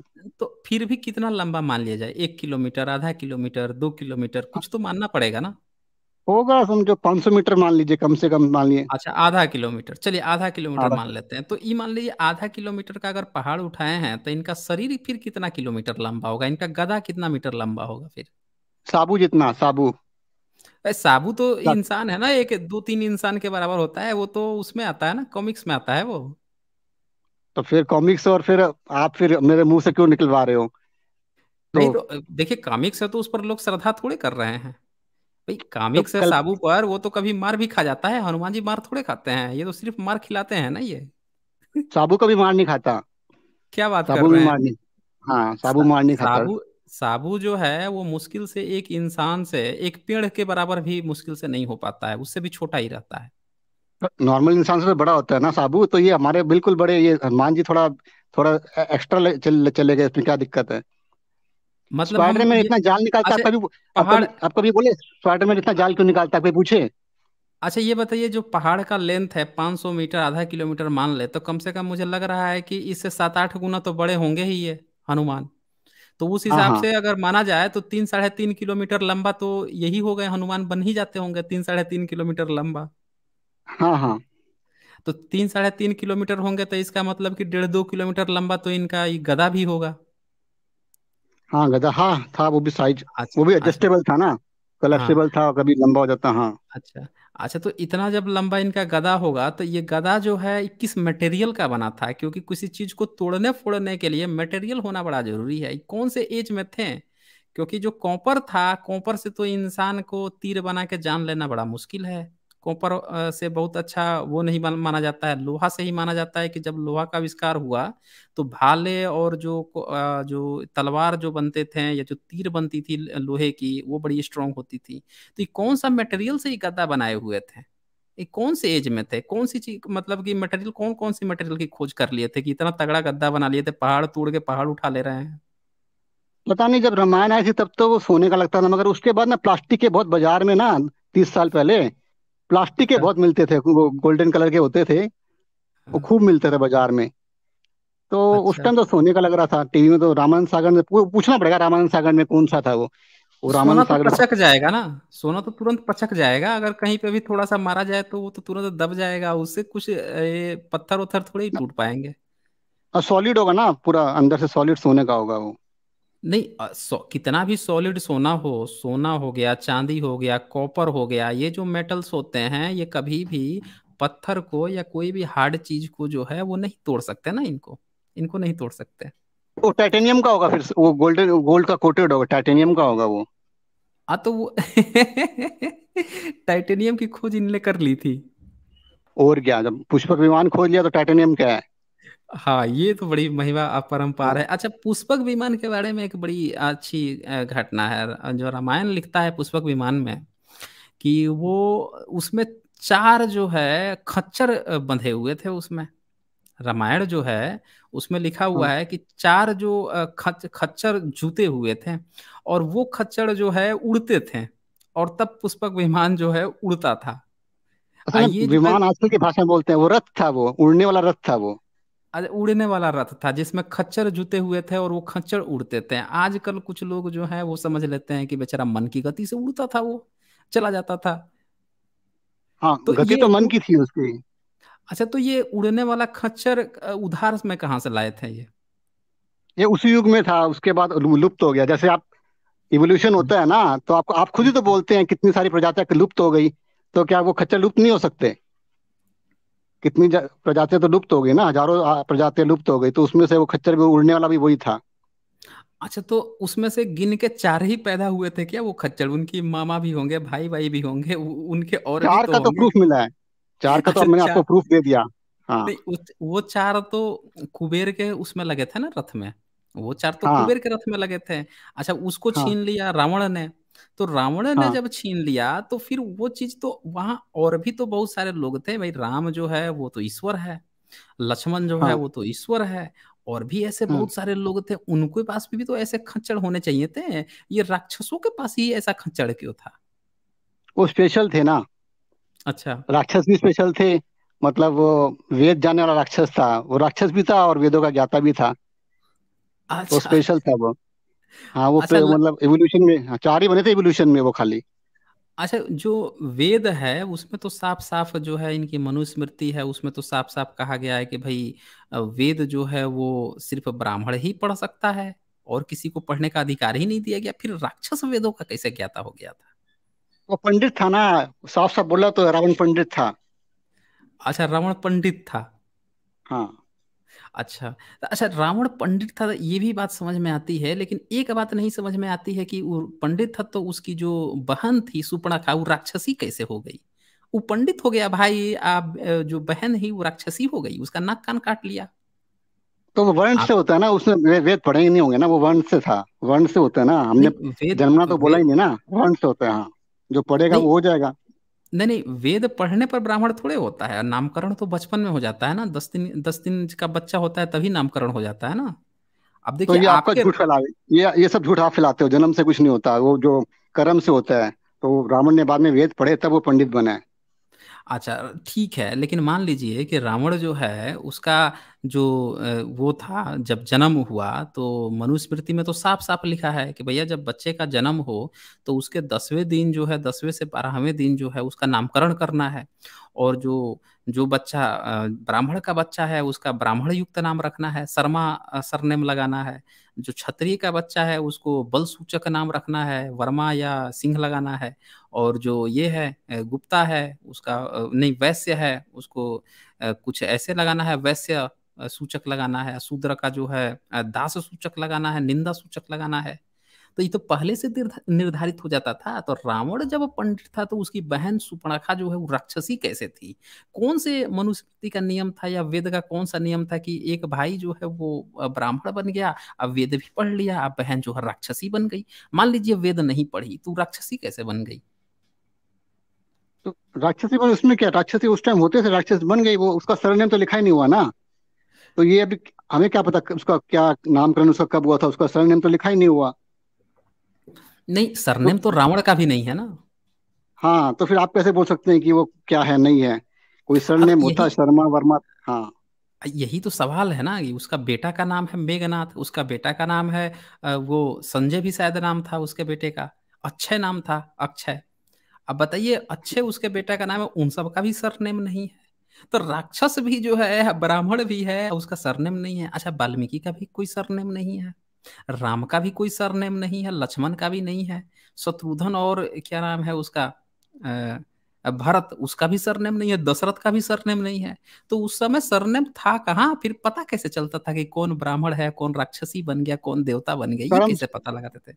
कर्म से कर्म से अच्छा कर्म से अच्छा सरनेम हम्म। का कॉन्सेप्ट आप लोग आप लोग ने घुसाया ये तो वो सब अच्छा। कर्म से होता है जिसका जो कर्म देखिए और उसका सेट कर लीजिए बस अच्छा अच्छा तो जब हाँ। कर्म से होता था तो जो निषाद पुत्र था निषाद पुत्र जिसके यहाँ ये गया था राम गया था तो उसका चरण धू के पानी पी रहा था वो जन्म लिया था तो कौन सा ऐसा कर्म कर दिया कि वो निषाद कहला गया राम ऐसा कौन सा कर्म कर दिया जन्म लेके कि वो राजा के यहाँ जन्म लेते ही वो क्षत्रिय भी बन गया और तेरह साल की उम्र में सीता से उसका शादी भी हो गया?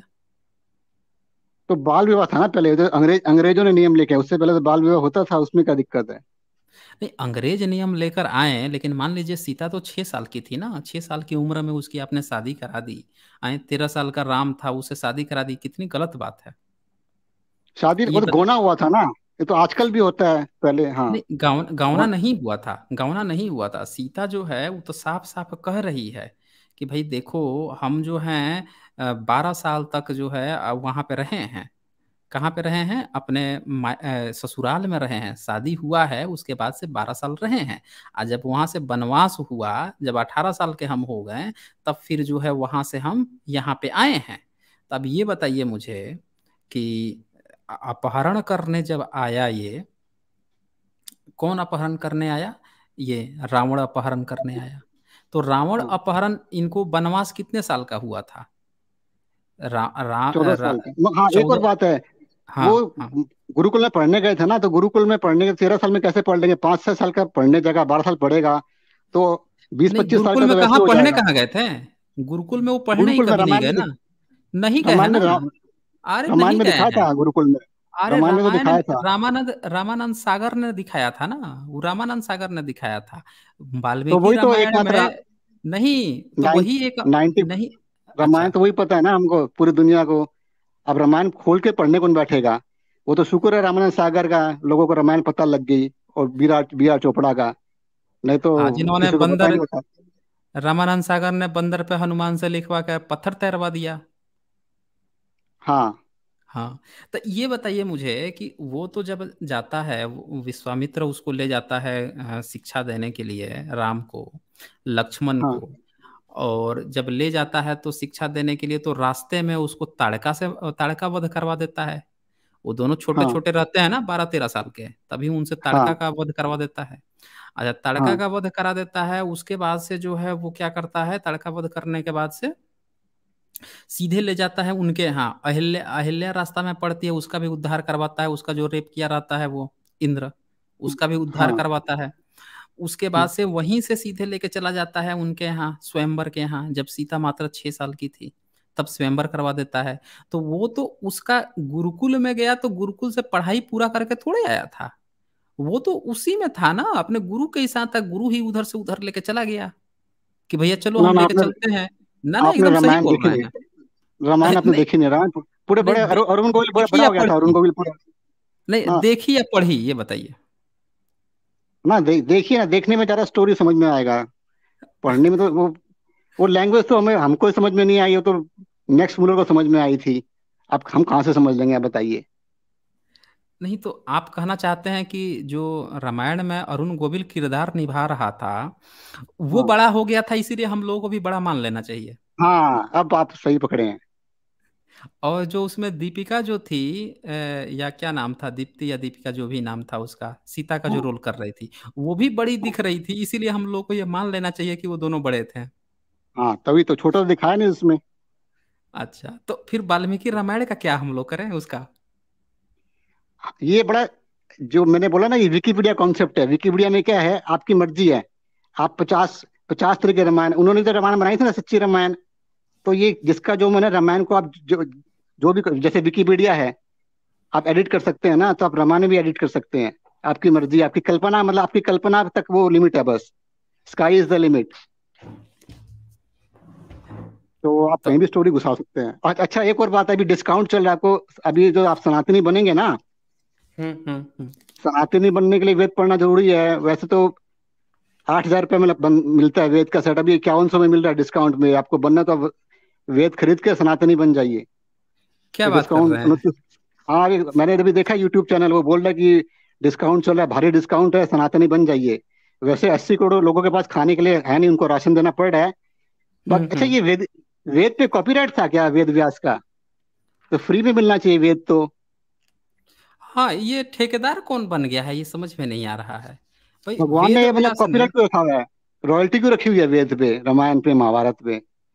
अच्छा उसका रॉयल उसका रॉयल्टी उठा कौन रहा है ये भी तो देखना पड़ेगा तो जहाँ पे अस्सी करोड़ लोगों को खाने के लिए राशन देना पड़ा है फ्री में वो लोग सनातनी कैसे बनेंगे? नहीं ये बड़ा देखिए ये ये आपको बताना पड़ेगा। फिर ये आपका पक्ष है कि भाई आप लोग जो है वेद पर रॉयल्टी ले रहे हैं। है। जब तो, वेद व्यास जो है भगवान जो है वेद का ज्ञान जब सबके लिए है पहले आप हाँ, जो है। कान में शीशा पिघला के डाल देते थे सुन लेने पर आप जीभ काट देते थे चीर देते थे अब जो है आप रॉयल्टी ले रहे हैं उस पर पैसा ले रहे हैं आप तो हर तरह तो से बहुजनों का शोषण कर रहे हैं। तो मतलब डिस्काउंट दिया उनतीस का डिस्काउंट दिया मतलब, अभी। अरे आपने डिस्काउंट दिया है ना मतलब बहुजन जो है वो बने वैदिक वो बने हिंदू हैं? वो हाँ। बने सनातनी। अब पैसा भी हाँ। दे आपको पैसा दे के आप बनाएँगे।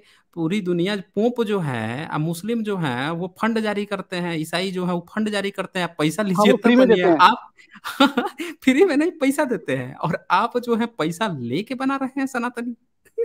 वो सब भी आपके कारण ही हो रहा है। अगर आप नहीं इतना बोलते ना तो कोई खरीदता ही नहीं। आपके कारण ही हो रहा है ये। आप उसकी कमाई अच्छा। करवा रहे हैं इतनी ज़्यादा। हाँ। नहीं तो अच्छा, कौन पढ़ता है हाँ। अच्छा कोई नहीं पढ़ता आप कर रहे हैं? आ, हाँ। हमने जो है उनकी किताबें बेचवानी शुरू कर दी भैया किताब खोल खोल कर लोग पढ़ना शुरू कर दिए तो इनको तो बड़ा हाँ। फ़ायदा हो गया फिर तो हाँ तो आप आप गरीबों का नुकसान करवा रहे हैं आपको ये बंद करना पड़ेगा ये तो आपको कुछ मैं जिससे ये प्रश्न पूछना चाहता हूँ वो मेरे को लेते नहीं है वो मेरे को गाली गलौज अच्छा। करेंगे क्योंकि अच्छा। वो आसान सवाल है उन, उनको मुश्किल सवाल चाहिए जैसे आम कैसे काटते हैं हम्म, अगर मैं तो इजी हम्म। इजी सवाल पूछता हूँ तो मेरे को लेते नहीं बोला आप क्या सवाल पूछते हैं इजी वगैरह छोटा मोटा सवाल बड़ा सवाल पूछिए कि आम कैसे खाया जाता है। अच्छा। वो मेरे को बोलते हैं आप क्या आते हैं लॉजिकली आप छोटे मोटे सवाल लेके आते हैं भाग भागिए यहाँ से। तो उनको कठिन सवाल चाहिए मतलब थोड़े से। हम्म मैं गया था हम्म। उनसे पूछने एक दो सवाल पूछे थे आसान से फिर भगा दिए वो गाली गाली गलोच करके। अच्छा। अच्छा एक चीज़ मुझे बताइए कि मान लीजिए कि आप लोग जो है अ, इतना सारा बात मानवता की करते हैं लेकिन मान लीजिए कि अ, उतना छोटा उम्र था सीता का छह साल का तो हाँ। उनकी बहन भी थी मांडवी नाम की एक बहन थी और हाँ। उनका भी शादी जो है बाल उम्र में लक्ष्मण से कर दिया गया था। वो एक तो के साथ एक फ्री था ना? नहीं एक के साथ एक नहीं एक के साथ चार फ्री था ना। हाँ चार चारों फ्री लोगों था की एक के शादी साथ हुई तीन थी। फ्री हाँ पैकेज था चार पूरा। हाँ, चारों भाई की चारों बहन से शादी हुई थी ना? हाँ पे, पे, पैकेज था ना पूरा? हाँ। खर्चा बचाने तो के लिए? खर्चा बच जाए। हाँ खर्चा बच जाएगा। एक घर में चार जो हैं वो चार बहन से शादी हो गया चार भाइयों का। तो ये हाँ तो मन मन लग जाएगा ना फिर? हाँ मन लग जाएगा हाँ। उनका। हाँ हाँ मन लग जाएगा। तो ये मन लग जाएगा वो बात तो सही है लेकिन सीता तो चली गई जंगल में। अब बाकी की जो तीन बहनें थी उसमें से दो तो अपने पति के साथ रही। एक जो लड़की थी मांडवी वो ना अपने पति के साथ रही या ना अपने माँ बाप के साथ रही? तो उसके उसके बारे में आप जस्टिस लोग हाँ, हाँ उसके उसका आप लोग उसको न्याय देना पड़ेगा। जस्टिस फॉर हाँ। मांडवी ये खड़ा हाँ करना पड़ेगा ये। हाँ ये तो बताइए जस्टिस उसका पहले कैसे चला रखा है होगा? हम्म। हाँ एक तो पहले चला दिया दूसरा ये चलाना पड़ेगा। मैं अपने वो एप्लीकेशन डालता हूँ इसके लिए भी वो हम्म। साइनिंग का अभियान चलाना पड़ेगा। ये तो गलत हो गया। आई देखिए कितना बड़ा गलत हुआ। मान लीजिए कि किसी का शादी होता है तो शुरू के बारह साल चौदह साल कितना इंपॉर्टेंट होते हैं? होते हैं कि नहीं होते हैं? बताइए आप मुझे। हाँ होते बिल्कुल होते हैं। आ शुरू मगर वो के बलिदान चौदह दे हो वो बलिदान दिया था वो बलिदान जो कि लोगों को शिक्षा मिले कि नहीं अपना कौन वचन बलिदान पूरा दिया करने था? का कौन दिया था? वो राम ने दिया अपने पिता के लिए और लक्ष्मण ने दिया अपने भाई के लिए। नहीं राम ने दिया उसका समझ में आता है लक्ष्मण ने दिया उसका समझ में आता है लेकिन हम लोग मांडवी का क्या करें? उसने उसका क्या करें? उससे तो बिना पूछे ही उसको सजा दे दी गई। भाई आप जो है आ, उस उसका वो होना चाहिए ना? उसका भी तो कुछ बात होनी चाहिए कि भाई चौदह साल तक राम तो जा रहे हैं तो उसके साथ उसकी बीवी है ना? राम के साथ तो उनकी बीवी है।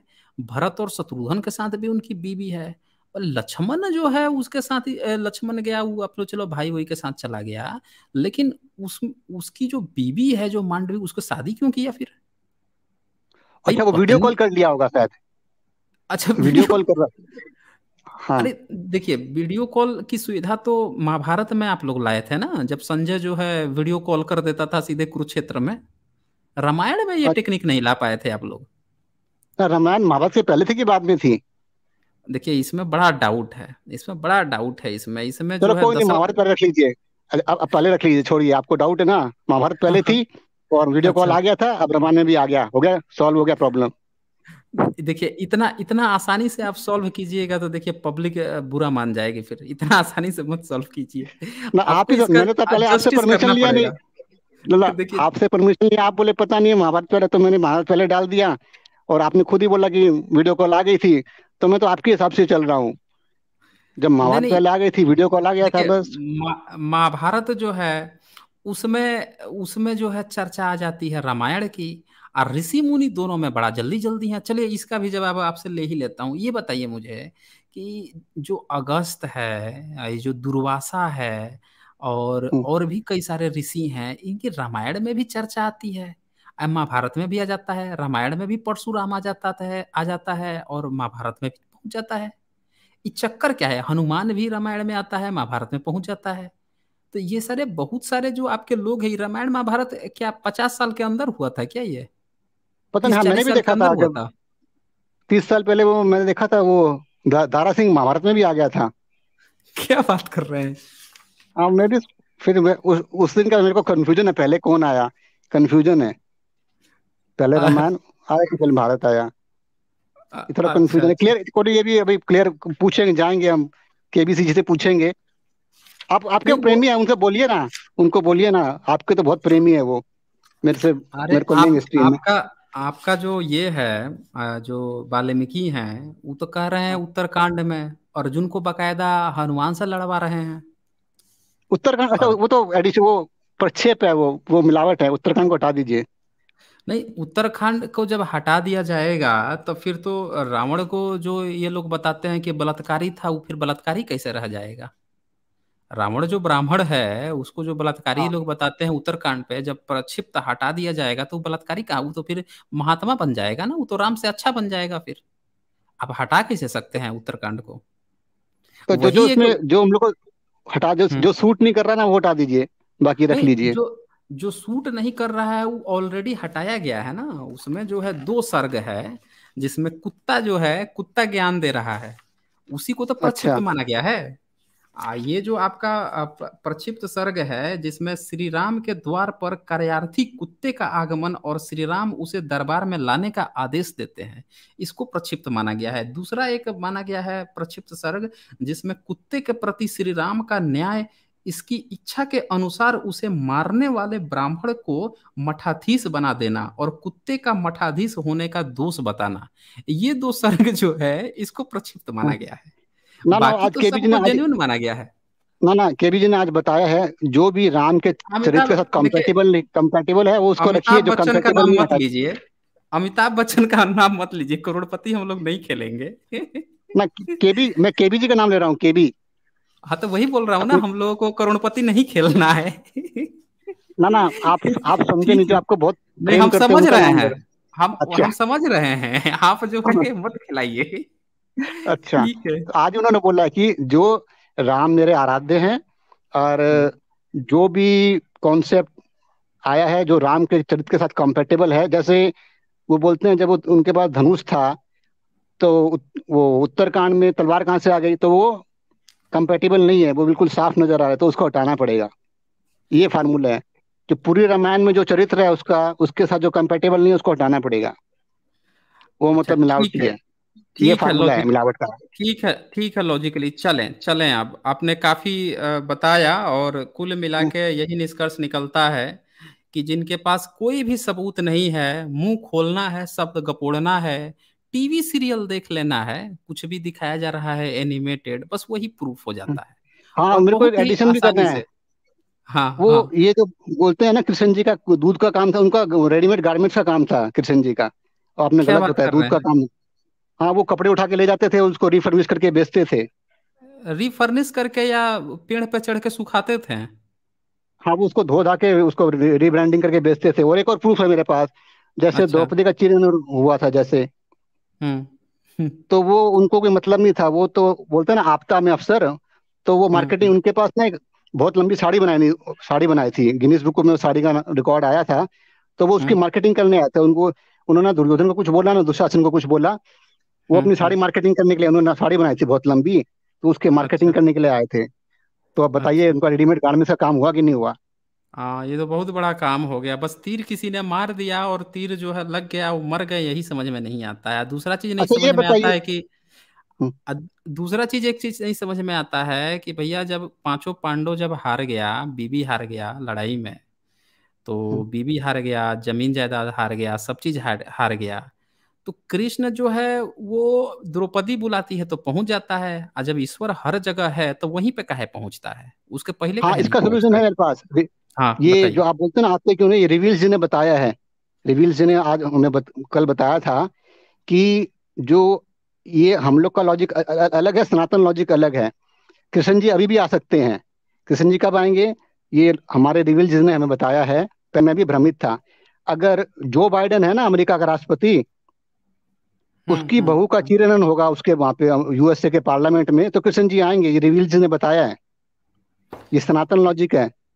जो अभी जब घटना बोलते हैं ना जो भी होता है मर्डर रेप होता है वो छोटी मोटी घटनाएँ हैं। बड़ी अच्छा, घटना ना वो रिवील जी ने बोला है। हमेशा अच्छा। बोलते हैं अगर जो बाइडन की पुत्र वधु को का चीरन होगा पार्लियामेंट में और सारे सेनेटर बैठे रहेंगे ना तब आ जाएँगे कृष्ण जी। हम्म मतलब हाँ। हमेशा ही वैसी एक संकल्पना छोड़ना जिसकी पॉसिबिलिटी कभी नहीं हो। मतलब अभी भी भगवान में इतना दम नहीं है कि आसानी से आसान शब्दों में आसानी से आ सके। अभी भी भगवान का बचाव इन शब्दों से होता है जो पॉसिबिलिटीज नहीं होती है जहाँ पे उसके घटने के कोई चांसेस नहीं है या ऐसी एक कल्पना है जो हो ही नहीं सकती है। उस तरह की कल्पना करके भगवान भगवान का बचाव हो रहा है कृष्ण का। चांसेस पहले भी हुए हैं हो सकते हो पहले भी तो हुए द्रौपदी का हुआ है और आज भी ऑप्शन है होने का। मतलब तो बताया है। मतलब हाँ। एक कागज़ पे हुआ है और दूसरा जो है फिर कागज़ पे ही होगा हाँ तो जो भी है मगर अब अब इसका तो हम्म। वो मतलब ये तो सनातन लॉजिक है ये कृष्ण जी का लॉजिक है कि मतलब वो कब आएँगे मतलब एक ऐसा लॉजिक है जिसकी पॉसिबिलिटी नहीं हो वहीं पे भगवान है अभी भी भगवान इतना सुलभ नहीं है कि वो दिखाया जा सके या आ सके बस अपने को अभी भी बचाया ही जा रहा है सिर्फ़ ऐसे उदाहरण देके जो घटेगा ही नहीं चले ओके लॉजिकली हाँ ठीक है जी ठीक है। ठीक है चले ओके अच्छा जी यहाँ पे कुछ सुपर चैट्स आए थे उनको भी देख लेता हूँ और कुछ और लोग डिबेट करने के लिए आए हैं उनसे भी डिबेट किया जाएगा। योजना व्लॉग्स यहाँ पे लिख रहे हैं। सर आपको इंस्टाग्राम पे एक फ़ोटो भेजना है टुन्नी को थोड़ा शेयर कीजिए।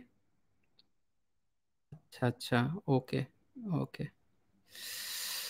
ठीक है। इसके बाद से यहाँ पे जय श्री राम आए हुए हैं। तो इनसे भी चले थोड़ी सी बातें करते हैं जय श्री राम से। अच्छा इससे पहले जो है राम मनोहर जी यहाँ लिख रहे हैं, हनुमान जी जब लंका में मच्छर के साइज़ के, से, के होकर घुसे, तब वह उनकी लंगोट कमर पर कैसे रुकी थी? क्या लंगोट भी मच्छर के साइज़ की हो गई थी? अरे, आपने तो पूरी धोती खोल दी यहाँ पे। राम मोहन जी, आपने जो प्रश्न पूछा है तो ये तो वो वाली भी बात हो गई ना कि जब वो अपना शरीर बड़ा किए होंगे, जब बड़े हो जाते हैं तो फिर उनके जो लंगोट है वो भी बड़ा हो जाता होगा, नहीं तो फिर तो फट जाएगा अगर नॉर्मल रहेगा, फ्लेक्सिबल रहेगा तो। तो फिर तो फैक्ट्री का नाम पता लगाना पड़ेगा, उस समय कौन सी ऐसी फैक्ट्री है, जैसे हल्क है, हल्क जो है अपने लिए पैंट खरीदता था उसकी जो साइज़ जो है, उसकी जो स्केलेबिलिटी जो है, वो इतनी होती थी कि वो छोटा रूप पकड़े या बड़ा रूप पकड़े, उतनी फ्लेक्सिबल हो जाती थी उसकी पैंट तो भैया, हनुमान जी पर भी तो ये क्वेश्चन बड़ा अच्छा दागा है आपने कि भैया, अगर वो मच्छर बन गए तो क्या मच्छर के लंगोट जितनी साइज़ हो जाती थी? जब बड़े हो जाते थे तो क्या वो बड़े के स्केल होके उतनी बड़ी हो जाती थी? खूबसूरत प्रश्न है आपका। और यहाँ पे जो है वाइप्स स्टूडियो, ये लिखते हैं, एक गड्ढा हनुमान के हाथ में, एक गद्दा ये श्रद्धा वाला। अच्छा अच्छा एक गद्दा हनुमान के हाथ में और एक गद्दा ये श्रद्धा वाला। Okay okay. चले चले देखें ये क्या कह रहे हैं। जय श्री राम। हाँ जी, बताएँ क्या कहना चाहते हैं? जी, बोलें, अपने माइक अनम्यूट करें। जय श्री राम से जो आईडी आई है, वो अपनी माइक अनम्यूट करें और बोले क्या कहना चाहते हैं। देखिए, ये जो है ना, अब इनको जोड़ा गया तो ये कुछ बोल नहीं रहे हैं। भाई, ऐसे कैसे काम चलेगा? आप लोग आते हैं, आप जो है ब्राह्मण बन के आते हैं, आप ये बन के आते हैं, और जब जोड़ा जाता है तो आप लोग बोलते नहीं हैं हम्म। डिबेट के लिए फिर कमेंट में लिखेंगे, भैया, डिबेट करनी है, मुझसे, मुझे जोड़ के दिखाओ, मुझे ये करो, मुझसे डिबेट करके दिखाओ, जब जोड़ा जाएगा तो आप लोग बोलेंगे नहीं। कैसे काम चलेगा भाई? हम्म। अब यहाँ पे क्या हम लोग इंतज़ार करें, क्या करें, बताएँ? चलें, जब कुछ नहीं बोलेंगे तो क्या किया जाएगा? अच्छा जी, ये और कौन आए हुए हैं यहाँ पे? कृष्णा भूषण। पटेल आए हुए हैं। चले इनसे बातें करते हैं। जी कृष्णा भूषण बताएँ क्या कहना चाहते हैं? जय भीम सर। हाँ जी जय भीम। सर क्वेश्चन आपसे ये था जैसे सर मुझे बुद्धा की कोर नॉलेज के बारे में पढ़ना है तो सर वो सोर्स क्या होंगे? और अगला क्वेश्चन मैं सर इसके बाद पूछूँगा। देखिए आपको कोर नॉलेज जानना है बुद्धा का तो आपको जो है ना, जितने आर्कियोलॉजिकल साइट्स हैं जो बुद्धिस्ट प्लेस के, उनको एक बार आपको विज़िट करना पड़ेगा। क्योंकि बुद्धा का ज्ञान जो है ना, वो किताबों में नहीं छुपा हुआ है। बुद्धा का ज्ञान जो है ना, वो समाज में छिपा हुआ है। उन जगहों पे, उन शिलालेखों पे, वो उन चीज़ों में आपको मिलेगा कि आप लोगों की प्रैक्टिस देखेंगे ना, जो लोग प्रैक्टिस करते हैं, उनसे भी आप बुद्धा का ज्ञान नहीं सीख सकते हैं। आप जो है किताबें पढ़ के भी बुद्धा का ज्ञान नहीं सीख सकते हैं। आप सर्वे कीजिए सब लोगों का, कुछ कॉमन पॉइंट्स मिलेंगे आपको, जैसे चार आर्य सत्य मिल गया, अष्टांगिक मार्ग मिल गया, प्रतित समुत्पाद मिल गया, निवाना, इनको आपको ना थोड़ा समझना पड़ेगा। और एक मैंने वीडियो भी इस पे बनाई है S J L sixty eight है एस जे एल उसको ज़रूर देखिएगा 68 को। और इस जेल 88 को भी देखिएगा जिसमें गॉड और ईश्वर की जो बात आ रही है। इस जेल 90 भी है। इस पे मैंने छः सात स्ट्रीम की है उनके बारे में। उनको भी थोड़ा थोड़ा आप देखिएगा तो आपको थोड़ी जानकारी मिल जाएगी। किसी किसी भी किताब को पढ़ के आप एग्जैक्टली नहीं पता आ, कर सकते हैं क्योंकि सबने अपने अपनी तरह से चीज़ें लिखी हैं। जी कृष्णा जी पूछे। अच्छा सर अगला क्वेश्चन ये था कि ऐसी कौन सी बौद्ध मार्ग की बुक्स हैं जहाँ पर वेदों की आलोचना की गई है? क्योंकि कई लोग ऐसा कहते हैं कि इनकी बुक्स में वेदों की आलोचना ही ये साबित करती है कि उससे पहले वेद थे। जी कृष्ण भूषण पटेल जी, इसका उत्तर मैं पहले भी दे चुका हूँ। आज मैं फिर बोल देता हूँ। जो बौद्ध मार्ग की किताबें हैं जो मूल, जो किताब तिपिटक मानी जाती है, उसमें वेदों का कहीं कोई उल्लेख नहीं है, ब्राह्मण के वेदों का कोई उल्लेख नहीं है। और इन्होंने जो वेद की बात कही है, जो बौद्ध मार्ग की जो किताबों में की जो वेदों का ज़िक्र है, वो वहाँ पे वेद का मतलब अनुभव है। इनके वेद से कुछ लेना देना नहीं है, क्योंकि इनके यहाँ जो वेद है ना, वो चार तरह के वेद हैं। ऋग्वेद है, यजुर्वेद है साम वेद है अथर्व वेद है। और ये चारों में अलग अलग बातें हैं। किसी में झाड़ फूक की बात आ रही है, किसी में कर्मकांड की बात आ रही है, किसी में जो है यज्ञ हवन कुंड की बातें आ रही हैं। अलग अलग किसी में संगीत वाद्य इस तरह का जो लय है, उस तरह की कर्मकांड की बात आ रही है। सब में अलग अलग बातें हैं। अगर कोई वेदों की चर्चा करेगा ना तो वो इनके उस सेक्ट को उठा के कहेगा, उनकी चर्चा करेगा कि भाई ऋग वेद में ये है कर्म कांड की बात उठा के करेगा कि भाई आपका जो अथर्व वेद है, इसमें जो कर्म कांड है या फिर जो आपका यजुर्वेद है, इनकी बात करेगा साम वेद की बात करेगा, इनकी बात करेगा। वेद शब्द की बात नहीं करेगा। वेद शब्द पाली का शब्द है। जो शब्द ही पाली का है, उसका ब्राह्मणों से क्या लेना देना? उसमें वेद, ये सब थोड़े लिखा हुआ है। भाई वो संस्कृत का शब्द होता तो समझ में आता। है वो पाली का शब्द? और वेदना शब्द जो है, उसका मूल शब्द है, वहाँ से वो डिराइव हुआ है, जिसका मतलब अनुभव होता है। तो वेद जो है, जहाँ पे जो चर्चा है, इनके वेद की नहीं चर्चा है, अनुभव की वहाँ पे बात हो रही है। एक जगह शब्द आया है विद्या, वी आधा ज जा। तो विद्या शब्द को कुछ लोगों ने वेद बना दिया है। तो ये आपको समझना पड़ेगा कि विद्या मतलब विद्या होता है, वेद नहीं है।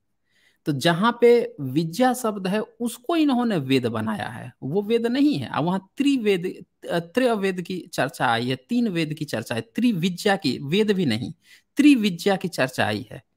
तो या तो ये साबित करें पहले कि इनका चार वेद है कि तीन वेद है और या तो फिर ये शादी करें ए, साबित करें कि इनका जो वेद है वो वेद उस समय नहीं कहा जाता था छब्बीस साल पहले विजया कहा जाता था। ये साबित करें पहले। तब हम उस पर डिस्कशन करेंगे कि इनके किसी वेद की चर्चा जो है त्रिपिटक में आई है। तो ये पूरी तरह तो से ये गलत है। जी।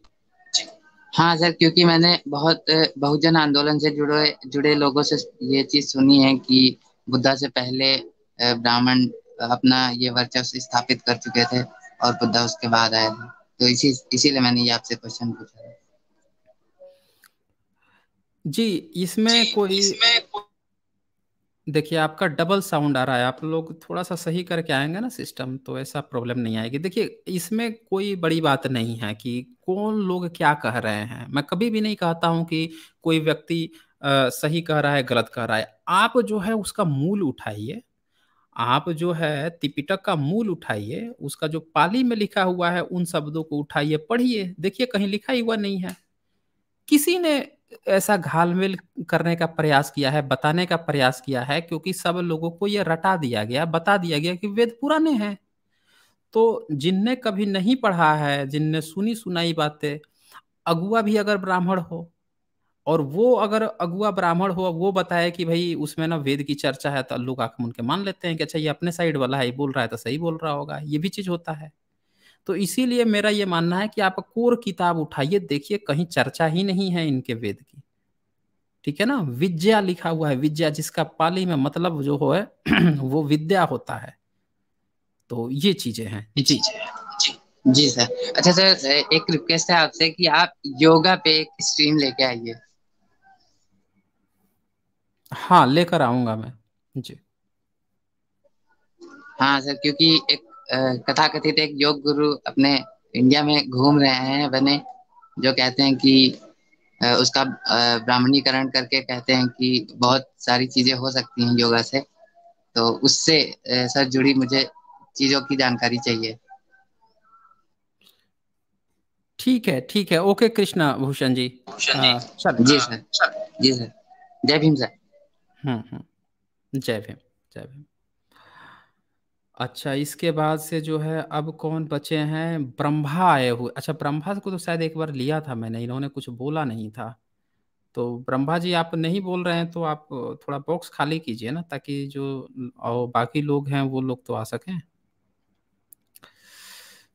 अच्छा जी और कौन आए आए हुए हैं? मोनो जोय आए हुए हैं। चले इनको भी थोड़ी बातें कर लेते हैं। जी मोनो जोय बताएँ क्या करना चाहते हैं? जय भीम सर। हम्म हम्म। सर ये आजकल इस पे ऐड आ रहे हैं यूट्यूब पे काफ़ी ये एक अमीश त्रिपाठी करके हैं एक महाटुन्नी अच्छा। ये रामायण को मतलब जैसे ऑथेंटिक बनाने में लगे हुए हैं कि जैसे इनका कोई एक्चुअली सबूत नहीं है तो इनके वीडियोस में ऐसे दिखा रहे हैं कि जो राम सेतु असल में जिसका नल सेतु है असली में वर्णन हम्म, हम्म, हम्म। उसको मतलब ऑथेंटिक दिखा रहे हैं और ऐसे सबूत मतलब सर ये हो सकता है कि जैसे आजकल ये सरकारी टोनियों के हैं तो मतलब नकली सबूत प्लांट कर दिए जाएँ इन मतलब झूठे धर्मों को। जी। नहीं इनका कोई भी सबूत नहीं है। इनका एक भी सिंगल सबूत नहीं है। राम सेतु पर तो कुछ भी इनका सबूत नहीं है। कुछ भी नहीं है। ये लोग उसमें क्या दिखाएँगे? ये लोग क्या करेंगे? जगहों का नाम बताएँगे। उन सारे जगहों की खुदाई एक्सकवेशन ऑलरेडी हुई हुई है।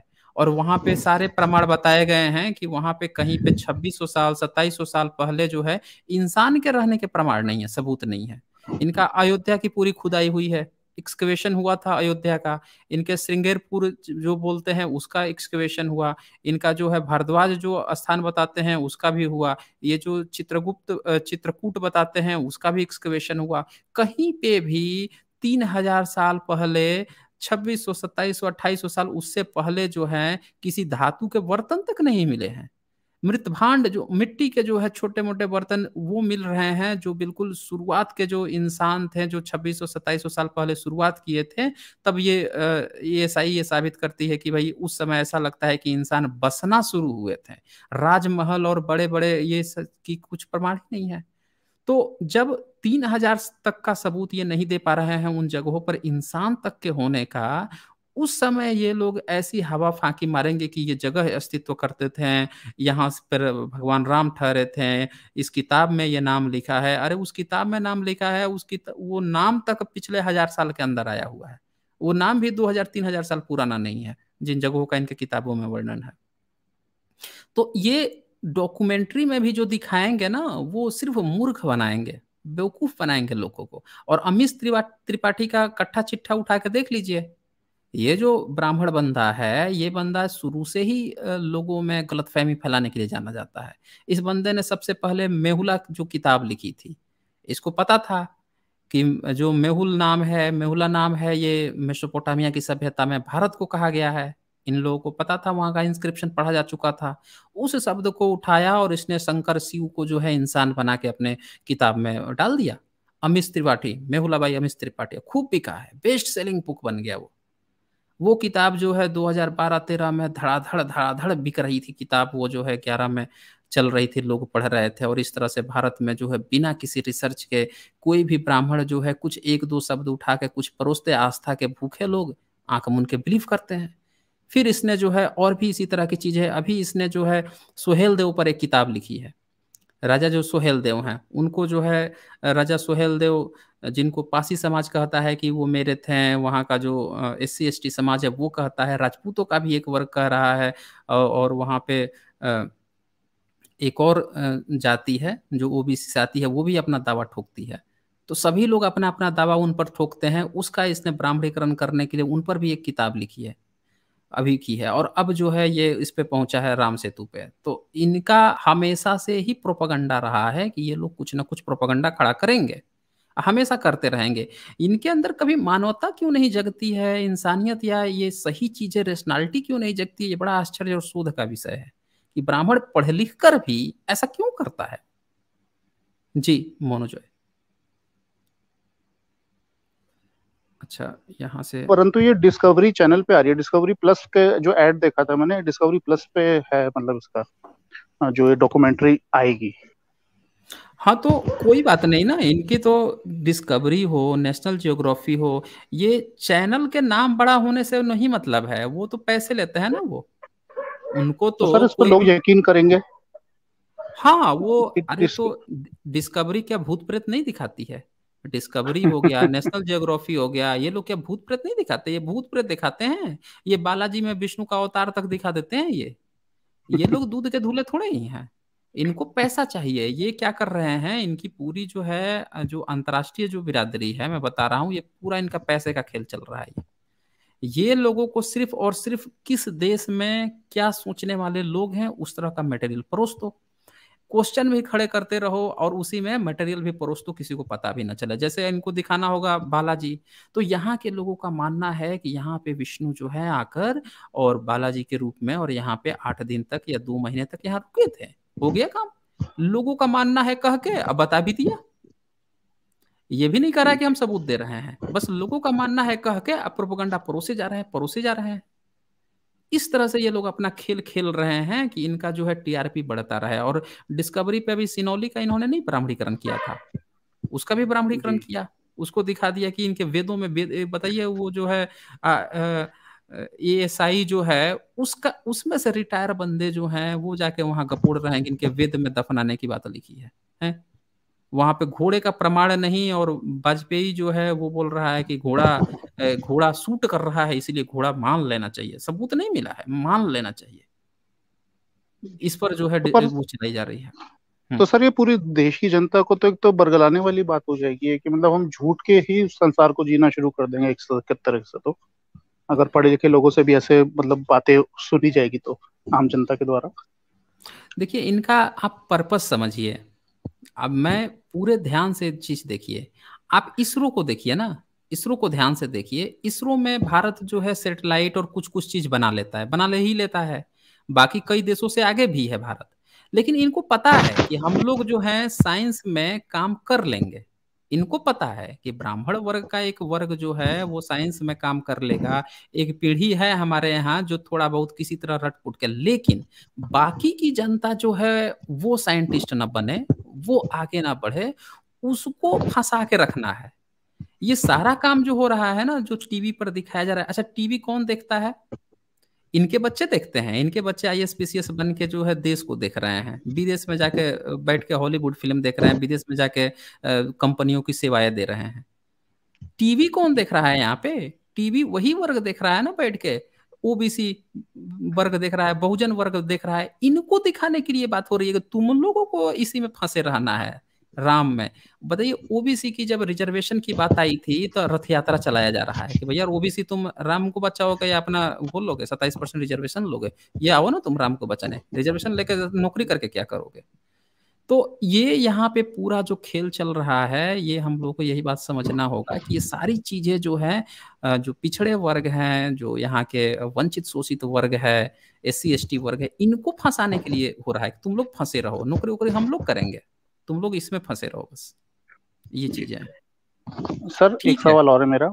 हाँ हाँ।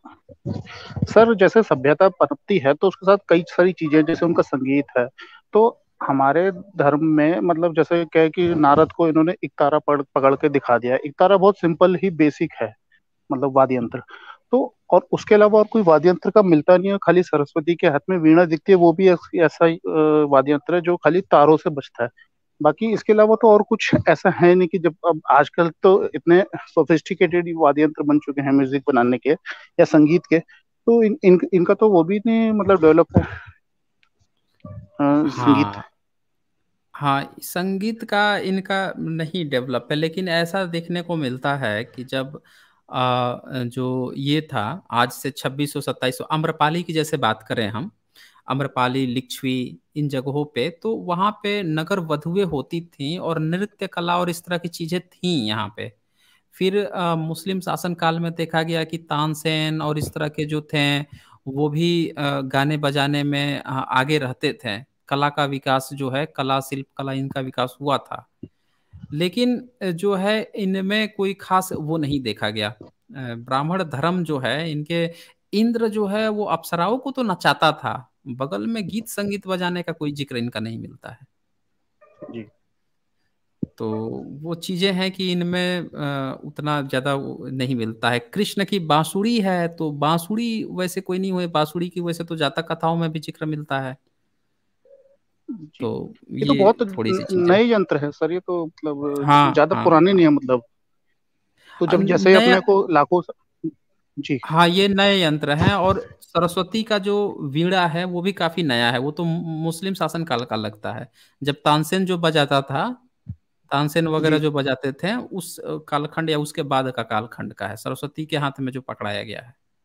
जी ठीक है। ओके मनोज जी धन्यवाद सर। जय हाँ, भीम। हम्म, जय भीम। अच्छा यहाँ पे कुछ सुपर चैट आई थी इसको भी तब तक पढ़ लेते हैं। प्रमोद भारती यहाँ पे अच्छा इनका सुपर स्टिकर था, बहुत शुक्रिया आपका। और इसके बाद से जो है भारत भूषण जी का भी सुपर स्टिकर था, आपका भी बहुत शुक्रिया। और कोई डिबेट के लिए हो तो भैया आ जाएँ। हम्म। भैया, डिबेट के समय आप लोग नहीं आओगे। कमेंट वीर बनोगे, कैसे काम चलेगा भाई? कोई कमेंट वीर हो तो बताएँ भाई उनको यहाँ पे ले लिया जाए। हम्म? अच्छा यहाँ पे ये कोई छत्रिया आए हुए हैं डिबेट करेंगे। चले इनसे डिबेट लेते हैं। हाँ जी बताएँ छत्रिया क्या कहना चाहते हैं? Hello hello. हाँ जी हेलो बताएँ। अरे सर जी आपसे बात हुई थी याद है? न मुझे इतना याद नहीं रहता। है आप बताइए क्या कहना चाहते हैं? कुछ कहना हो तो बता दीजिए। अरे राजपूत राजपूत। अच्छा जी आप कास्टियस्ट व्यक्ति हैं क्या? नहीं नहीं नहीं। आ, मैं ह्यूमन रख लिया हूँ नाम भी वो मेरे को ऐड होना था। आप थोड़ा डिबेट कर रही है मुझे। डिबेट करनी है आपको। हाँ थोड़ी अच्छा आपकी बातें लॉजिकल मुझे लगती हैं लेकिन मेरे को अभी भी हाँ वो अभी कुछ देर में अभी कुछ देर में बताऊँगा तो अनलॉजिकल भी लगने लगेगी उसकी आप चिंता मत करें थोड़ा सा रुके यहाँ पे। यहाँ पे मनीष प्रधान जो है ये लिखते हैं जय भीम सबको। जी बहुत शुक्रिया आपका। जय भीम आपको। और यहाँ पे जो है सम्यक जो है इन्होंने लिखा जबेस्ट ज़बरदस्त कॉमेडी है। हाँ बहुत शुक्रिया आपका सम्यक जी। और इसके बाद से जो है हम बोलिए क्या क्या कहना चाहते हैं? क्या कहना है आपको? आपके हिसाब से ये हिंदू धर्म कब आया था? वो तो मैं बता चुका हूँ कई बार बता चुका हूँ। जाके आप देखिए वीडियो 171 देख लीजिए साइंस जर्नी पे उस पर पूरा डिटेल में बताया मैंने कब आया अच्छा ये जो अपना गुर्जर प्रतिहारा जो डायनेस्टी थी वो कौन से रिलीजन को फॉलो करती थी? बताइए आप बताइए हमें। वो सातवीं शताब्दी की वो हिंदू थी? लिखा है क्या उन्होंने कभी सातवीं सदी में कि हम हिंदू हैं? अगर हिंदू थे तो गुर्जर और प्रतिहार कैसे हैं? अरे अगर वो हिंदू हैं आप ये बताइए मुझे कि मुस्लिम जो होता है वो क्या कहता है अपने को? कभी कहता है कि मैं सुन्नी हूँ कि सिया हूँ? पता होगा ना? अरे एक तो... मुस्लिम से जब आप मिलते हैं वो आपसे क्या कहता है? कि वो सिया है कि सुन्नी है? क्या कहता है? बताइए। अरे मुस्लिम तो कहता है ना कि मैं सिया हूँ मैं सुन्नी हूँ। अच्छा आप जो है कट्टर राजपूत से राजपूत बने राजपूत से आप ह्यूमन बन गए जी मैं परिवर्तन आ रहा है आपसे। बिल्कुल जातिवादी नहीं हूँ मैं। अच्छा बड़ा परिवर्तन आ रहा है आप में तेज़ी से। हाँ मैं जातिवादी नहीं हूँ मेरे को बस सवाल है आपसे उस पर डिबेट करना अच्छा है मुझे। हम्म हम्म। हाँ तो बताइए ना गुर्जर प्रतिहार जो है वो क्या थे? अपने को क्या लिखते थे? देखिए गुजर प्रतिहार पूरी सब जानते हैं कि हिंदू ब्राह्मण ब्राह्मण धर्म फॉलो करते थे। आज गुजर जो लगाते हैं वो क्लेम करते हैं ना वो मेरा राजा था। क्या नाम है उनका यार परमार करके कुछ है। ये बताइए आपको ये कैसे पता चल गया कि वो हिंदू थे? अरे उनके बारे में लिखा हुआ है। उनके बारे में किसने लिखा है? कब लिखा है? अरे ये इतिहास में लिखा है। कौन से इतिहास में? इतिहास कौन सा इतिहास में लिखा गया है? कब लिखा गया? हर्षवर्धन हर्षवर्धन के बाद आए थे। नहीं हर्षवर्धन तो सेवेंथ सेंचुरी में थे ना? तो उन्हीं के बाद ही आए थे गुजर पतियारा। मैं बता देता हूँ आपको डेट। हाँ, बता दीजिए। मीर भोज थे क्या शायद? गुजर प्रतिहार हम्म। Nagabhata founder of Gujar Pratihar Nagabhata one eighth century कौन से सेंचुरी एट अच्छा एट्थ सेंचुरी में। Seven thirty seven thirty Christ era अच्छा सेवन थर्टी में आए थे। तो सेवन थर्टी में आए थे तो वो हिंदू बन गए आके यहाँ पे। फिर कौन से धर्म लड़ा... थे बता अच्छा किससे लड़ाई किए थे एट्थ सेंचुरी में आए थे तो यहाँ पे। हर्षवर्धन को शायद हरा के एस्टेब्लिश हुए थे। हर्षवर्धन को एक मिनट हर्षवर्धन को कहाँ से हरा देंगे? इतनी औकात ही नहीं थी। चालुक्य ने हराया था ना नीचे साउथ इंडियन वाले। वो कहाँ हरा पाया था? साउथ इंडिया में हराया था कि इंडिया में इधर आके हराया था? कहाँ हराया था? क्या हराया, हराने का मतलब क्या होता है कि वो ये उसके देश में गए थे या वो इनके देश में आके हरा के गया था? हर्षवर्धन जो थे, उनके राज्य में आके उनको कौन हरा के गया था? कोई नहीं हरा के गया था। चालुक्य जो है, वो जो इंस्क्रिप्शन आप जो बोलते हो, उसमें उसने बुद्ध बोला है कि कोई बुद्ध देव था, उसको उसने जो है डिफीट किया था या? तो हर्षवर्धन का नाम तो बुद्ध देव, ऐसा तो कहीं नहीं मिला है। अब वो हर्षवर्धन के कालखंड से भी नहीं मैच करता है, वो जो इंस्क्रिप्शन है, वो कुछ और कह रहा है। और वो ये कह रहा है कि वो इनके ऊपर आक्रमण किया था तो इन लोगों ने अपने को बचाया था। ये नहीं कह रहा है कि ये उनके देश में जाके उनको हरा के आया था। ठीक है ना? ऐसा कोई चर्चा नहीं हुआ था। आप बताइए हमें कि भाई गुर्जर प्रतिहार जो हैं इनका नाम गुर्जर प्रतिहार क्यों है? अगर ये हिंदू थे भारत में आके क्या हिंदू बन गए थे क्या ये? सुन रहे हैं आप हमें? देखिए इनकी आवाज़ भी नहीं आ रही। Hello hello. हाँ हाँ हाँ बोलिए। मैं बोल रहा हूँ कि गुजर प्रतिहार इंडिया के ही थे भारत के ही थे। अच्छा भारत के थे। कौन से राज्य के थे? भारत के थे तो? मीर भोज राजा थे मीर भोज। मीर भोज राजा थे ना? कौन हाँ। से राज्य के थे? बताइए जरा। ये गुजरात साइड था शायद। गुजरात साइड में थे सेवेंथ सेंचुरी में एट्थ सेंचुरी में। अरे इनका बड़ा एम्पायर था हर्षवर्धन जितना बड़ा था। अरे हर्षवर्धन जितना बड़ा रहेगा तो हर्षवर्धन कौन से धर्म का पालन करते कन्नौज कन्नौज के थे कन्नौज कन्नौज। कन्नौज के थे। मीरभोज मीरभोज कन्नौज के थे। हाँ जी।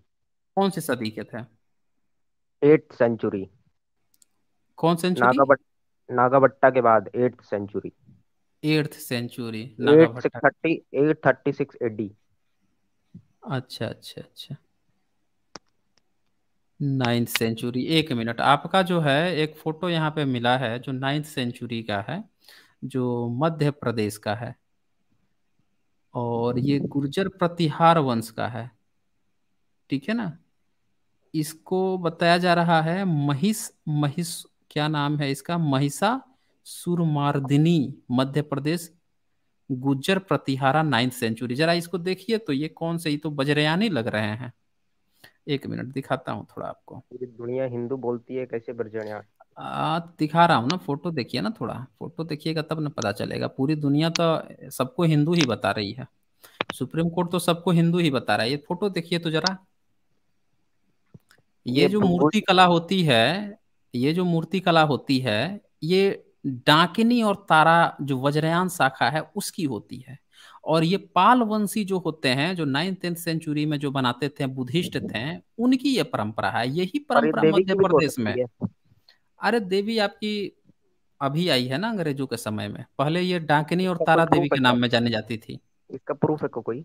हाँ प्रूफ है ना? ये है ना ये? ये देखिए क्या लिखा हुआ। प्रूफ नहीं दिया था कि बाबू राणा संगा ने बाबुर को बुलाया था।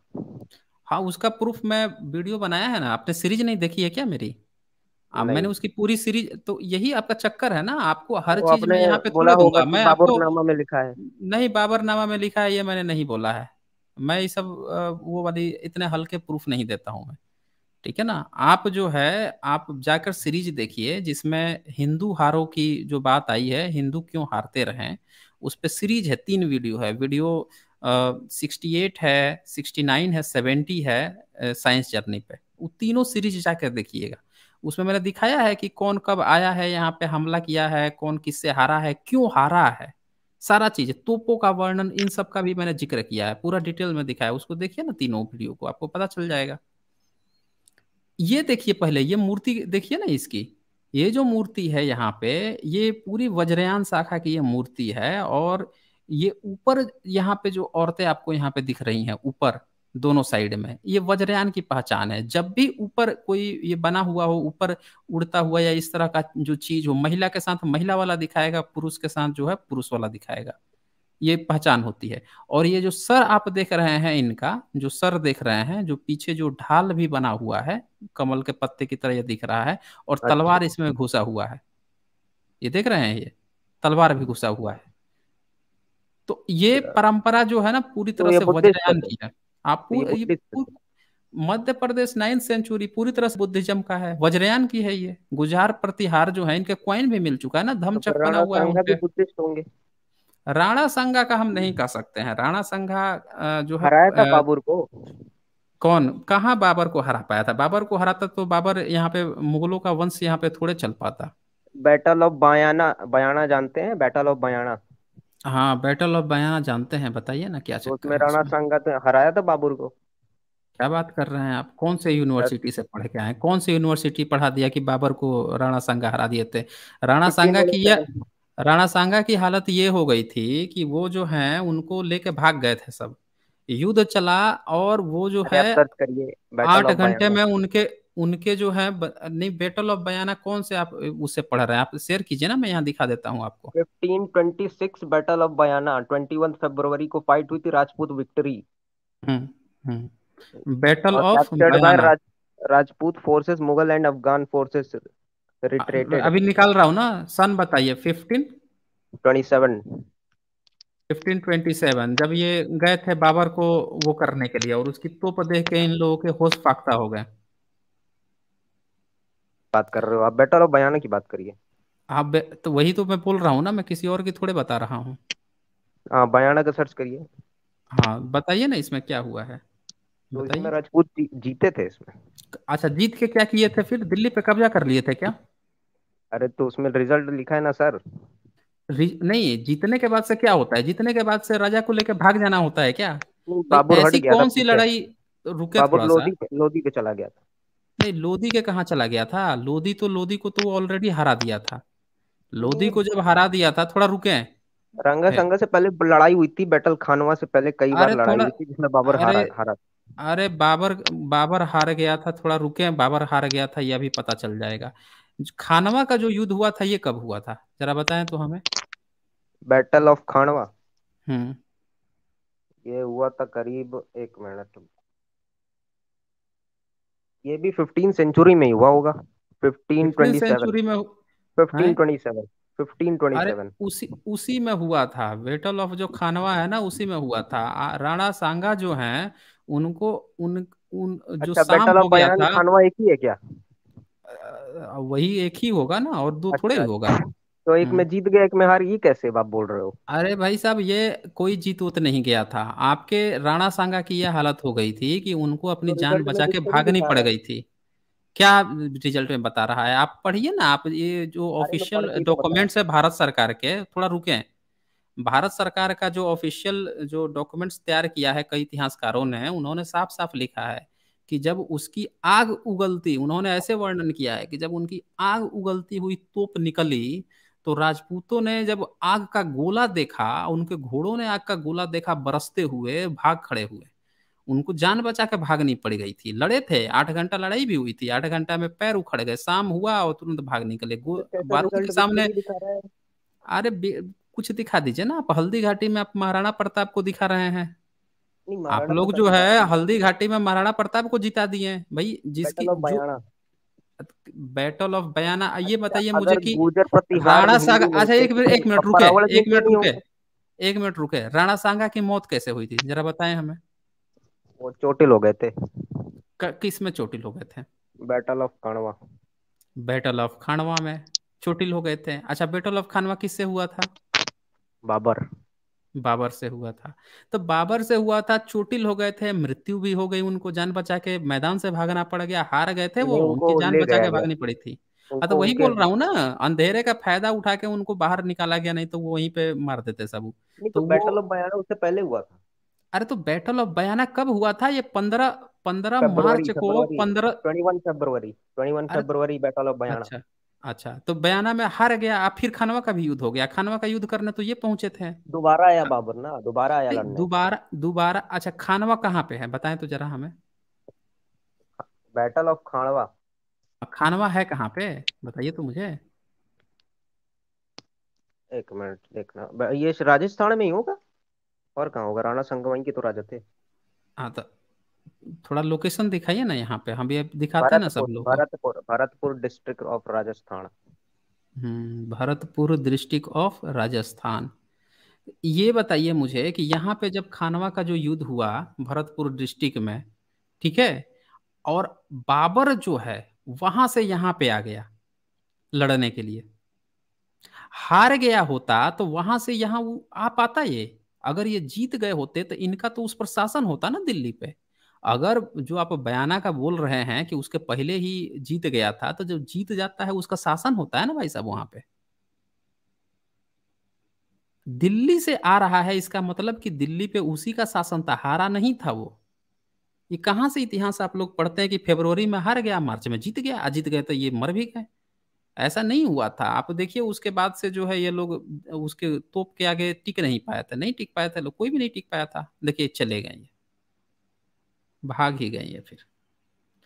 ऐसा मत कीजिए भाई साहब, आप जो है आते हैं, कभी कट्टर राजपूत बन के आते हैं, कभी जो है आप राजपूत बन के आ जाते हैं, और कभी जो है ह्यूमन बन के आते हैं, और आप वही दो तीन चीज़ में फंसे रहते हैं, बाबर अकबर बाबर अकबर। चले। हम्म आ भी गए ये हलो हलो अब ये बताइए कि आपका लास्ट कोई पॉइंट हो लास्ट कोई पॉइंट हो तो बता दीजिए मैं ज़्यादा समय नहीं दे पाऊँगा आपको। अगर कोई कोई टॉपिक अच्छा, इंडिका में मेगास्थनीस आया था मेगास्थनीस हम्म। अगर आया था इंडिका तो वो फिर चंद्रगुप्त मौर्य के रिलीजन के बारे में नहीं लिख के गया? क्या लिख के गया है बताइए। कुछ रिलीजन के बारे में लिख के नहीं गया? अब बताइए ना मुझे क्या लिख के गया है? आप बताएँगे तभी तो पता चलेगा मैंने पढ़ी नहीं आपसे पूछ रहा हूँ ना। हम्म। अरे उसने किसी का चर्चा नहीं किया है आपके ना वेद का चर्चा तो किया है ना रामायण का चर्चा किया है ना अरे तो रिलीजन होगा तब तो करेगा ना कोई रिलीजन होगा तब तो चर्चा करेगा अच्छा, उसने पूरे इंडिका में पूरे रेशनल बंदा नहीं था आपके पूरे इंडिका में उसने बुद्ध के अलावे किसी की चर्चा ही नहीं की है उसने। बुद्ध के अलावे आपके किसी भी धर्म धार्मिक किसी की चर्चा नहीं की है उसने।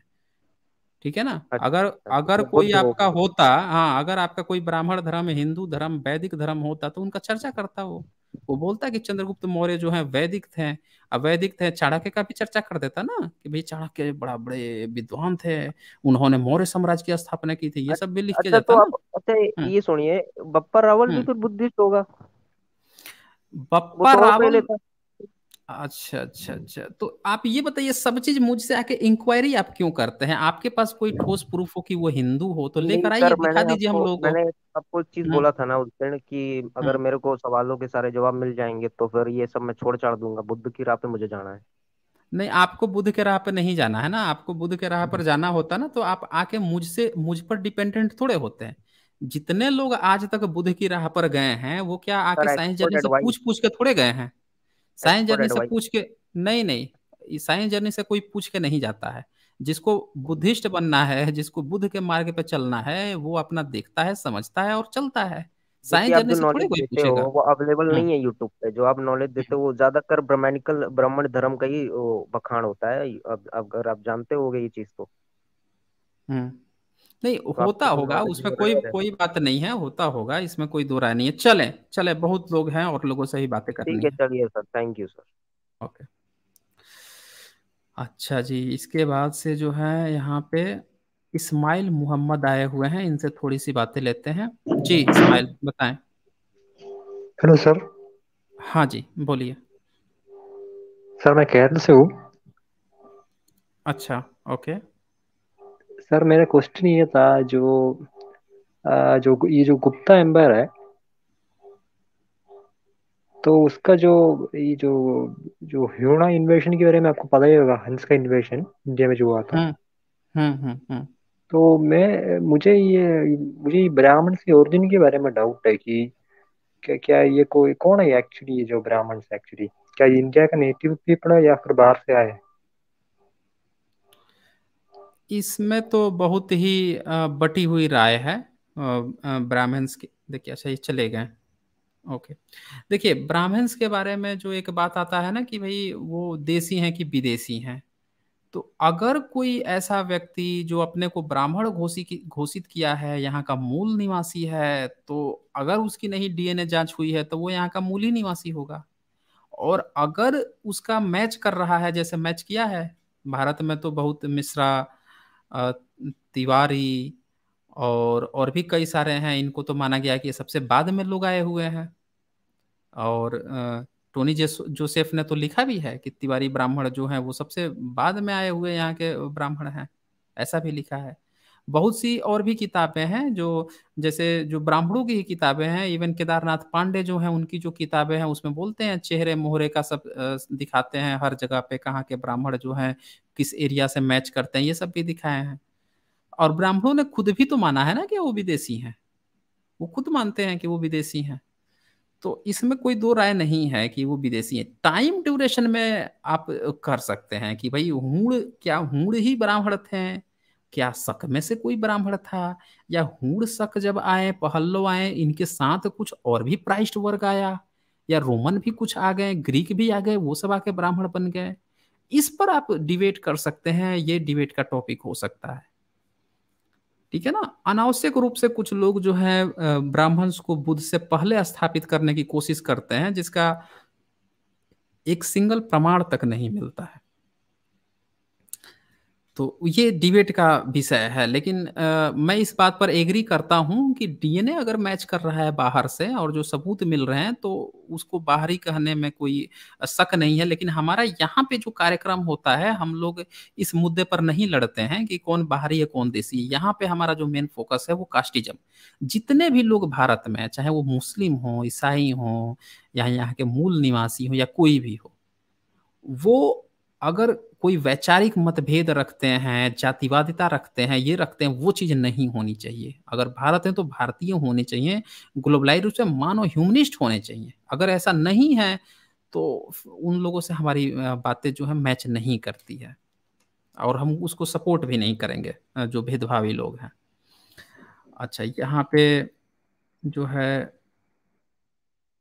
और भी कुछ लोग आए हैं। यहाँ पे अजीत यादव आए हैं इनसे थोड़े से। हाँ जी बोलिए। हाँ जी बोलिए। हेलो। जी आपकी डबल आपकी डबल थोड़ा आप म्यूट रखें आप। थोड़ी आपकी ना डबल साउंड आ रही है तो या तो आप बोल के खुद को म्यूट कर लीजिए या आप ऐसा करें कि आप अपनी बात ना एक बार में कह दीजिए। जी जय भीम नमो है सर। हम्म। हेलो। जी जय भीम नमो बुद्धाय। आप अपनी बात एक बार में कह दीजिए। मेरी बात ना डबल हो रही है डबल हो जाएगी। तो अपना म्यूट जैसे अनम्यूट करेंगे तो आप अपनी पूरी बात कह दीजिएगा। ओके जी सर। आ, मैं ये कह रहा था सर कि प्रियम्बल पे वीडियो अगर आप करें तो काफ़ी हेल्प मिलेगा हम लोगों को कि प्रियम्बल में क्या चीज़ है और क्या उसमें गुड़ बातें हैं और उसमें क्या चीज़ हम लोग को जाननी चाहिए। तो काफ़ी हेल्प मिलेगा सर उसमें जाने के लिए। जी।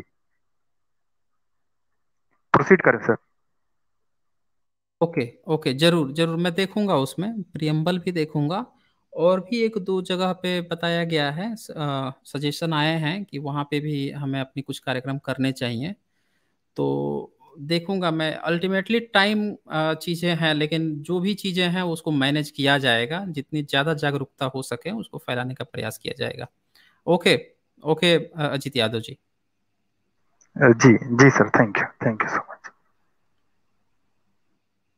जी थैंक यू अच्छा इसके बाद से अच्छा सुजाता भी आई हैं। चले इनसे भी थोड़ी सी बातें ले लेते हैं। जी सुजाता जी बताएँ। जी सर जय भीम नमो बुद्धाय सभी को। हम्म हम्म जय भीम नमो बुद्धाय। थैंक यू आपका लिंक देने के लिए सबसे पहले तो। हाँ हाँ बोलिए बोलिए कुछ आज कुछ स्पेशल है?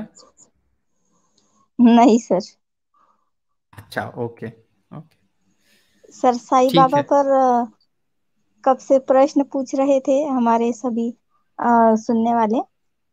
तो साई बाबा जो थे वो 1957 में एक जंग हुई थी अंग्रेज़ों के साथ। तो वो पेंशन पर थे साई बाबा जी? और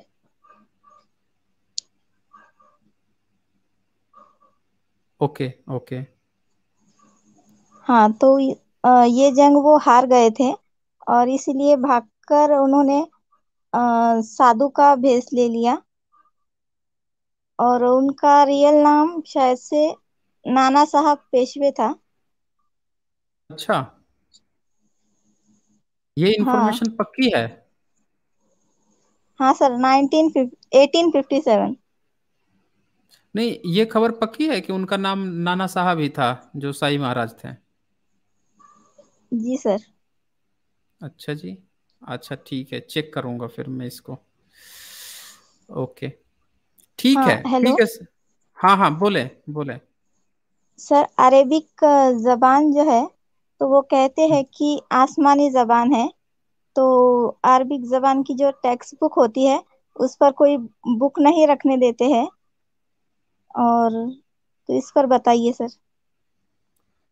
नहीं आपने कहा कि जो अरेबिक जो बुक होती है उस पर कोई भी किताब नहीं रखने देते हैं। जी सर दूसरी कोई अगर बुक हो तो। अच्छा। नहीं देखिए अरेबिक मतलब अरेबिक की कोई भी किताब हो या फिर कुरान या कुरान की आप बात कर रहे हैं? नहीं सर टेक्स्ट बुक की बात कर रहे हैं अरेबिक की। अच्छा। नहीं अरबी जो है वो कोई इस ऊपरवारी या जो आसमानी लैंग्वेज नहीं है। अरबी जो है वो काफ़ी बाद में आई है। अरबी से पहले तो हिब्रू चलता था। आप अरब का अगर कोई स्टडी करें ना ध्यान से तो जो अरबी का जो स्वरूप है मुहम्मद के समय में, वो भी अभी आगे चल के वो हुआ है थोड़ा सा विकसित हुआ है और डेवलप हुआ है। उनके समय की भी अरबी आज की डेट में एग्जैक्ट नहीं चलती है थोड़ा सा बदलाव हुआ है। और उनसे पहले तो और भी लैंग्वेज चलती थी ना, वो अरबी भी नहीं चलती थी। तो काफ़ी जो लैंग्वेज होती है ना, वो काफ़ी परिवर्तन हुई है और अब्राहमिक रिलीजन में सबसे पुरानी हिब्रू माना जाता है। यहूदी इजराइल में आज भी हिब्रू चलती है, लेकिन हिब्रू जो है, आज की जो हिब्रू है, इसको इसराइलियों ने डेवलप किया था 1948 में, दोबारा। इसके पहले वाला जो हिब्रू था, वो थोड़ा सा अलग था, पुराना एंशियंट हिब्रू था, वो टफ है, और ये इन्होंने नया फिर से बनाया है, ताकि आज के लोग उसको समझ सकें और उस पर काम कर सकें।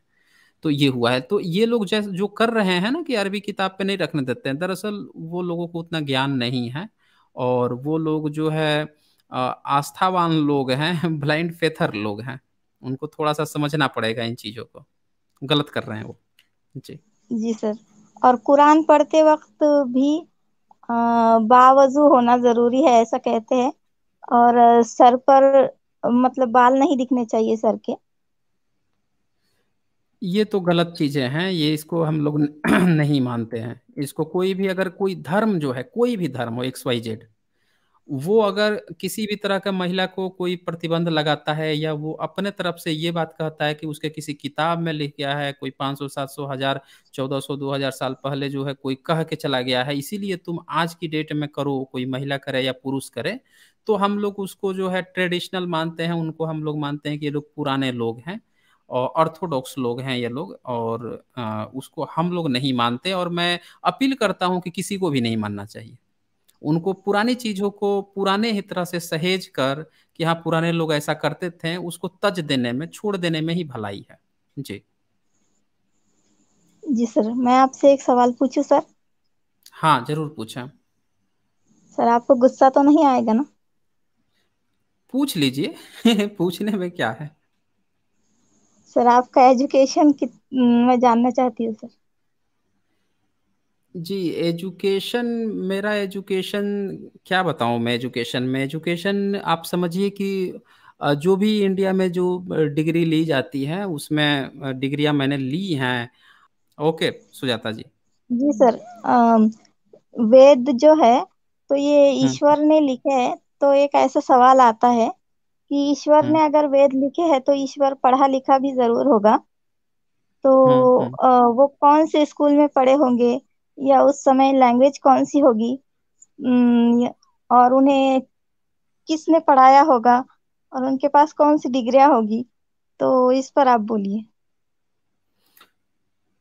हाँ ये ये तो बिल्कुल आपने सही सवाल किया है कि जब लोग दूसरे लोग ये क्वेश्चन खड़े करते हैं कि भाई आप लोग कैसे सवाल खड़े कर देते हो? जब ये कहते हैं कि आपने दो चार साइंस की किताबें क्या पढ़ ली, आपने दो चार ये चीज़ें पढ़ ली तो फिर आप कैसे क्वेश्चन खड़े कर रहे हो? उनसे आप ये सवाल बिल्कुल पूछ सकते हो कि भाई आप लोग जो कहते हो कि वेद इसने लिखा, उसने लिखा, यहाँ से आया, रामायण इसने लिखा, उनकी आप डिग्री बताएँ, उन्होंने कितने स्टैंडर्ड तक पढ़ाई की है?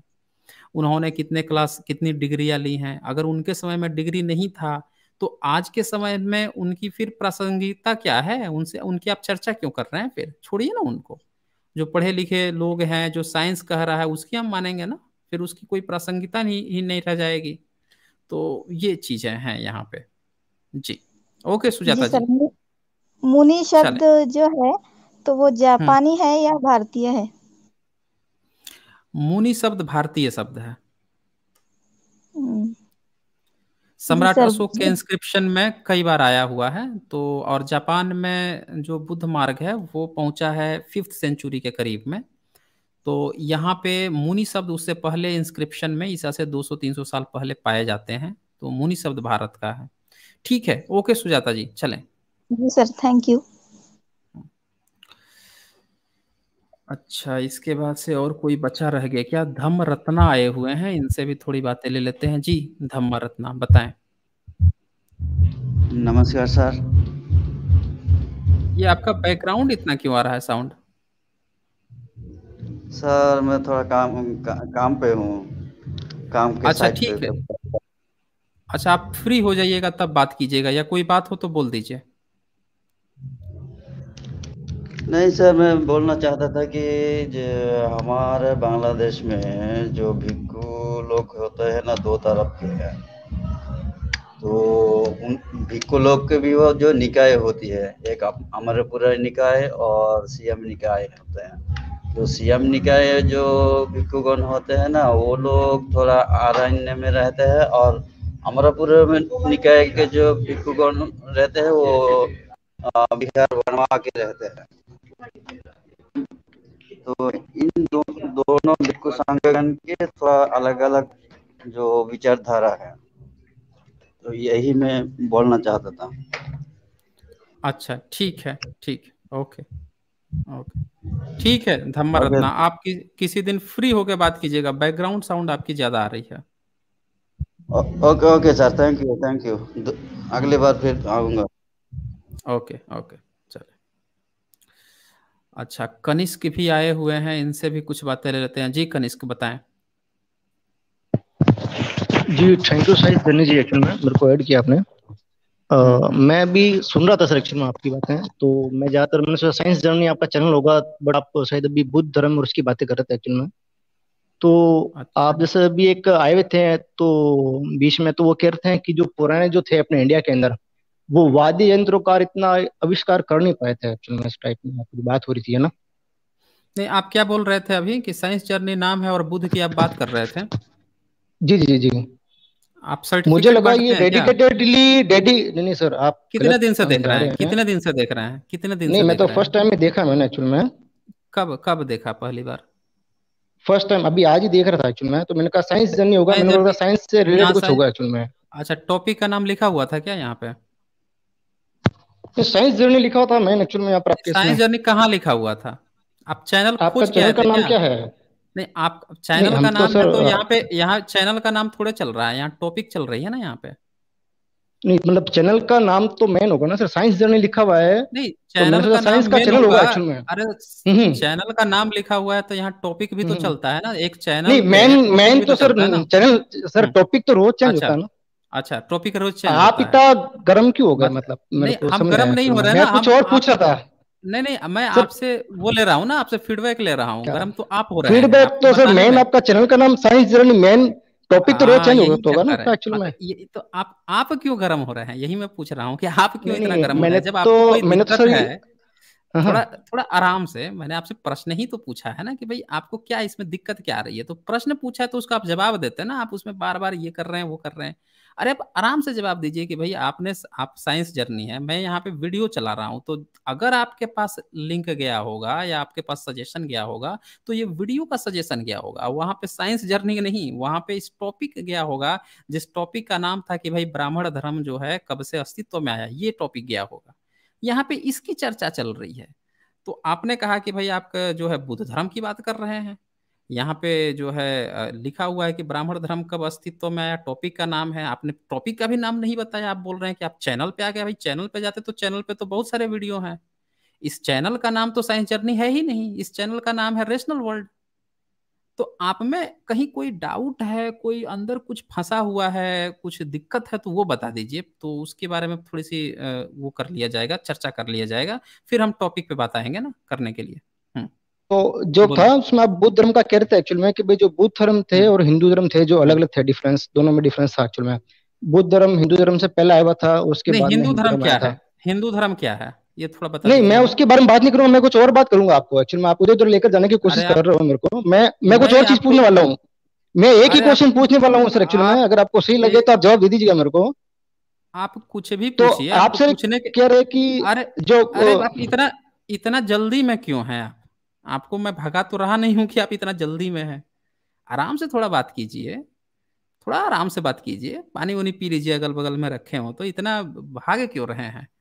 आप जो है रेशनल वर्ल्ड को बता रहे हैं कि साइंस जर्नी आप खोज के आए हैं, झूठ भी आप बोलते हैं, फिर आप भाग भी रहे हैं। अरे आपको नहीं जवाब देना है, मत दीजिए ना, आप जो इतना सुन रहे थे तो आपको ये भी बताने में दिक्कत क्यों आ रही है? कि हिंदू धर्म क्या, हिंदू धर्म क्या है? कौन सा ऐसा धर्म है, हिंदू धर्म? इसको बताने में दिक्कत आ रही है। खैर छोड़िए नहीं बताना चाहते हैं। बताइए क्या पूछना क्या चाहते हैं वो बोलिए। हिंदू पहले तो आप अपना खुद ही आप अपने बात तो मेरे मुँह में डाल रहे हैं एक्चुअली में। अच्छा क्या मैं तो कुछ और पूछने वाला हूँ आपसे और आप कुछ और चीज़ें आप खुद ही पता नहीं। आप खुद ही वो टॉपिक बोले हैं कि आप बोल रहे थे कि हिंदू धर्म में और उसमें उसमें अंतर है। ऐसा तो मैंने कुछ बोला ही नहीं। आज तो हमारा जो टॉपिक चल रहा था वो चल रहा था। हमने तो अभी बहुत देर से कुछ और ही चर्चा चल रही है। आप खुद आकर टॉपिक बता रहे हैं कि मैं ये बता रहा था उसी में से मैं पूछ रहा हूँ तो फिर आप भाग भी रहे हैं। भाई आपके अंदर दिक्कत क्या है ये बताइए पहले। पहले तो आपको चैनल के नाम से ही दिक्कत लग रही थी। कॉलर्स तो बहुत सारे आते हैं ना। नाम से आपको बड़ा दिक्कत आ रही है भाई साहब। हम्म। दिक्कत अपनी असली वाली दिक्कत बताइए क्या दिक्कत कहाँ पे है ताकि उसका समाधान हम लोग दे सके। हम्म वही एक्चुअल में अभी। तो मैं कह रहा था सर एक्चुअल में कि अभी जो थे वो कह रहे थे कि हाँ जी सर मैं बोलू भी? आवाज़ आ रही है मेरी? भाई दूसरे का आपको बोलना है तो वो जब आएँगे तब बोलिएगा ना। दूसरे का मैं क्या बोलूँगा यहाँ पे? नहीं नहीं। जो दूसरा सर, कोई आके बोल के गया है? नहीं हम्म। आप मुझसे क्वेश्चन पूछना है तो पूछ लीजिए मैं मना थोड़ी कर रहा तो हूँ। सर मैं वही पूछ रहा हूँ आप बोलने देंगे तो मैं पूछूँगा एक्चुअली में। अगर आपको सही लगे तो आप जवाब दूँगा ना। नहीं मैं एक लॉजिकल क्वेश्चन पूछूँगा। अरे आप कहाँ बोलने दे रहे हैं? आप ही तो मैं चुप हो जाता हूँ? सर मैं चुप हो जाता हाँ, हूँ। चुप चुप रहिएगा तभी तो। हाँ, चुप रहिए ना। जब मैं कह रहा हूँ कि आप बोलिए तब बोलिएगा ना। आप हमें ही नहीं बोलने दे रहे हैं फिर बोल रहे हैं कि आप बोलने दीजिएगा तब। आपको अगर क्वेश्चन। पूछना है तो आते आप कहते हैं कि मेरा एक क्वेश्चन हम पूछ लेते हैं। जब आप पचास तरह की बात कीजिएगा तो मैं भी पचास नहीं तो दस तरह की बात तो मैं भी कर दूँगा ना मैं भी दस सवाल खड़े कर दूँगा ना। तो ये होता है। आपको सवाल पूछना था तो आके सवाल पूछे होते ना तो आपका सवाल सुन लेता जवाब दे देता जैसे अन्य कॉलर करते हैं। पूछिए क्या पूछना है? उसमें पूछा था सर मैं एक्चुअल में जैसे आप कह रहे थे कि जो पुराने जो इंडियन जो कल्चर के लोग थे एक्चुअल में तो इतने वाद्य यंत्र ये लोग बना नहीं पाए थे इस प्रकार के वो या युद्ध वो जीत नहीं पाए थे एक्चुअल में। तो ये बात तो चलो ठीक है मैंने माना कि जो जितना जो पूरी वर्ल्ड है उस वर्ल्ड के लेवल के इतनी चीज़ें उसमें विकसित हो नहीं पाई थी है ना? तो ये बात तो सब लोगों को दिखती है। बट मेरा सिर्फ़ इसमें क्वेश्चन ये है एक्चुअल में कि अगर आप ये कह रहे हो कि ये लोग बना नहीं पाए थे तो मेरा सर आपसे ये क्वेश्चन रहेगा कि फिर आप लोग उस समय क्या कर रहे थे एक्चुअल में? कि क्यों ना आप लोग क्यों नहीं बना पाए इस चीज़ों को एक्चुअल में? आप कौन है? आप लोग आप कौन है? आप कौन है? हाँ जी। यहाँ आप कौन है? आप लोग मतलब आप जो कह रहे हो कि हम लोग बुद्धिस्ट थे और ये जो है जो हिंदू नहीं एक आप ही तो कह रहे हो हम लोग बुद्धिस्ट है सर। एक मिनट आपसे ये हम लोग नहीं, ए, ए, फिर फिर एक मिनट एक मिनट एक मिनट। आप जो है दूसरों के बंदूक पर कंधा वो रख के बंदूक मत चलाइए कंधे पर बंदूक रख के। आप जो है पहले ये खुद डिफाइन कीजिए ना कि आप लोग कौन थे। जब आप दूसरे से सवाल खड़ा कर रहे हैं कि दूसरा कोई बुद्धिस्ट था तो पहले अपना बताइए ना कि आप कौन थे। तब तो पता चलेगा ना कि कौन नहीं क्रिएट किया कौन क्रिएट किया। आप जो है मुझे आप लग रहा है कि आप में कुछ दिक्कत है अंदरूनी कुछ दिक्कत है जो आप बता नहीं रहे हैं खुल के। अरे भाई आप यह सवाल कर रहे हैं कि जब कोई नहीं बना पाया था तो आप लोग क्यों नहीं बना पाए थे? तो आप लोग अगर बुद्धिस्ट थे तो आप कौन थे? ये पहले डिफाइन कीजिए ना फिर मैं बताता हूँ ना फिर उत्तर दूँगा मैं। बोलिए आप हिंदू लोग नहीं बना पाए थे। अगर हिंदू आप उस समय कौन थे? आप कौन थे? आप उस समय हिंदू थे? ये बताइए ना। हम हिंदू अच्छा हिंदू थे। चलिए बता दीजिए कैसे हिंदू थे? बता दीजिए नहीं भाई कोई भी हो मुझे नहीं पता साल पहले? कितने साल पहले हिंदू थे? कितने साल पहले हिंदू थे भाई कुछ भी हो। अरे सुन ही तो रहे हैं। आपकी सुन ही तो रहे हैं हम। आप बोल रहे हैं कि आप हिंदू थे तो बताइए ना हमें। भाग क्यों रहे हैं? बताइए कितने साल पहले हिंदू थे? कौन से आपके धर्म ग्रंथ ने आपको हिंदू कहा है? कहाँ से आपको पता चला कि आप हिंदू थे? थोड़ा बताइए तो हमें। जानकारी दीजिए। आप दूसरी जगह मोड़ रहे हो। आप सर नहीं बोल रहा हूँ। नहीं रुक जाइए एक मिनट। आपने जो क्वेश्चन पूछा है ना वही क्वेश्चन ठीक मैं आपसे पूछ रहा हूँ। आपने कहा आप लोग। आप लोगों को आपने कह दिया। बुद्धिस्ट तो मैं पूछ रहा हूँ कि रेस्ट लोग कौन थे? आप फिर कौन थे? आप कह रहे हैं आप हिंदू थे। अब मैं पूछ रहा हूँ कि आप हिंदू थे तो बता दीजिए सबूत दीजिए कि आप कैसे हिंदू थे? पहले वो तो क्लियर कीजिए। क्या पता आप भी बुद्धिस्ट हो? आप भी क्या पता बुद्धिस्ट ही हो? ये तो पहले सबूत देना पड़ेगा ना कि आप बुद्धिस्ट नहीं थे। जिस पर क्लेम कर रहे थे, वो आप नहीं थे। पहले ये तो सबूत दीजिए आप। हिंदू थे कैसे थे? हिंदू पहले ये साबित कीजिए ना आप। फिर मैं आपको जवाब देता हूँ कि वो क्यों नहीं बना पाए, आप क्यों नहीं बना पाए? दोनों का जवाब दूँगा मैं। पहले ये क्लियर कीजिए। हम्म, हम्म, हम्म। सर आप खुद ये क्लियर करो ना अगर आप जब कहते हो ना कि ये लोग ये लोगों ने ये मुझे कुछ क्लियर ही नहीं करना ना। आपने क्लियर कर दिया है कि आप लोग बुद्धिस्ट थे तो जो आए थे पूछने उनको आपने बुद्धिस्ट बना दिया। तो यहाँ सीधा सा सवाल है कि आप कौन थे? इसका आप क्यों नहीं जवाब दे रहे हैं? मुझसे बार बार क्लियरिफिकेशन मांग रहे हैं। देखिए जिसमें दिक्कत होता है ना जिसमें थोड़ा सा अंदरूनी गड़बड़ी होता है, वो आके शुरू में ही उसकी सबसे पहले जो है ना, उसकी फटती है इस बात पर कि भैया, साइंस जर्नी, आप लोग कैसे साइंटिफिक रूप से कैसे धार्मिक ग्रंथों का बखान खोद दे रहे हैं? सबसे पहले आप लोगों की इस बात पर जलती है, जो जली आपकी। तो वो शुरू में ही सबको समझ में आ गई थी। फिर आपका दूसरा क्वेश्चन आ गया कि आप लोग, अब आपने बुद्धिस्टों को कहा, आप लोग, अब मेरा प्रश्न है कि तो फिर आप लोग कौन? आपने कहा हिंदू। अब सर्टिफिकेट में मांग रहा हूँ ना आप सर्टिफिकेट दे रहे हैं कि वो बुद्धिस्ट थे तो आप थे तो आप साबित कीजिए ना कि आप कौन थे। भाई उनसे कहिएगा कि आप बुद्धिस्ट कैसे तो वो बता देगा कि बुद्ध के अनुयायी थे आप किसके अनुयायी थे उसका सबूत देना पड़ेगा आपको। भाग क्यों रहे हैं? नाम लिख के आए हैं कनिष्क। कनिष्क कौन था? है जी भाई साहब थोड़ा इसका जवाब दीजिए तो। आप लोग सर पहले ये बताइए ना कि आप लोगों ने क्या किया फिर हमें? आप लोग कौन? हाँ तो यही आपसे पूछ रहा हूँ कि आपने क्या आप किया? बात को घुमा रहे हो अगर आप ये आप बात को घुमा रहे हो, आपने सवाल पूछा था यहाँ पे, बात को कहाँ से घूम जाएगी? भाई आपका तो सवाल है ना, जवाब आपको सुनना है। यहाँ घूम कहाँ रहा है? आपने अभी तक जवाब ही नहीं दिया कि आप लोग अगर बुद्धिस्ट तो आप कौन थे? अगर आप देंगे जवाब तो आगे बढ़ाऊँगा डिस्कशन नहीं देंगे तो मैं आपका यहाँ पे गपबाजी सुनने के लिए थोड़े बैठा हुआ हूँ। पहले आप साबित कीजिए ना कि आप हिंदू कैसे थे? कर दीजिए साबित, फिर मैं बता दूँगा कि वो क्यों नहीं बना पाया, आप क्यों नहीं बना पाए? ठीक है ना? अगर नहीं देंगे जवाब तो फिर मैं इस बार हटा दूँगा सीधे। तो आप लोगों के सब्सक्राइब ने सुन लिया है हिंदू कैसे थे? मैं क्या कहना चाहता हूँ? नहीं किसी ने कुछ नहीं सुना है ना कोई सुन पाएगा ठीक है ना? आप अगर पूछ रहा हूँ मैं अगर आप सुन पा रहे हैं तो बता दीजिए कि आप हिंदू कैसे थे उस समय? केवल इतना बता दीजिए। हम्म, कैसे थे आप डर गए हो इस क्वेश्चन से कि भाई जब अगर ये आप लोग हिंदुओं को मैं पूछ रहा हूँ आप हिंदू कैसे थे? इसका जवाब आप दे पाएँगे या ऐसे ही वो रहेंगे साइलेंट रहेंगे? है जी? आप हिंदू कैसे थे? इसका जवाब देंगे आप? जवाब देंगे तो फिर बताइए या फिर ऐसे ही रोते रह जाएँगे। मेरे को ये लग हाँ रहा था कि आप मुझे बताओगे यार हम लोगों ने कुछ महान काम किया था। हिंदू कैसे थे? आप हिंदू सर मुझे ये लग रहा था आपसे मुझे ये लग रहा था कैसे थे? चलिए चलिए, आप कुछ, आप जो हमसे बात, अपनी जो गाता है उससे नहीं बात हो पाती है। भाई या तो आपको कुछ जवाब भी देना पड़ेगा ना, आप सोच रहे हैं कि केवल आप जो है आके एक दो क्वेश्चन पूछेंगे और भाग जाएँगे और मेरी सुनेंगे ही नहीं तो मैं सुनाता भी नहीं हूँ, इतना मेरे पास समय भी नहीं होता है। ठीक है ना?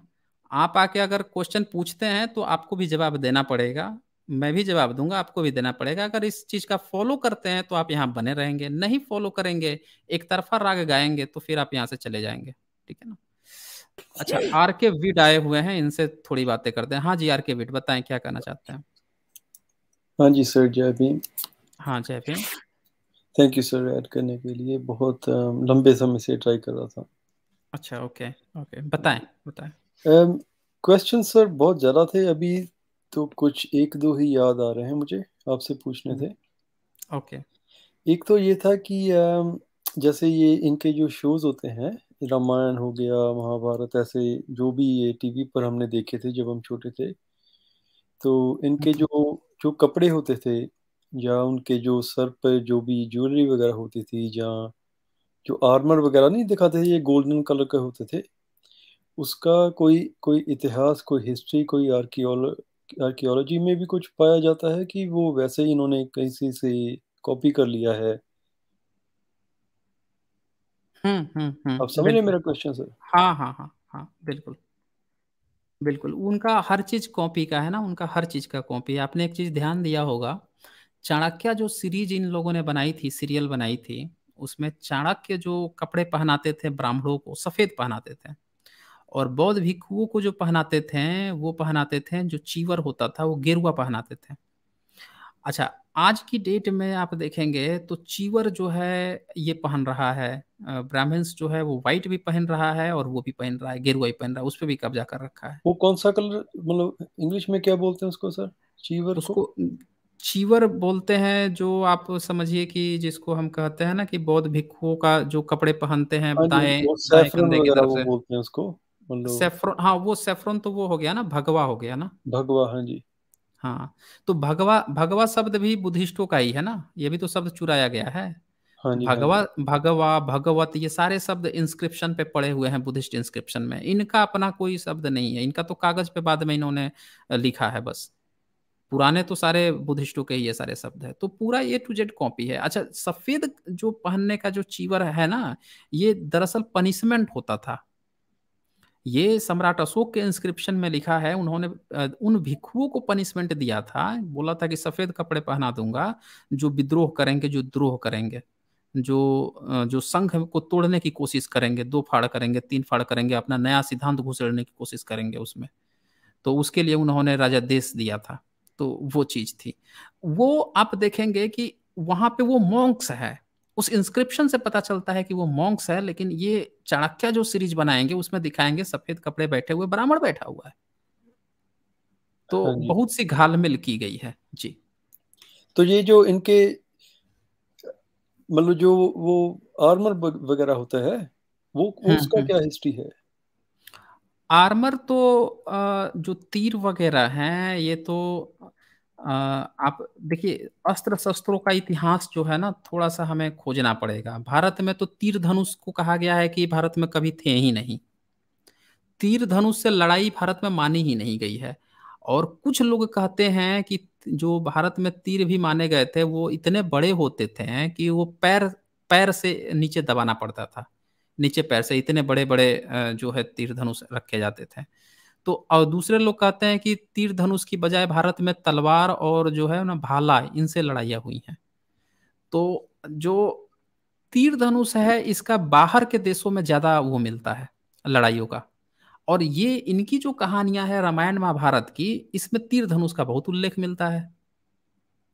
हाँ आप जो है सम्राट अशोक का कलिंगा वार पढ़ेंगे तो वो तलवार से लड़ाई कर रहे हैं तीर धनुष पे आश्रित नहीं है।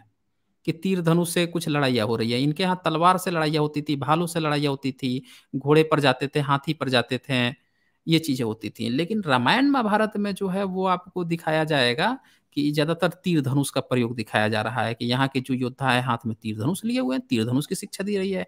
ये ग्रीक है जो बाहर के जो ईरानी या जो कल्चर है, उधर तीर धनुष का प्रचार दिखाया गया है। भारत में कभी नहीं बताया गया है कि भारत में ये तीर धनुष के बहुत ज़्यादा सीखते थे। ये लोग तलवार चलाते थे भारत में। जी। अच्छा जी। और ये जो सर पे भी ये डालते हैं क्राउन की तरह होता है पीछे जो गोल भी होता है जैसे हाँ ये भी विदेशी है ये भी विदेशी कल्चर है। ये रोमन्स रोमन्स यूज़ करते थे ऐसा। रोमन्स करते थे और हमारे ज़मीन के अंदर कुछ मिला ऐसा? ऐसे आ, नहीं मिलते हैं। अपने किसी राजे भारत का में किसी का नहीं मिला? हाँ हाँ किसी राजा का इस तरह का नहीं मिला है। अच्छा मुकुट तो जो होता है ना अभी तो मुकुट। बहुत ज़्यादा टाइम हो गया लेकिन जब हम छोटे थे तब देखते थे ना इनके जो भी इनके राजों के भी वो टीवी सीरियल वगैरह फ़िल्में आती थी उसमें भी, भी हम्म। जो पहनते थे तो मैं मैं मैं सोचता था कि ऐसा कभी ज़मीन के अंदर भी मिला है या इन्होंने कैसे कॉपी कर लिया किसी और कल्चर का?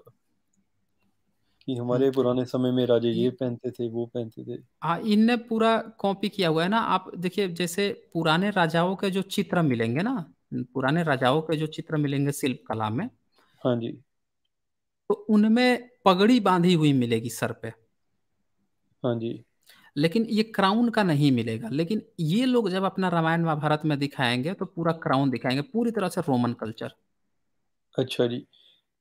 ठीक है ठीक है। और एक सर ये भी क्वेश्चन था कि जैसे जो बुद्ध है उनके जो बाल दिखाते हैं वो वो गोल गोल करके दिखाते हैं ना कभी काफ़ी मूर्तियों में या जो भी वो एक्चुअल में ऐसा थे बुद्ध देखने में या ये इमेजिनेशन है ये ये क्या है? नहीं वो वो उस पर है जगह पे डिपेंड है कि किस जगह पे किसने बुद्धा को किस स्टाइल में बनाया।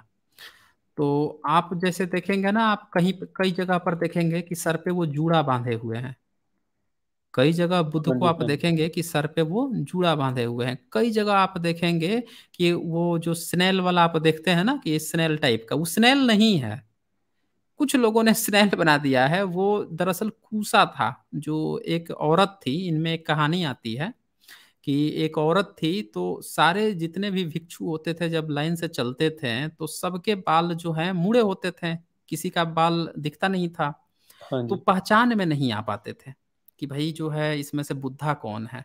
और बाहर के जो लोग थे उस समय तो फ़ोटो की व्यवस्था थी नहीं उस समय इंटरनेट और ये सब था नहीं कि कोई पहले से देखा हुआ हो जाना हुआ हो पहचान ले।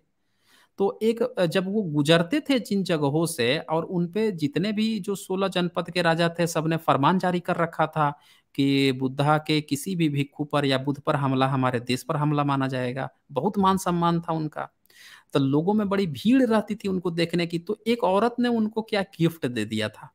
कुसा, ऐसे बुनकर कि आप एक काम कीजिए, आप जो है ना, इसको पहन के रखिए। ये ये एक बूढ़ी का आप वो मान लीजिए मतलब एक सुझाव मान लीजिए कि इसको आप रखिए, क्योंकि ना हम लोग को बड़ा हमारी नज़र कमज़ोर होती है।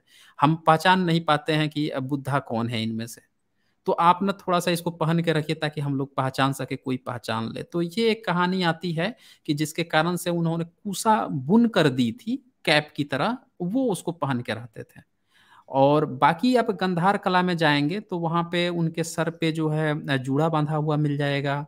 और कहीं कहीं पे चाइनीज़ में जो है वो सीधे एक ऊपर की तरफ़ टेल की तरह वो खड़ा हुआ बाल मिल जाएगा। बिल्कुल पतला सा ऊपर खड़ा हुआ ऐसे मिल जाएगा। तो अलग अलग लोगों ने अलग अलग उनकी हेयर स्टाइल बना रखी है। जी।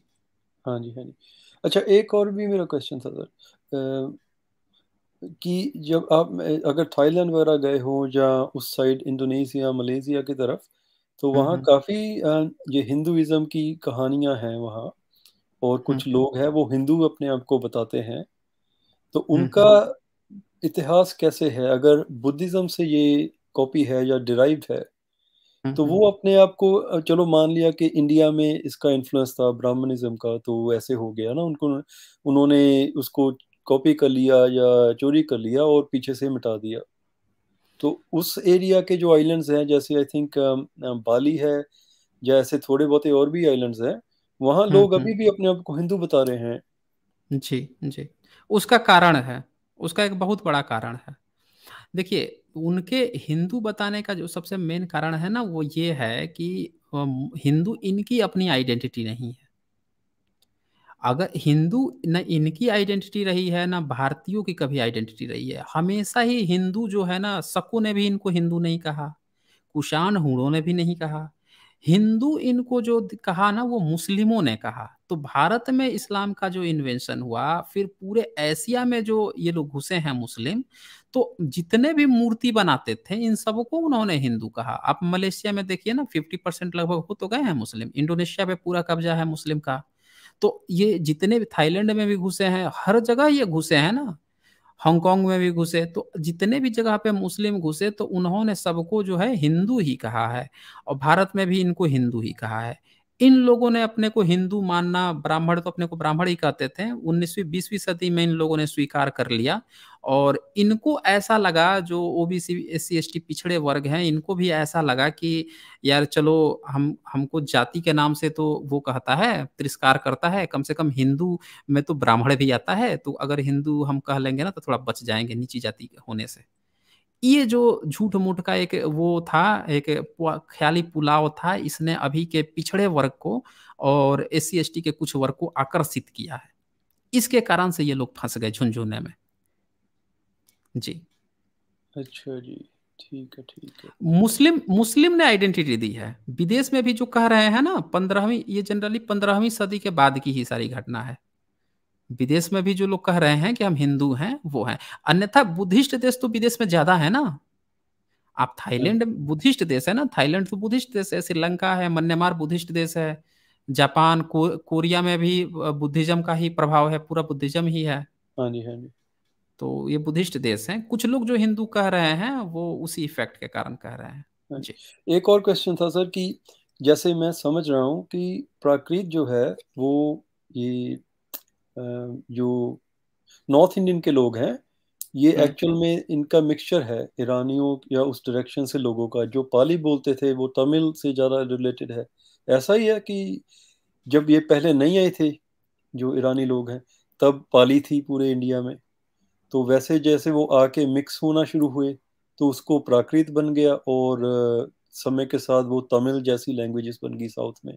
द्रविड़ जिसको बोलते हैं ऐसा ही है सर नहीं, द्रविड़ की जो भाषाएँ हैं ना, वो पुरानी मानी जाती हैं। द्रविड़ भाषाएँ पुरानी मानी जाती हैं और पाली प्राकृत को ऐसा माना जाता है कि ये नॉर्थ इंडिया में जो है ना, नॉर्थ इंडिया में कई सभ्यता बनी, बिगड़ी। जैसे जो गंगा सभ्यता है, इंडस वैली, नहीं, इंडस वैली के बाद से जो गंगा वैली सिविलाइजेशन आया तो गंगा वैली सिविलाइजेशन में ही पाली प्राकृत आया था।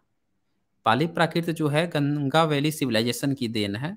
और ये जो पाली प्राकृत है, ये गंगा वैली सिविलाइजेशन के नेचुरली माना गया है इसको। इसको ये नहीं माना गया है कि किसी दूसरे के प्रभाव के कारण ये बनी। प्राकृत का मतलब होता है प्रकृति से जो बना। कुछ भाषाएँ होती हैं जब दो तीन भाषाओं के मिलने से नया रूप गढ़ती है ताकि दोनों तीनों समझ सकें, वो बनी बनाई भाषाएँ होती हैं। लेकिन प्राकृत जो है ना, पाली प्राकृत, इसको किसी चीज़ से बना हुआ नहीं माना गया, बल्कि ये माना गया कि ये प्रकृति से ही बनी है। तो ये चीज़ था। और ये बाद में गई हैं विदेशों में। बुद्धिस्ट चूँकि प्रचार करने के लिए दूसरे देशों में गए हैं जैसे मन्यमार में गए तो वहाँ पूरा पाली का साम्राज्य खड़ा किया, श्रीलंका में पाली का साम्राज्य खड़ा किया। तो जब दूसरे दूसरे देशों में ये गए ना, एशिया के, यूरोप के भी कुछ देशों में गए हैं, अमेरिका तक में जाने की इनकी चर्चा है, अमेरिका मेक्सिको में जाने की इनकी चर्चा है चर्चा है, डेनिस लिली ने पूरी एक जो है किताब लिख दी है इस पे। उसमें ट्वेल्व चैप्टर में पूरा चैप्टर ही लिख दिया है Buddha in Norway in America, इस तरह से करके, इन फिफ्थ सेंचुरी। तो ऐसे करके उसकी भी चर्चा आती है। तो ये लोग जब बाहर गए ना तो कुछ कुछ शब्द तो उधर के इधर के मिक्स हुए हैं जिसको ये लोग कभी कह देंगे कि पाली प्राकृत इंडो आर्यन भाषा है। इस तरह से ये लोग बोलते हैं कुछ लोग। लेकिन ये आने जाने के प्रभाव के कारण हुआ है है नेचुरल यहीं की भाषा। जी। अच्छा क्या नाम बताया सर आपने? डेनिस ली लील क्या बताया? ये ये मैंने उस पे कम्युनिटी पोस्ट पे ना शेयर किया हुआ है। आप देवनागरी स्क्रिप्ट पढ़ पाते हैं? बहुत कम सर। अच्छा बोल बोल सुन लेते हैं लेकिन पढ़नी थोड़ी अच्छा मुश्किल है। अच्छा ठीक है। ये आप ना साइंस जर्नी के कम्युनिटी पोस्ट पे स्क्रॉल करके एक दो हफ़्ते पहले की पोस्ट देखिएगा उस पर मैंने पूरा इसका लिख दिया है। जो जो बातें उसमें आई हैं वो सारी चीज़ें मैंने उस पर दिखा रखा स्क्रीन शॉट भी डाल दिया उसको भी आप देख के पढ़ सकते हैं। ठीक है। एक और क्वेश्चन था सर कि ये जो देवियाँ हैं इनकी जो माता वगैरह ये दिखाते हैं आठ बाजू जो भी है उसका हम्म, हम्म। क्या हिस्ट्री है? वो कब से दिखने में आई हमें? वो आ, वो कनिष्क काल से मिल जाती हैं। कनिष्क काल में जो है मल्टीपल हैंड्स मल्टीपल सर इस तरह की प्रथा आ जाती है। चाइना में ये बहुत आयत पाई जाती है। अभी भी किसी भी चाइना टेंपल में आप जाएँगे ना बुद्धिस्ट बिहार में, या भारत में ही किसी बुद्धिस्ट बिहार में चले जाएँगे जो भारत से बाहर का होगा, उस सब में आपको मल्टीपल हैंड्स मल्टीपल सर ये सारी चीज़ें मिल जाएँगी। इनको अवलिकितेश्वर बुद्ध कहा जाता है, और ये बहुत प्राचीन है। ये जो है पहली दूसरी सदी की हैं, ये वहाँ से शुरू हो जाती हैं। अच्छा तो ये ऐसा अंडरस्टैंडिंग ये है मेरी कि इन्होंने चलो ज़मीन से या कहीं भी इन्होंने ऐसी स्कल्पचर आर्ट उठा ली तो इन्होंने उसको देवी का ऐसे मंदिर बना दिया ना उनको थोड़ा बहुत पॉलिश कर दिया जहाँ कार्व आउट कर दिया तो ऐसे ही देवी इन्होंने बना दी होगी ना जहाँ भी मिली होगी। हाँ इनका कुछ इनका कुछ ऐसा चक्कर रहा था कि ये लोग बोधिसत्व एक उपाधि थी इनके यहाँ। बोधिसत्व जो है ना जिसमें जिसका मल्टीपल हाथ है उसमें नियम था किसी का चार हाथ किसी का चार दो सर, किसी का चार सर तो जिस जिस बोधिसत्व को ये जितना पावरफुल मानते थे, उसके उतने ज़्यादा हैंड दिखाते थे, उतने ज़्यादा सर दिखाते थे कि इसमें इतने वो अरहंतों की इतनी ताकत है या इतना ज्ञान है। ऐसा इनका कुछ सिम्बोलॉजिकल वो था, एक प्रयोग था एक्सपेरिमेंट था वो दिखाने का। तो इस तरह से करके वो डिफरेंट डिफरेंट बोधिसत्व बनाए थे। लेकिन भारत में ये परंपरा जो है धीरे से विलुप्त भी की गई। जब मुस्लिम शासन आया तो मूर्तियों से उनको नफरत भी थी। हाँ हाँ शिल्प कला को उन्होंने बर्बाद ही किया और ब्राह्मणों ने उनका भरपूर शासन किया। और जो बची कुची थी उसको अपना देवी देवता बना लिया। तो ये चीज़ हुआ है। हाँ तो सर अगर मैं ऐसा असूम करूँ ऐसा मतलब अंडरस्टैंडिंग रखूँ कि जब से बुद्धिज्म स्प्रेड हो गया ना मतलब थोड़ा पीसफुल बन गए लोग उन्होंने हथियार वगैरह अपने छोड़ दिए फिर जो ये जो बुद्धिस्ट लोग थे मंक्स थे ये ट्रैवल कर करके विलेजेस में पहाड़ों में जहाँ भी जाते थे उनको लोगों को समझाते थे। तो वो बन गए तब से उनको लोग रिस्पेक्ट देने लगे कि ये चलो भिक्खू हैं या ये मंक्स हैं ना इनकी हमें बात सुननी चाहिए। लेकिन जो लोग विलेजेस में फार्म में जहाँ भी रहते थे वो खुद तो चलो नहीं हो गए ना लिटरेट हो गए। वो तो हाँ। वैसे अपनी नॉर्मल सी लाइफ जी रहे हो गए तो ऐसे जब पावर का कोई वैक्यूम बना होगा तो ब्राह्मणों ने भी अपने आप को ऐसे ही उसमें चेंज कर लिया होगा कि हम भी भिक्खू हैं, हमसे भी आप एजुकेशन लीजिए। तो ऐसा ही कुछ हुआ होगा सर आपके हिसाब से? ये आपने बिल्कुल सही कहा है, इसको फिफ्थ कॉलमनिस्ट कहते हैं। फिफ्थ कॉलमनिस्ट का मतलब यही होता है कि जब कोई संस्था कोई चीज़ चल रही हो, उसके भीतर में आप घुस जाना और उसकी सारी चीज़ों को सीखना, समझना, फिर जो है आप उसको धीरे से जो है उस, उसमें भेद लगाना, उसको ख़त्म करना, उस पर कब्जा कर लेना। या मौके की तलाश में रहना कभी कि ये चीज़ खत्म होता है फिर अपना कब्जा और फिर वहाँ से आपकी जो है बदसात शुरू हो जाती है। उन चीज़ों को बदलना सब चीज़ वही रहेगा और कुछ कुछ चीज़ें बदल दी जाएगी। तो हाँ, इस तरह से कर कर तो मुश्किल है ना सारा नए नए हाँ हाँ हाँ। जैसे आप आज के जितने देवी देवता हैं सबके कपड़े और श्रृंगार हटाइए तो बुध दिखाई देंगे बुद्ध या महावीर दिखाई देंगे। हाँ तो ये यही चीज़ है इस तरह से धीरे धीरे करके इन लोगों ने नाइन्थ सेंचुरी के बाद से जनरली ये सारी चीज़ें शुरू हो गई थी। वो जो okay. शंकराचार्य ने जो उसको हाँ हाँ शंकराचार्य। जी जी। ओके सर हमारे लोग कितने बोले हैं ना ये आपसे पहले भी जो इंसान मे बी वो ट्रोल थे या एक्चुअल में इतने मतलब ट्रोल ट्रोल थे?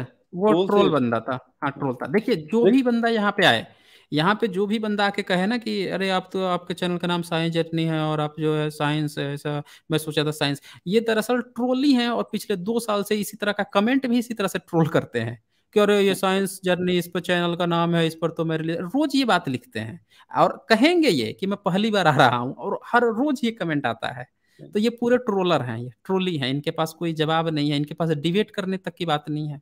अपने को हिंदू बताएँगे पूछ दीजिए कि भैया कब से हिंदू हो? एक सबूत तो दे दो कैसे हिंदू हो? वो नहीं दे पाएँगे। इधर उधर घूमते रहेंगे इधर उधर बात करके चले जाएँगे ये। वैसे ट्रोली हैं ये।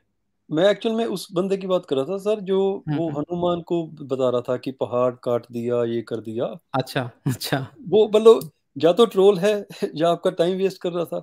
या इतने बोले लोग हैं कि मुझे समझ नहीं आती ये कैसे दुनिया में जी रहे हैं?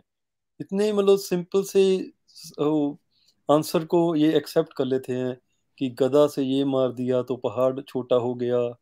मतलब कैसे लोग वो वो? मौज ले रहे होंगे दरअसल। हाँ जी हाँ जी। वो वो जो है ना वो मौज ले रहे होंगे इनका ट्रोलियो का मौज ले रहे होंगे वो। हाँ जी पॉसिबल है। एक हाँ, और छोटा सा सवाल सर आप हाँ। ये है थोड़ा पॉलिटिकल लीनिंग आप मत, अगर जवाब नहीं देना चाहे तो भी कोई बात नहीं। ये हाँ, जो बुद्धिज्म का हम बोलते हैं कि इंडिया का ये जो तिब्बत का लामा है ये इंडिया में आ गया ना इन्होंने प्रोटेक्शन ले ली। सो so, इनको बताया जाता है अगर चाइना तो अपने मतलब वो अपना कोई और लामा बता रहा है कि ये बुद्धिज्म का ये हेड है। लेकिन जो इंडिया बता रहा है ये दलाई लामा है। तो सवाल ये है कि दलाई लामा जी ये, ये कौन से बुद्धिज्म की ये प्रीचिंग करते हैं? ये क्यों नहीं आकर बोलते? या इनके ऊपर इतना प्रेशर है इंडियन गवर्नमेंट का? ये बहुत अच्छी एक इंडियन गवर्नमेंट की ये एक बढ़िया प्लानिंग थी। कि अगर हम दलाई लामा को तिब्बत को एग्जाइल गवर्नमेंट इन एग्जाइल है ना इंडिया में उनकी? तो उनकी उनको ऐसे हम प्रोटेक्शन दे देंगे तो ये हिंदुइज्म का हमें वो दिखाएँगे नहीं इतिहास या हमारे खिलाफ कुछ नहीं बोलेंगे। क्योंकि मैंने इनको दलाई लामा को मैंने कभी नहीं ऐसा कुछ कोई क्रिटिकल बोलते हुए सुना कभी देखा। ये अपना बस टाइम पास करते हैं बातें में हँसी मज़ाक कर लिया। आ, लेकिन ये ऐसी कोई बात नहीं करते। कि आप लोगों को सच बताओ या हिस्ट्री बताओ या कैसे? जी आर के विद आपने बड़ा अच्छा खूबसूरत सवाल पूछा है लेकिन ये बात बिल्कुल सही है कि कोई भी जो प्रॉपर बुद्धिस्ट है ना वो कभी भी किसी दूसरे धर्म मज़हब के बारे में बोलते ही नहीं है। ये कोई भी जो प्रॉपर बुद्धिस्ट है ना वो उनसे जब आप बात करेंगे तो वो ये कहेंगे कि हमें जो है ना, हम बुद्धिज्म की बात कर सकते हैं, दूसरे धर्म मज़हब के बारे में क्या बात करना है? और अपनी वो लोग बातें करते कभी दूसरे की बात नहीं करते हैं। लामा जो हैं, वो उनके साथ क्या प्रॉब्लम है कि उन्होंने जो बातें रखी हैं घूम घूम के, उनको मैंने देखा है कि वो शिवलिंग पे भी शायद एक जगह पानी या दूध चढ़ाते हुए पाए गए जब सब लोग चढ़वा रहे थे, उनसे कहा कि आप भी चढ़ाइए, वो भी चले गए चढ़ाने के लिए। या ऐसा कोई पिक आई थी अब पता नहीं फेब्रिकेटेड थी क्या थी। हाँ जी। तो ये चीज़ें हमें देखने को मिलती है कि यहाँ पे मेरा ये कहना है कि देखिए जो सच्चाई है वो जो लीडर है जो नेतृत्व कर रहा है अगर वो नहीं बताएगा तो सच्चाई कैसे सामने आएगी? हाँ जी हाँ जी बिल्कुल। आपके लोग जो हैं सच्चाई कैसे जानेंगे? आप अगर उसमें हैं एग्जाइल में हैं आप सोच रहे हैं कि भाई हमको यहाँ प्रोटेक्शन मिल रहा है रहने का मिल रहा है और इस कारण से हम कुछ नहीं बोलेंगे कुछ नहीं सत्य बोलेंगे जबकि लामा को सबसे ज़्यादा पता होगा। वो जो लामा हाँ हैं उनको पूरा तिब्बत का हिस्ट्री पता होगा। तिब्बत से और भारत में या हिंदुईकरण कैसे हुआ कैसे तिब्बत को दयानंद सरस्वती बता रहा है कि हम लोग तिब्बत से आए हुए हैं। वो बोल रहा है कि आर्य जो हैं तिब्बत से आए हुए हैं। तिब्बत से दस हज़ार किताबें मिलती हैं बुद्धिस्ट किताबें और उन किताबों का जो है ठेका जो है भारत के वो संगठन कर रहे हैं जो खुद हिंदुत्वादी हैं। ये देखिए। वो हाँ संगठन अनुवाद कर रहे हैं बुद्धिस्टों का सोचिए उसका अनुवाद क्या होगा। और तो वहाँ पे लामा जो है इनको बहुत कुछ पता है लेकिन मुझे लग रहा है या तो वो बताना नहीं चाहते है हैं तो। या उनकी मजबूरी है जो भी हो लेकिन वो खजाना जानते हैं। मेरे ख्याल से उनको अगर ये वज्रयान तंत्रयान और जितनी भी बुद्धिज्म की चीज़ें हैं अगर वो बताना शुरू करें आपको खजाना मिल सकता है। लेकिन शायद वो चुप्पी हैं या बताना नहीं चाहते हैं क्या चक्कर है? तो ये सर मुझे लगता है उनका ना मुँह बंद किया गया है। ये पावरफुल बातें हैं ना ये दो पावरफुल सुपर पावरफुल कंट्री है इंडिया भी अपना चाइना भी। सो वो फंसे हुए हैं बीच में आई थिंक सो बहुत अनफॉर्चुनेट ये सिचुएशन है सर। क्योंकि हमारे हाँ जी थैंक यू आप ना हमें कनेक्ट कर रहे हैं क्योंकि इंडिया एक सब कॉन्टिनेंट है बहुत बड़ा है। सो हम जिस एरिया से है ना हमें ऐसा कुछ पता ही नहीं। ये बुद्धिज्म का या हिंदुइज्म का भी। हमें ऐसा कुछ नहीं पता। सो आप बहुत अच्छा ये काम कर रहे हैं हमें कनेक्ट कर रहे हैं एक्चुअल में रेस्ट ऑफ़ इंडिया से हिस्ट्री से। सो बहुत थैंक यू सर आपका। और अगली बार भी प्लीज़ जोड़िएगा। हाँ हाँ चलो हाँ बहुत वेट किया था। Thank you okay okay okay चलो। अच्छा तो साथियों, आज तो समय भी हो गया है, काफ़ी समय हो गया। अगर कोई बचा हुआ है तो हम लोग फिर चर्चा करेंगे। थ्रस्टे को और थ्रस्टे को तो बाबा साहब का जन्मदिन है तो उस पर तो धांसू प्रोग्राम रखने की इच्छा है। और सबसे खास बात है कि थर्सडे को हम लोग एक नाम भी अनाउंसमेंट करेंगे। जैसा कि मैंने आप लोगों को बताया भी था कि जो पेट्रियन मेंबर्स हैं, उनके लिए हम लोग कुछ ना कुछ स्पेशल उनको कुछ गिफ्ट देने वाले हैं या कुछ तो देने वाले हैं। तो उसका भी अनाउंसमेंट बाबा साहब के जन्मदिन के दिन ही किया जाएगा। और फोट मिलते हैं हम लोग परसों। आज के लिए बहुत शुक्रिया आप लोगों का।